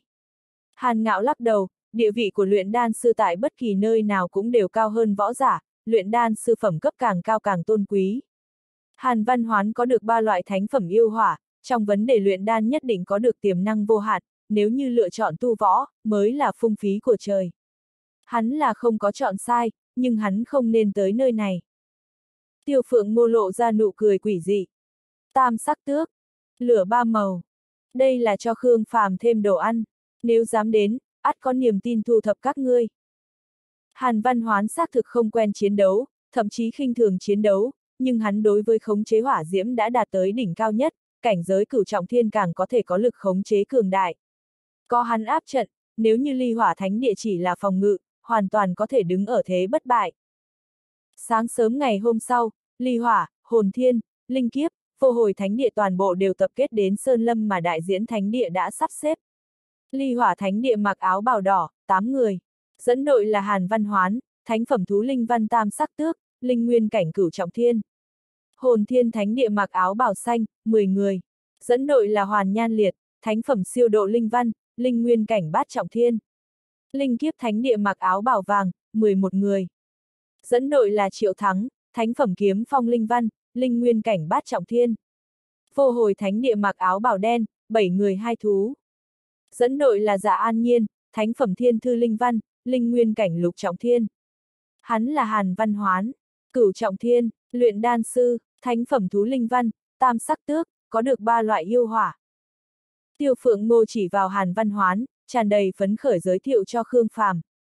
Luyện đan sư, tam sắc tước. Khương Phàm lập tức thay đổi ánh mắt, tựa như liệp ưng phát hiện con mồi, chăm chú nhìn Hàn Văn Hoán. Tiêu Phượng Ngô cười quái dị. Hắc hắc, luyện đan, không có kinh nghiệm chiến đấu. Sau khi Hàn Văn Hoán chú ý tới Khương Phàm và Tiêu Phượng Ngô đang chỉ điểm mình, hắn nhíu mày, sắc mặt âm trầm, đây là ánh mắt gì? Coi ta là cái gì? Mục Sùng Vân thấp giọng nhắc nhở. Hàn Sư Huynh, người phải coi chừng, hình như Khương Phàm có thể thôn vệ hỏa diễm. Diêm lâu chính là chết như vậy. Hàn Văn Hoán hử lạnh. Ta là cửu trọng thiên, hắn chỉ là thất trọng thiên. Tranh lệch đến hai trọng thiên, hắn đừng nghĩ tới gần ta. Một vị trưởng lão đại diễn thánh địa đi đến phía trước, cao giọng tuyên cáo. Bây giờ bắt đầu thi đấu đi săn, thời gian liên tục 5 ngày. Trong vòng 5 ngày, các phương thi triển thủ đoạn, cướp đoạt bồ đề dương linh đan. Sau 5 ngày, bồ đề dương linh đan ở trên tay người nào, đan dược được người đó sở hữu. Trong vòng 5 ngày, đại diễn thánh địa phụ trách bảo đảm không cho người ngoài can thiệp thi đấu đi săn. Trong vòng 5 ngày, nếu như gặp phải nguy cơ sinh tử, thì rót linh lực vào ngọc thạch. Trong ngọc thạch có không gian đạo ngấn, trước tiên sẽ đưa các ngươi về nơi này. Đại diễn túc lão phất tay ra hiệu, các đệ tử đại diễn thánh địa lấy ra rất nhiều ngọc thạch, giao cho tất cả đệ tử thánh địa. Trước tiên truyền tống như thế nào? Chẳng phải có thể xa nhất trăm dặm sao? Bảo vật không gian thật mạnh, bọn người tiêu phượng ngô âm thầm kinh ngạc. Không hổ là tôn chủ Tây Bộ, vậy mà có thể lấy ra bảo bối như vậy, còn một một lần mang ra bốn năm mươi khối. Ngay cả các túc lão ly hỏa thánh địa cũng đều rất rung động, Nam Bộ và Tây Bộ xác thực có khoảng cách. Đại diễn túc lão tiếp tục tuyên bố. Xét thấy tính đặc thù của Ngọc Thạch không gian, nếu như một phương vượt qua 5 người truyền tống về thì toàn đội sẽ thua. Nếu như đội trưởng bị truyền tống về, cũng mang ý nghĩa toàn đội đã thua. Cái gì? Hàn ngạo cao chặt lông mày, đội trưởng thua biểu thị toàn đội nhận thua. Ha ha! Các đệ tử ly hỏa thánh địa, hồn thiên thánh địa, linh kiếp thánh địa đều cười lạnh nhìn về dạ an nhiên. Mặc dù bọn hắn không rõ ràng tại sao vô hồi thánh địa phải để nữ hài này làm như đội trưởng. Nhưng, cảnh giới lục trọng thiên coi như có mang theo vũ khí đặc thù nào đó, cũng kích phát không ra bao nhiêu uy lực. Có lợi có hại, xem chúng ta làm sao vận dụng. Khương Phàm thấp giọng nói. Dựa theo quy củ như vậy, mặc dù dạ an nhiên sẽ trở thành tiêu điểm, thời điểm phát sinh hỗn chiến tiếp nhận áp lực rất lớn. Nhưng chỉ cần bọn hắn có thể bảo vệ tốt dạ an nhiên, liền có thể nhân cơ hội này phản kích kẻ địch. Chỉ cần trọng thương năm tên liền có thể để cho toàn đội kẻ địch bị loại. Đều chuẩn bị xong chưa? Biên giới khu vực săn bắn đều bố trí mây mù, nếu ai rời khỏi vòng tròn mây mù liền mang ý nghĩa nhận thua. Bây giờ, xuất phát, bốn vị đại diễn trưởng lão tự mình đi đến trước các đội ngũ, giơ áo bảo đen lên, đón gió căng phòng, bao trùm đội ngũ riêng phần mình. Các đội ngũ còn không có kịp phản ứng liền đã biến mất tại chỗ, phân tán đến bốn vị trí săn bắn khác nhau, khoảng cách đều ngoài mấy chục dặm bên. Trò hay đã mở màn. Rất nhiều đệ tử đại diễn thánh địa liên tiếp cưỡi mãnh cầm, phóng lên tận trời, chạy tới phạm vi khu vực săn bắn. Săn giết đặc sắc như vậy, bọn hắn đương nhiên được thưởng thức rồi. Đi thôi, cùng đi xem xem. Tô Triệt mang theo Tô Lăng, khống chế kim bằng phóng lên tận trời, chạy tới khu vực săn bắn. Nơi này chính là khu vực săn bắn. Chúc các ngươi may mắn. Đại diễn trưởng lão ném bọn người Khương Phàm, cơ lăng huyên tới trong rừng cây rậm rạp, sau đó lại biến mất trong nháy mắt, không thấy đâu nữa. Ngọc thạch này có chút ngoài ý muốn, nhưng chỉ cần vận dụng tốt, vẫn có thể mang đến cho chúng ta chút ưu thế. Tránh khỏi cao giai linh nguyên, trực tiếp tấn công thất trọng thiên trở xuống, chỉ cần có thể hạ được 5 tên liền có thể để toàn đội bọn hắn bị loại. An nhiên sẽ trở thành mục tiêu chủ yếu, ngàn vạn lần phải bảo vệ mình thật tốt. Kim Hầu, Đao Hoàng, phụ trách bảo hộ An Nhiên. Thời khắc tất yếu, An Nhiên vận dụng đại hoang ấn. Nếu ba bên thánh địa đã liên hợp, ly hỏa thánh địa sẽ tận lực trốn đi, hai đại thánh địa khác hẳn là phụ trách lùng bắt chúng ta. Chúng ta ít người, cảnh giới thấp, không thể nào ngạnh chiến, tốt nhất là bố trí bẫy, chỉ dẫn bọn hắn tiến vào vòng chiến của chúng ta là được. Sau khi bọn hắn đưa đề nghị xong đã nhanh chóng rời khỏi. Di chuyển giữa rừng rậm cũng vô cùng cẩn thận. Bọn hắn đang cảnh giác mục tiêu, cũng đang quan sát hoàn cảnh khu vực săn bắn. Khương Phàm thì phóng tới ngàn mét không trung, lao vùn vụt giữa tầng mây, tìm kiếm mục tiêu. Theo cơ thể hóa thú, ánh mắt của hắn càng ngày càng sắc bén, có thể thấy rõ bên ngoài 3.000 mét. Mà độ cao 3.000 mét, vừa vặn có thể mượn nhờ tầng mây hoàn mỹ ẩn giấu tung tích. Đây là ưu thế lớn nhất của hắn. Càng là ưu thế lớn nhất của đội. Các ngươi không nhìn thấy ta, ta có thể thấy các ngươi. Giờ khắc này, trong rừng rậm cách bọn họ hơn 50 dặm, 10 đệ tử hồn thiên thánh địa đang tìm kiếm vô hồi thánh địa. Đội trưởng Hoàn Nhan liệt giật thắt lưng gấm ra, lộ ra siêu độ linh văn quỷ dị. Giống như một con mắt khép kín, phòng ấn một lực lượng kinh khủng nào đó. Bọn người thác bạc hoàng đều tháo thắt lưng gấm, lộ ra linh văn kiêu ngạo của riêng mình, điều động linh lực toàn thân, tùy thời chuẩn bị khai chiến. Trong đó hai đệ tử cửu trọng thiên đứng ở trên đại thụ phía trước, tra xét rõ ràng khí tức rừng rậm. Một là Nghê Sâm, là đệ tử hồn thiên thánh địa, lục phẩm thụ linh văn. Một là Từ Sinh, từ đệ tử tuyển ra trong bộ lạc thập vạn đại sơn, cũng là lục phẩm thụ linh văn. Trong rừng rậm linh văn bọn hắn có được được ưu thế trời cho, cũng gánh vác sứ mệnh bảo vệ toàn đội. Phạm vi 10 dặm, không có phát hiện mục tiêu khả nghi. nghe Sâm và Từ Sinh ra hiệu cho nhau, từ trên cây nhảy xuống, tiếp tục chạy về phía trước. Đuổi theo. Bọn người hoàn nhan liệt, thác bạt hoàng theo sát ở phía sau, mặc dù rất cảnh giác, nhưng trong đôi mắt lại không che giấu được chờ mong. Đội ngũ của bọn hắn có 10 người, cảnh giới thấp nhất đều là ngũ trọng thiên, còn có hai cửu trọng thiên là nghe sâm và từ sinh. Một khi gặp phải đội ngũ vô hồi thánh địa, bọn hắn tuyệt đối có nắm chắc khống chế tràng diện, cũng có thể ngược được Khương Phàm và đám người kia. Cẩn thận một chút, không được buông tha bất cứ manh mối gì. Chúng ta nhất định phải phát hiện ra Khương Phàm trước nhất, đừng để linh kiếp thánh địa đoạt đầu ngọn gió. Tác Lam Nhan mang theo trường thương, ngưng tụ lôi điện màu tím, cảnh giác bầu trời. Nàng, Thác Bạt Hoàng, Hoàn Nhan Liệt, đều là thánh phẩm thiên tài của hồn thiên thánh địa. Trước khi đó có ý Thiên Lang, U Dương Yên, kết quả bọn họ đều bất hạnh chết ở trên tay Khương Phàm, để thực lực đại tân sinh hồn thiên thánh địa tổn hại to lớn. Bọn hắn tham gia thi đấu săn giết mục đích quan trọng chính là thu thập Khương Phàm.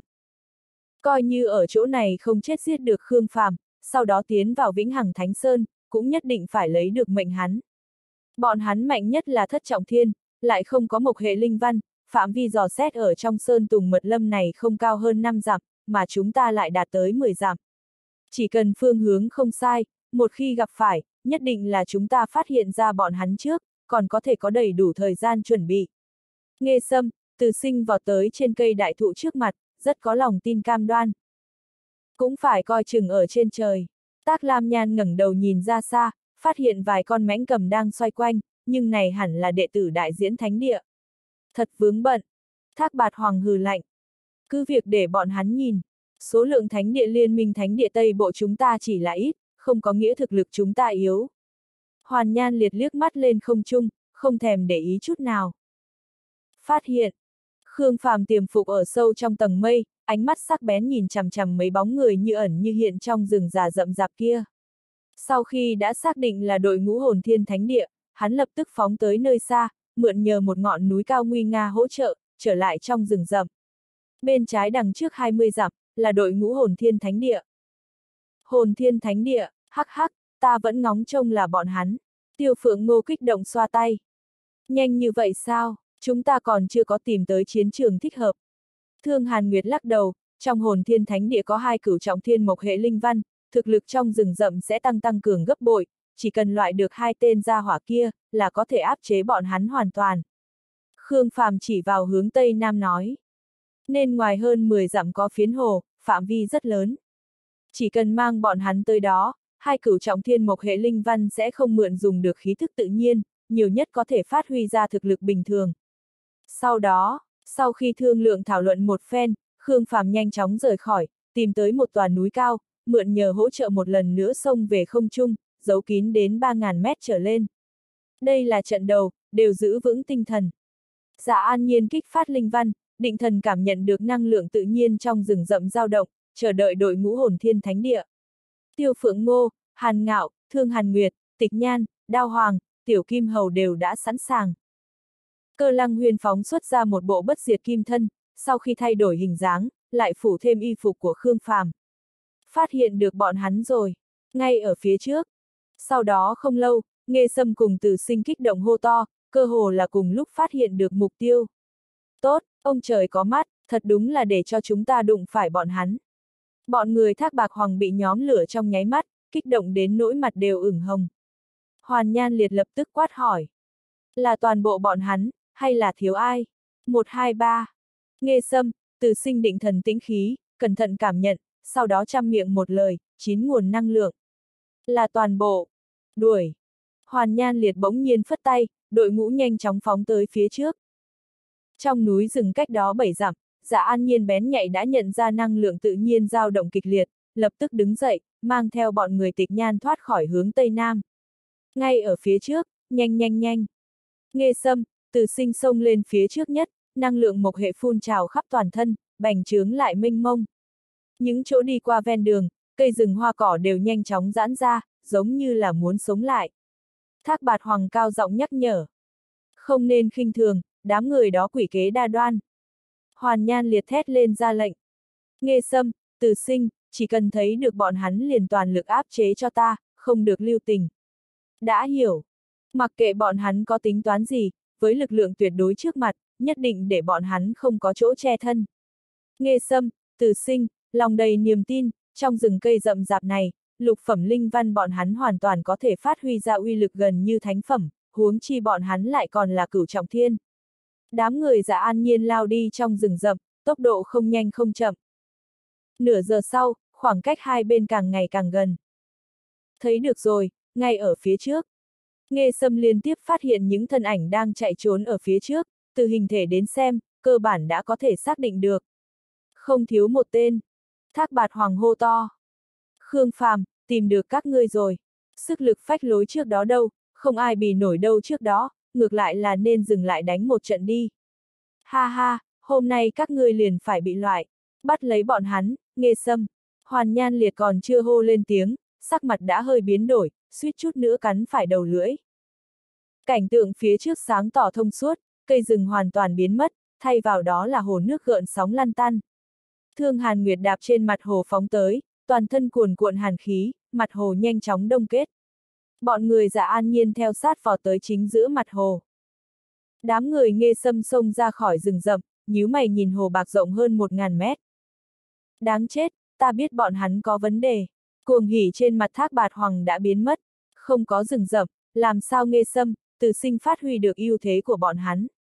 Hoàn Nhan liệt hét to. Hồ nước thì thế nào, các người không có linh lực sao? Nghe sâm, từ sinh, lên cho ta, lên. Nghe sâm, từ sinh cùng hô to lên, xông về sâu trong hồ nước, toàn thân bọn họ cuồn cuộn ánh sáng màu xanh. Số lượng lớn dây leo đang cuộn trào mãnh liệt, lướt qua mặt hồ, cuồng vũ trời cao, giống như là thủy triều lao nhanh đang bao phủ tới giữa hồ. Hoàn nhan liệt, tác lam nhan không vội vã xông vào mặt hồ, để tránh bọn người Khương Phàm còn có sát chiêu gì đang chờ. Tiêu Phượng Ngô, nơi này giao cho các ngươi. Tiểu Kim Hầu, Đao Hoàng, theo ta lên. Cơ Lăng huyền đi đến phía trước, trong thân thể nhỏ bé khuấy động năng lượng kinh người. Sau một tiếng quát to, nàng vung mạnh quyền đập vào trên tầng băng cứng rắn. Răng rác, tầng băng sụp đổ, nhanh chóng lan tràn vài trăm mét. Thương Hàn Nguyệt khống chế ở trên không, khối băng đều bay lên, hàn khí bao quanh nghênh tiếp dây leo. ầm ầm, dây leo lao tới va chạm cùng khối băng. Số lượng lớn sợi đằng nhanh chóng đông kết, nhưng số lượng sợi đằng liên tiếp kéo lên sau đó lại rất khổng lồ, nhanh chóng chấn vỡ hàn băng, thế công liên miên bất tuyệt. Giống.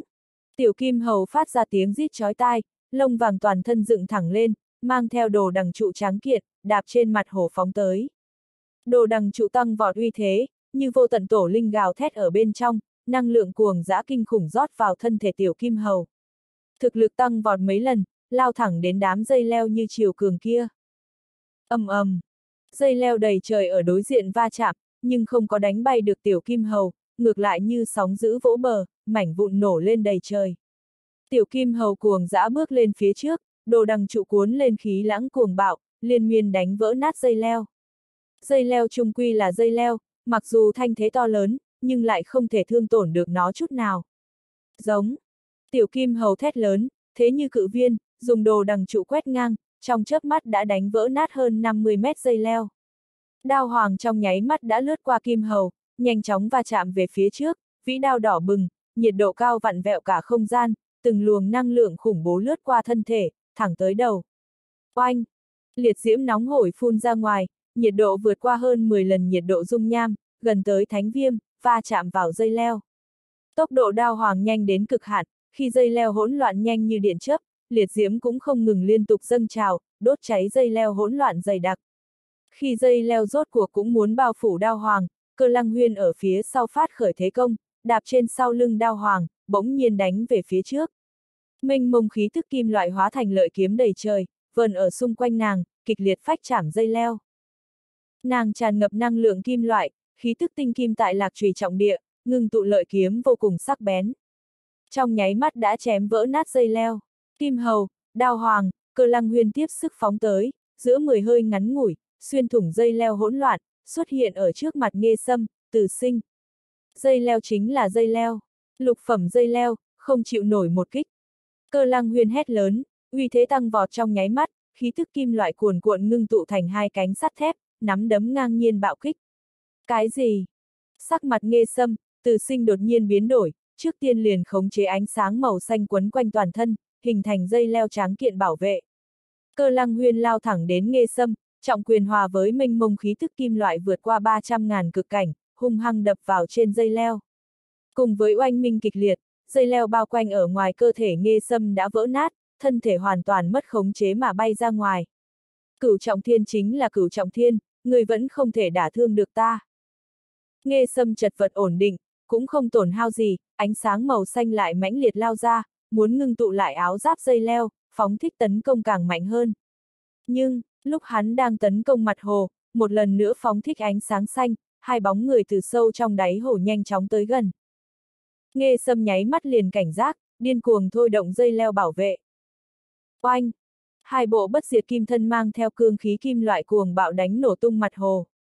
Dây leo toàn thân nghe sâm lại vỡ nát lần nữa, đột nhiên trùng kích năng lượng quá mạnh, đã đánh hắn chật vật bay lên không trung. Cơ lăng huyên huy động hai cánh sắt thép gào thét phóng tới, quét chân mang theo uy lực băng sơn, hung hăng đập về phía nghe sâm. Nghe sâm kinh hồn, điên cuồng phóng thích ánh sáng xanh. Sống chết trước mắt, không lo được ngưng tụ dây leo, đành dùng năng lượng thuần túy chặn đánh. ầm ầm, nghe sâm run rẩy, chật vật rơi xuống. Hai bộ bất diệt kim thân liên tiếp bạo tạc, điên cuồng chặn đánh giữa không trung. Đột nhiên diễn ra kịch biến khiến tất cả mọi người chấn kinh. Tại sao có thể có ba cơ lăng huyên? Đó là phân thân kim loại. Hoàn nhan liệt kinh hô. Tử sinh, không cần lo nghe sâm, tiếp tục xông về phía trước cho ta, vây khốn bọn người khương phàm. Mục tiêu, giả an nhiên, cơ lăng huyên, đối thủ của ngươi là ta. Tác Lam Nhan nổi lên lôi điện màu tím, lướt qua mặt hồ hỗn loạn, lao đến cơ lăng huyên ở phía xa xa. Cơ lăng huyên liên hợp hai bộ phân thân đang điên cuồng ngược chiến với nghe sâm. Nghe sâm chật vật chống cự, mặc dù cảnh giới có ưu thế, nhưng lực bộc phát của cơ lăng huyên quá khủng bố, phối hợp với khí tức kim loại đã áp chế gắt gao hắn. Hắn không có bị làm bị thương, nhưng lại chật vật đến muốn nổi điên. Cơ lăng huyên, đối thủ của ngươi là ta, điếc sao? Tác Lam Nhan cường thế giết tới, thánh uy cuồn cuộn, lôi chiều sôi trào, theo trường thương chấn kích, lôi chiều màu tím tuôn trào ra, giống như thiên bằng dương cánh, chấn thiên động địa. Thánh phẩm linh văn, cảnh giới bát trọng thiên, uy thế áp chế toàn diện cơ lăng huyên. Nhưng, hai bất diệt kim thân trong nháy mắt đã hạ xuống, dùng thân thể va chạm lôi chiều. Nhưng không phải chặn đánh, mà là tiếp dẫn, lấy uy lực kim, tiếp dẫn uy lực lôi. Không phải hủy diệt, mà là mượn lực, ầm ầm. Bất diệt kim thân cưỡng ép thay đổi phương hướng lôi chiều, toàn bộ đánh về phía nghe sâm ở giữa không trung. Lúc cơ lăng huyên đang khống chế bất diệt kim thân, một khắc này nàng đã đồng thời xuất hiện phía trên nghe sâm, nắm đấm mang theo lực bộc phát 300.000 cực cảnh, hung hăng đập vào trên dây leo để nghe sâm chật vật thả ra. Theo âm thanh bạo kích, ánh sáng màu xanh xung quanh nghe sâm lại lần thứ ba tán loạn, cũng là lần thứ ba bị đánh rơi xuống. Đòn bạo kích này mặc dù vẫn không thể nào làm bị thương hắn, nhưng phương hướng rơi xuống lại là đang phải đón lấy lôi chiều. Lôi chiều ngập trời, trong nháy mắt đã che mất hắn. Đây là toàn lực tấn công của tác lam nhan, đây cũng là thánh phẩm lôi chiều. Dây leo xung quanh nghe sâm liên miên bị chôn vùi, rốt cuộc cũng hiện ra chân thân. Cơ lăng huyên không đợi lôi chiều tản ra đã cường thế xuất hiện ở trước mặt nghê sâm, mặt không biểu tình, vung mạnh quyền đánh tới. Đáng chết! Sắc mặt nghê sâm kịch biến, trong nháy mắt đã kích hoạt ngọc thạch. Khi cơ lăng huyên nâng nắm đấm với 300.000 cực cảnh đánh tới đầu hắn, một khắc này, ngọc thạch nở rộ cường quang, cưỡng ép cuốn hắn đi. Ngươi! Tác Lam nhàn khó có thể tin được mà nhìn một màn đột nhiên phát sinh ở không trung, nhưng rất nhanh đã hoàn hồn, hắn vung lên trường thương, lôi điện màu tím sôi trào khắp trời, ngưng tụ thành 38 nhánh lôi cầu, đánh về phía bất diệt kim thân. Không đợi va chạm liền liên tiếp dẫn bạo, hình thành sóng chiều hủy diệt. Bất diệt kim thân không phải cơ thể thật, hoàn toàn là năng lượng kim loại, mà uy lực tinh kim loại cứng rắn vô địch, khó mà bị lôi chiều đánh vỡ nát được. Bọn chúng chống cự ở lôi chiều bao phủ, cưỡng ép thay đổi quỹ tích, đánh xuống tác lam nhan ở phía dưới. A à, tác lam nhan tức giận thét lớn, vội vã vén lui lôi chiều. Lấy lôi chiều ngạnh kháng lôi chiều. Cơ lăng huyên theo sát lôi chiều từ trên trời giáng xuống, nắm tay nhỏ mang theo lực lượng 300.000 cực cảnh kinh khủng đánh thẳng đến trường thương. Keng! Trường thương oanh minh, rung động kịch liệt, đánh rách tả tơi hai tay tác lam nhan. Tác lam nhan bỗng nhiên tiến đụng vào mặt hồ, nhưng, nàng phản ứng cực nhanh, trên mặt hồ phóng xuất ra lôi chiều màu tím, lôi điện tác dụng với nước hồ, khởi xướng bạo tạc kinh khủng. Mặt hồ phạm vi mấy trăm mét sôi trào, lôi chiều mượn nhờ nước hồ phóng lên tận trời. Tiểu Kim Hầu, Đao Hoàng liên tiếp xuất hiện, cùng cơ lăng huyên và hai bộ bất diệt kim thân đứng song song, khóa chặt tác lam nhan ở phía dưới. Cùng lúc đó, từ sinh đã lao đến chỗ bọn người tiêu phượng ngô. Ánh sáng ngập trời mang theo dây leo như vô số trường tiên, tràn ngập đất trời, bao phủ bọn người dạ an nhiên. Chuẩn bị ngạnh kháng. Toàn thân tiêu phượng ngô kịch liệt nhúc nhích, hóa thân thành bỉ mông cự thú 12 mét, thú huy cuồn cuộn, giữ tợn nóng nảy, quay người ôm lấy dạ an nhiên và tịch nhan, phóng tới đáy hồ. Hàn ngạo hóa thân thành hắc long, kéo lấy thân thể cao lớn của tiêu phượng ngô nhanh chóng chìm xuống mặt hồ. Khương Phàm, biến thành áo giáp kim loại bao trùm toàn thân Thương Hàn Nguyệt, cũng mang theo nàng theo sát tiêu phượng ngô chìm xuống. Thương Hàn Nguyệt không ngừng liên tục thì phóng thích ra khí tức cực hàn, nhanh chóng đông kết hồ nước. Hồ nước là thủy nguyên lực có sẵn, chỉ cần đông kết liền có thể làm bảo vệ được. Răng rác. Theo bọn hắn tiếp tục chìm xuống, phạm vi tầng băng cũng đi theo bọn hắn xuống tới đáy hồ. ầm ầm. Khi sợi đằng đầy trời va chạm mặt hồ, đầu tiên liền dò xét tầng băng dày mấy chục mét, lại vẫn còn tiếp tục dày thêm. Hỗn đản, khốn kiếp, đều đi ra cho ta. Từ sinh tức giận, đứng trên mặt hồ điên cuồng phóng thích ánh sáng màu xanh, ngưng tụ sợi đằng không có tận cùng, đụng chạm tầng băng thật dày. Giết! Hoàn nhan liệt, thác bạt hoàng nhìn cục diện đã tương đối, toàn bộ đều lập tức đạp trên mặt hồ, xông về phía chiến trường. Năm đệ tử linh nguyên cảnh thất trọng, thiên bát trọng thiên theo sát phía sau, cũng nhao nhao kích hoạt linh văn, phóng thích võ pháp cường thịnh. Nhưng, ngay một khắc này, ai trong bọn hắn cũng không có chú ý tới, trên không trung phía sau đang có một bóng người nhanh chóng hạ xuống. Tại thời điểm toàn bộ bọn hắn phóng tới mặt hồ, bóng người đã vừa vặn rơi xuống biên giới mặt hồ. Ừm. Hoàn Nhan Liệt đột nhiên giật mình, ý thức quay đầu nhìn về không trung. Vạn thú thiên hoàng quyền.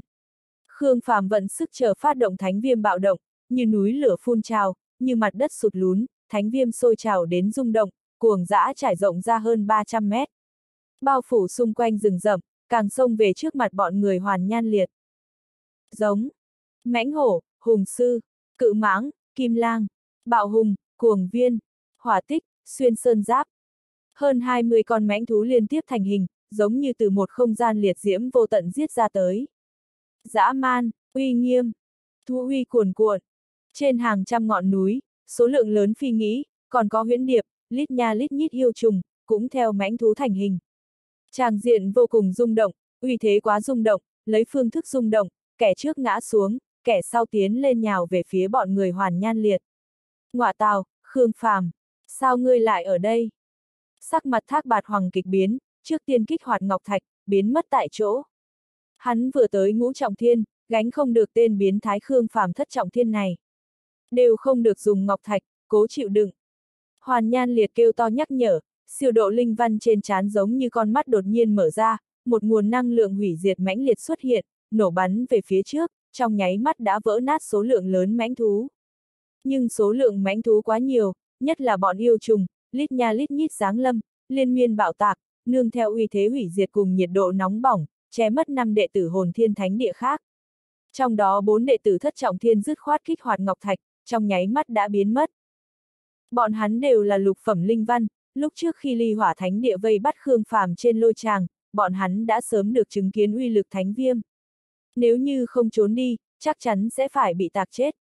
Một đệ tử bát trọng thiên cực lực kiên trì, cuồn cuộn cuồng phong ngạnh kháng liệt diễm. Nhưng, Khương Phàm đã phóng tới, xé rách cuồng phong, dẫn dắt liệt diễm tấn công. Khương Phàm, người còn muốn vượt cấp khiêu chiến. Nam tử vừa muốn gầm thét phản kích, lòng bàn tay Khương Phàm đã thức tỉnh văn ấn chu tước. Lệ khí được phóng thích, sát uy được khuấy động, như một con chu tước thật sự đang gáy to, uy thế kinh khủng bao phủ nam tử. Đáng chết! Nam tử trong lúc nhất thời đã kích hoạt ngọc thạch, biến mất trong nháy mắt. Hoàn nhan liệt, còn mỗi ba người bọn ngươi. Khương Phàm hét lớn, thế công không giảm, lao đến hoàn nhan liệt. Ngươi chán sống. Hoàn nhan hoàn toàn bộc phát ra siêu độ linh văn, giống như con mắt đang nộ trừng. Trong liệt diễm cuồn cuộn tràn ngập ra sát khí mãnh liệt, tràn ngập mỗi một góc. Khương Phàm đột nhiên hoảng hốt, giống như rơi vào trong thế giới tử vong vô tận. Liệt diễm không có, kim quang biến mất, thay vào đó là mây đen nồng đậm, kiềm chế nặng nề, mênh mông vô biên. Nơi này sơn ảnh trùng điệp, âm trầm đáng sợ, còn có huyết hà lao nhanh. Đây là một hình ảnh thần bí lại đáng sợ, chân thực đến mãnh liệt, đập vào mắt liền lập tức kinh hồn. Đây là huyễn tưởng tử vong siêu độ linh văn kiến tạo, có thể khiến người ta trong nháy mắt thất thần, sau đó ở trong hoảng hốt tiếp nhận ánh sáng siêu độ đả kích chí mạng. Khương Phàm lại bỗng nhiên bừng tỉnh, chỉ trong nháy mắt, một đoạn ánh sáng siêu độ đối diện lao tới. Ánh sáng phóng đại, bên tai quanh quẩn âm thanh tụng kinh, cầu nguyện, tế bái các loại, thê lương xa xưa, như Phật âm, như quỷ ngữ. Khương Phàm trước tiên triệu ra tàn đao, lấy mặt đao ngăn cản. Oanh! Giống như một thế giới mênh mông đâm vào trên tàn đao, phát ra oanh minh kinh khủng, đánh rách tả tơi thánh viêm, vỡ nát mặt hồ. Toàn thân Khương Phàm run rẩy, bị đánh bay ra ngoài. Tàn đao đều suýt chút nữa đã rời khỏi tay. Khương Phàm hồi hộp, không hổ là đại thừa thánh văn bát trọng thiên, quả nhiên lợi hại. Cao giai linh nguyên cảnh, tranh lệch mỗi một trọng thiên đều vượt qua tưởng tượng của ngươi, chỉ bằng ngươi, còn kém xa lắm. Hoàn nhan liệt quát lên đầy chói tai, khóa chặt Khương Phàm giết qua. Nhưng, không gian phía trước bất chợt vặn vẹo, một vị lão giả dáng lâm trên hồ nước, khí thế bàng bạc giống như cự nhạc nguy nga, hung hăng chấn trụ tràng diện. Chúng ta đã thu bảy vị đệ tử hồn thiên thánh địa, hồn thiên thánh địa đã mất tư cách thi đấu đi săn. Ba người các ngươi, nên lui ra khỏi. Lão giả nói xong, không để ý đến sự phản kháng của bọn họ, cưỡng ép cuốn đi. Không không không, còn chưa có kết thúc, ta còn chưa có. Giọng hoàn nhan liệt, tác lam nhan, từ sinh im bặt, mang theo không cam lòng, mang theo tức giận. Mặt hồ hỗn loạn cứ như vậy mà khôi phục bình tĩnh. Kết thúc, cơ lăng huyên còn chưa đã ngứa. Đao Hoàng và Tiểu Kim Hầu đều nhìn về phía mặt hồ xa xa, nơi đó còn trải rộng dây leo nặng nề giống như rừng rậm, tầng băng vỡ nát, cuốn tới đáy hồ thật sâu. Khương Phàm triển khai hỏa dực, vọt tới trên dây leo bừa bộn rậm rạp. Các ngươi ổn chứ? Tầng băng nơi đáy hồ nhanh chóng hòa tan, bọn người tiêu phượng ngô tử trong nước xuất hiện. Mặc dù có chút chật vật, nhưng có tầng băng ngăn cản, còn không có bị thương. Bây giờ thì hoàn hảo, nếu như tối nay thì chưa biết. Tiêu phượng ngô lòng còn sợ hãi, dù sao bọn hắn cũng là lục trọng thiên, đối mặt với cửu trọng thiên quá cố hết sức. Kết thúc. Hàn ngạo nhìn qua bốn phía, mình cũng có chút khó có thể tin, bọn hắn vậy mà thật phế đi đội ngũ hồn thiên thánh địa rồi. Tin tức hồn thiên thánh địa bị loại quanh quẩn ở trên không, nhắc nhở linh kiếp thánh địa cùng ly hỏa thánh địa còn đang cẩn thận hành động từng ly từng tí. Bị loại rồi. Chỉ mới bắt đầu mấy giờ. Vô hồi thánh địa làm thế nào làm được? Không phải hồn thiên thánh địa có hai mộc hệ linh văn cửu trọng thiên sao? Cái tên ngu xuẩn hoàn nhan liệt kia đang làm gì? Ly hỏa thánh địa nhận được tin tức thì khó mà chấp nhận được. Dựa theo ba bên bí mật ước định, bọn hắn chỉ cần phụ trách ẩn nấp, vô hồi thánh địa giao cho hai phe thánh địa còn lại thu thập. Bây giờ ngược lại thì tốt rồi, bắt đầu không đến nửa ngày, cứ vậy mà bị phế đi một cái. Mục Sùng Vân trầm giọng nói. Làm sao bây giờ, mặc dù còn có linh kiếp thánh địa, nhưng phạm vi bãi săn quá lớn, chỉ dựa vào bọn hắn rất khó ngăn chặn đội ngũ vô hồi thánh địa. Những người khác rất khẩn trương, nếu như vô hồi thánh địa đột nhiên xuất hiện, bọn hắn có thể chống đỡ được sao? Mặc dù bọn hắn oán hận đám người vô hồi thánh địa kia, nhưng không thể không thừa nhận đám người kia quả thật có chút thực lực. Vừa mới bắt đầu liền phế đi hồn thiên thánh địa càng có thể nói rõ vấn đề. Hàn Văn Hoán trầm ngâm nói. Nếu như các ngươi là vô hồi thánh địa, sau khi giải quyết hồn thiên thánh địa thì sẽ làm cái gì? Mục Sùng Vân cao mày nói. Vậy cũng không dễ nói. Có khả năng sẽ đem tinh lực chủ yếu tới tính toán đám người triệu thắng kia, sau khi giải quyết nỗi lo, trong lòng lại không suy nghĩ bất cứ chuyện gì khác mà lùng bắt chúng ta.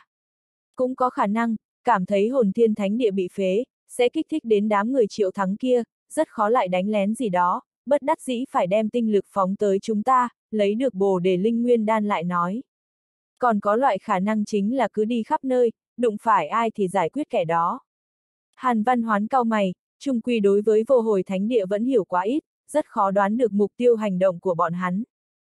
Chúng ta là tiếp tục trốn ở chỗ này, hay là rời khỏi? Mục Sùng Vân nhìn Sơn Cốc thật vất vả mới chọn tốt, vị trí rất bí mật, còn sâu chuỗi cả hẻm núi, dòng sông, tựa như có thể đến có thể lui, nhưng nghĩ đến vô hồi thánh địa lại giải quyết hồn thiên thánh địa nhanh như vậy, bỗng nhiên cảm giác nơi này rất không an toàn. Hàn Văn Hoán rất muốn trốn kỹ ở chỗ này, thành thật chờ đợi linh kiếp thánh địa và vô hồi thánh địa đánh nhau sống chết, nhưng nếu như vậy hai bên không gặp mặt, ngược lại bị vô hồi thánh địa tìm được trước thì sao? Ngươi là đội trưởng, nghe ngươi. Các đệ tử khác bây giờ cũng có chút khẩn trương, không quyết định chắc chắn được. Hàn Văn Hoán sâu hít một hơi, cắn răng nói, rời khỏi nơi này. Đi đâu? Bọn người Mục Sùng Vân đều nhìn Hàn Văn Hoán. Cùng linh kiếp thánh địa tụ hợp, chỉ cần có thể gom lại cùng một chỗ, đám người vô hồi thánh địa kia cho dù có năng lực thông thiên, cũng đừng hòng cướp được bồ đề linh nguyên đan. Hàn Văn Hoán quanh năm trốn ở ly hỏa thánh địa luyện đan, chưa bao giờ trải qua chiến đấu, càng không có kinh nghiệm sinh tồn trong rừng cây, bây giờ hắn chỉ muốn tìm tới chỗ có thể dựa vào. Linh kiếp thánh địa là lựa chọn duy nhất. Được. Mục Sùng Vân và đám người lần lượt gật đầu, đây đúng là chủ ý không tệ. Xuất phát, chú ý ẩn nấp. Hàn Văn Hoán thấy bọn họ đều đã đồng ý, càng có thêm niềm tin. Nhưng, nếu như bọn hắn cẩn thận trốn kỹ, có lẽ trong thời gian ngắn sẽ rất khó bị phát hiện, đột nhiên rời khỏi sơn cốc, trong rừng rậm không có kết cấu gì lại đi tứ xứ, rất nhanh sẽ để Khương Phàm đang xoay quanh ở không trung chú ý tới. Hoàn Nhan Liệt ơi Hoàn Nhan Liệt, người thật cho thánh địa Nam Bộ mặt dài. Triệu Thắng đứng trong đỉnh núi cao vút, nghênh đón gió núi quan sát cây rừng tươi tốt. Lấy sự cao ngạo tự phụ của Hoàn Nhan Liệt, bị loại là ngoài dự liệu, nhưng cũng là trong dự kiến. Nhưng tên chết tiệt nhà ngươi vừa bắt đầu liền bị xử, bây giờ nói gì nữa đây? Thái Long phỏng đoán nói. Hẳn là bọn người Khương Phàm đã thiết lập ván cục kềm chế mấy người nghe xâm, tìm đúng thời cơ đánh bất ngờ mấy tên linh nguyên cảnh thất trọng thiên kia. Năm người nhận thua, coi như toàn đội bị loại. Phong ảnh thánh văn, Chu Tử Khiêm nói. Cảnh giới vô hồi thánh địa rất cân đối, đều tại lục trọng thiên cùng thất trọng thiên, không có ưu thế quá mạnh, cũng không có khuyết điểm quá yếu. Nếu như vận dụng thỏa đáng, quả thật có thể phát huy ra hiệu quả lớn. Nghiêm sâm nói, bọn hắn hiện đang lùng bắt chúng ta, chúng ta không thể nào đứng đấy như vậy, nên chủ động đánh ra. Thái Long nhìn lên tầng mây bầu trời, thản nhiên nói. Không nóng này hồn thiên thánh địa thua chỉ vì cái trước mắt. Bọn hắn rõ ràng có hai mộc linh văn cửu trọng thiên, có thể dò xét sơn lâm vượt qua 10 dặm, vẫn bị tính kế, nói rõ. Vô hồi thánh địa phát hiện bọn hắn từ trên trời. Mà em mờ thánh văn, Quang Vinh cười tươi nói. Đến bây giờ vẫn chưa rõ ràng linh văn của Khương Phàm là cái gì. Nghiêm sâm hừ lạnh. Người quan tâm linh văn của hắn làm gì, chỉ cần triệu thắng vừa đối mặt liền có thể phế bỏ hắn. Cơ lăng huyền rất mạnh, nhưng giao cho Tây Môn Phi Dược xử lý không có vấn đề gì cả. Cơ lăng huyền cứ giao cho ta. Tây Môn Phi Dược phong độ nhẹ nhàng cười gật đầu, trong đội ngũ cảnh giới của hắn là cao nhất, cũng là một hệ linh văn. Mặc dù không phải thánh văn, nhưng ở trong rừng rậm lại có thể có thể so với thánh văn. Thái Long trầm ngâm nói. Ta ngược lại thật ra cảm thấy, bọn hắn có thể đánh bại hồn thiên thánh địa, khẳng định là có cái gì đó đặc biệt để ỉ vào. Cho nên, Triệu Thắng nói, người có đề nghị gì? Nếu như hai bên thật gặp nhau, không cần tấn công mù quáng, đầu tiên Tây Môn Phi Dược làm tốt phòng ngự, nhanh chóng khống chế rừng rậm, bao quanh toàn bộ người của chúng ta lại, xáo trộn bố trí của bọn hắn. Thất trọng thiên trở lên tìm đúng cơ hội tấn công, nghĩ biện pháp giải quyết giả an nhiên. Thất trọng thiên trở xuống ở lại bên cạnh Tây Môn Phi Dược, đồng thời bảo vệ mình, cũng phối hợp Tây Môn Phi Dược phóng thích võ pháp, cung cấp duy trì. Thái Long nói xong, nghiêm sâm là người đầu tiên bất mãn. Ngươi vẫn là Thái Long ta biết sao. Sự dũng cảm của ngươi đâu rồi, dũng lực của ngươi đâu rồi. Đội ngũ chúng ta mạnh như vậy, còn cần đánh uất ức như thế. Đây chính là đề nghị của ta. Thái Long thở ơ. Hừ, ta nghe nói ngươi cùng Khương Phàm còn có đoạn thời gian, không đánh nhau thì không quen biết, lần này sẽ không phải cố ý muốn nhận thua đấy chứ. Nghiêm sâm, đừng ép ta đánh ngươi. Đáy mắt Thái Long chợt hiện lên tia sắt lạnh, đe dọa nhìn nghiêm sâm. Triệu thắng ngăn bọn hắn lại. Vậy cứ theo Thái Long nói, nếu gặp phải thì phòng ngự trước. Nghiêm sâm hừ một tiếng. Đó là quyết định cực kỳ sai lầm. Lên đường đi, cẩn thận tìm kiếm bọn hắn. Sau khi bọn hắn đánh bại hồn thiên thánh địa, hẳn là sẽ tìm nơi tu dưỡng, cũng sẽ chú ý cẩn thận. Triệu Thắng còn chưa dứt lời, lại ngoài ý muốn phát hiện số lượng lớn mãnh cầm trên không trung nhanh chóng lao về phía bắc. Xảy ra chuyện gì? Sắc mặt bọn người nghiêm sâm hơi biến đổi, lập tức thuận phương bắc trông qua. Xảy ra chuyện gì? Chẳng lẽ vô hồi thánh địa gặp được người của ly hỏa thánh địa rồi? Ly hỏa thánh địa không phải đang ẩn nấp rồi sao? Đi qua nhìn một chút, nhanh nhanh nhanh. Thái Long thả người nhảy xuống đỉnh núi, phóng tới phương Bắc. Giờ khắc này, trong rừng rậm hơn 60 dặm bên ngoài đang phát sinh chém giết kịch liệt. Không sai, ly hỏa thánh địa đã bị bao vây tiêu diệt. Sau khi Khương Phàm phát hiện đội ngũ ly hỏa thánh địa, lập tức lén lút tìm tới bọn người giả an nhiên ở nơi xa. Lần này không tiếp tục dẫn dụ, cũng không có lại bố cục, trực tiếp đưa bọn hắn đến 3.000 mét không trung, sau đó thả, bao vây đội ngũ ly hỏa thánh địa. Trong tập kích hỗn loạn, thành công khiến cho ba người kích hoạt ngọc thạch, thoát khỏi khu vực săn bắn. Sau đó, mở ra đại hoang tù thiên trận, triệt để phong khốn ngàn mét rừng rậm. Mục tiêu của bọn hắn là Hàn Văn Hoán.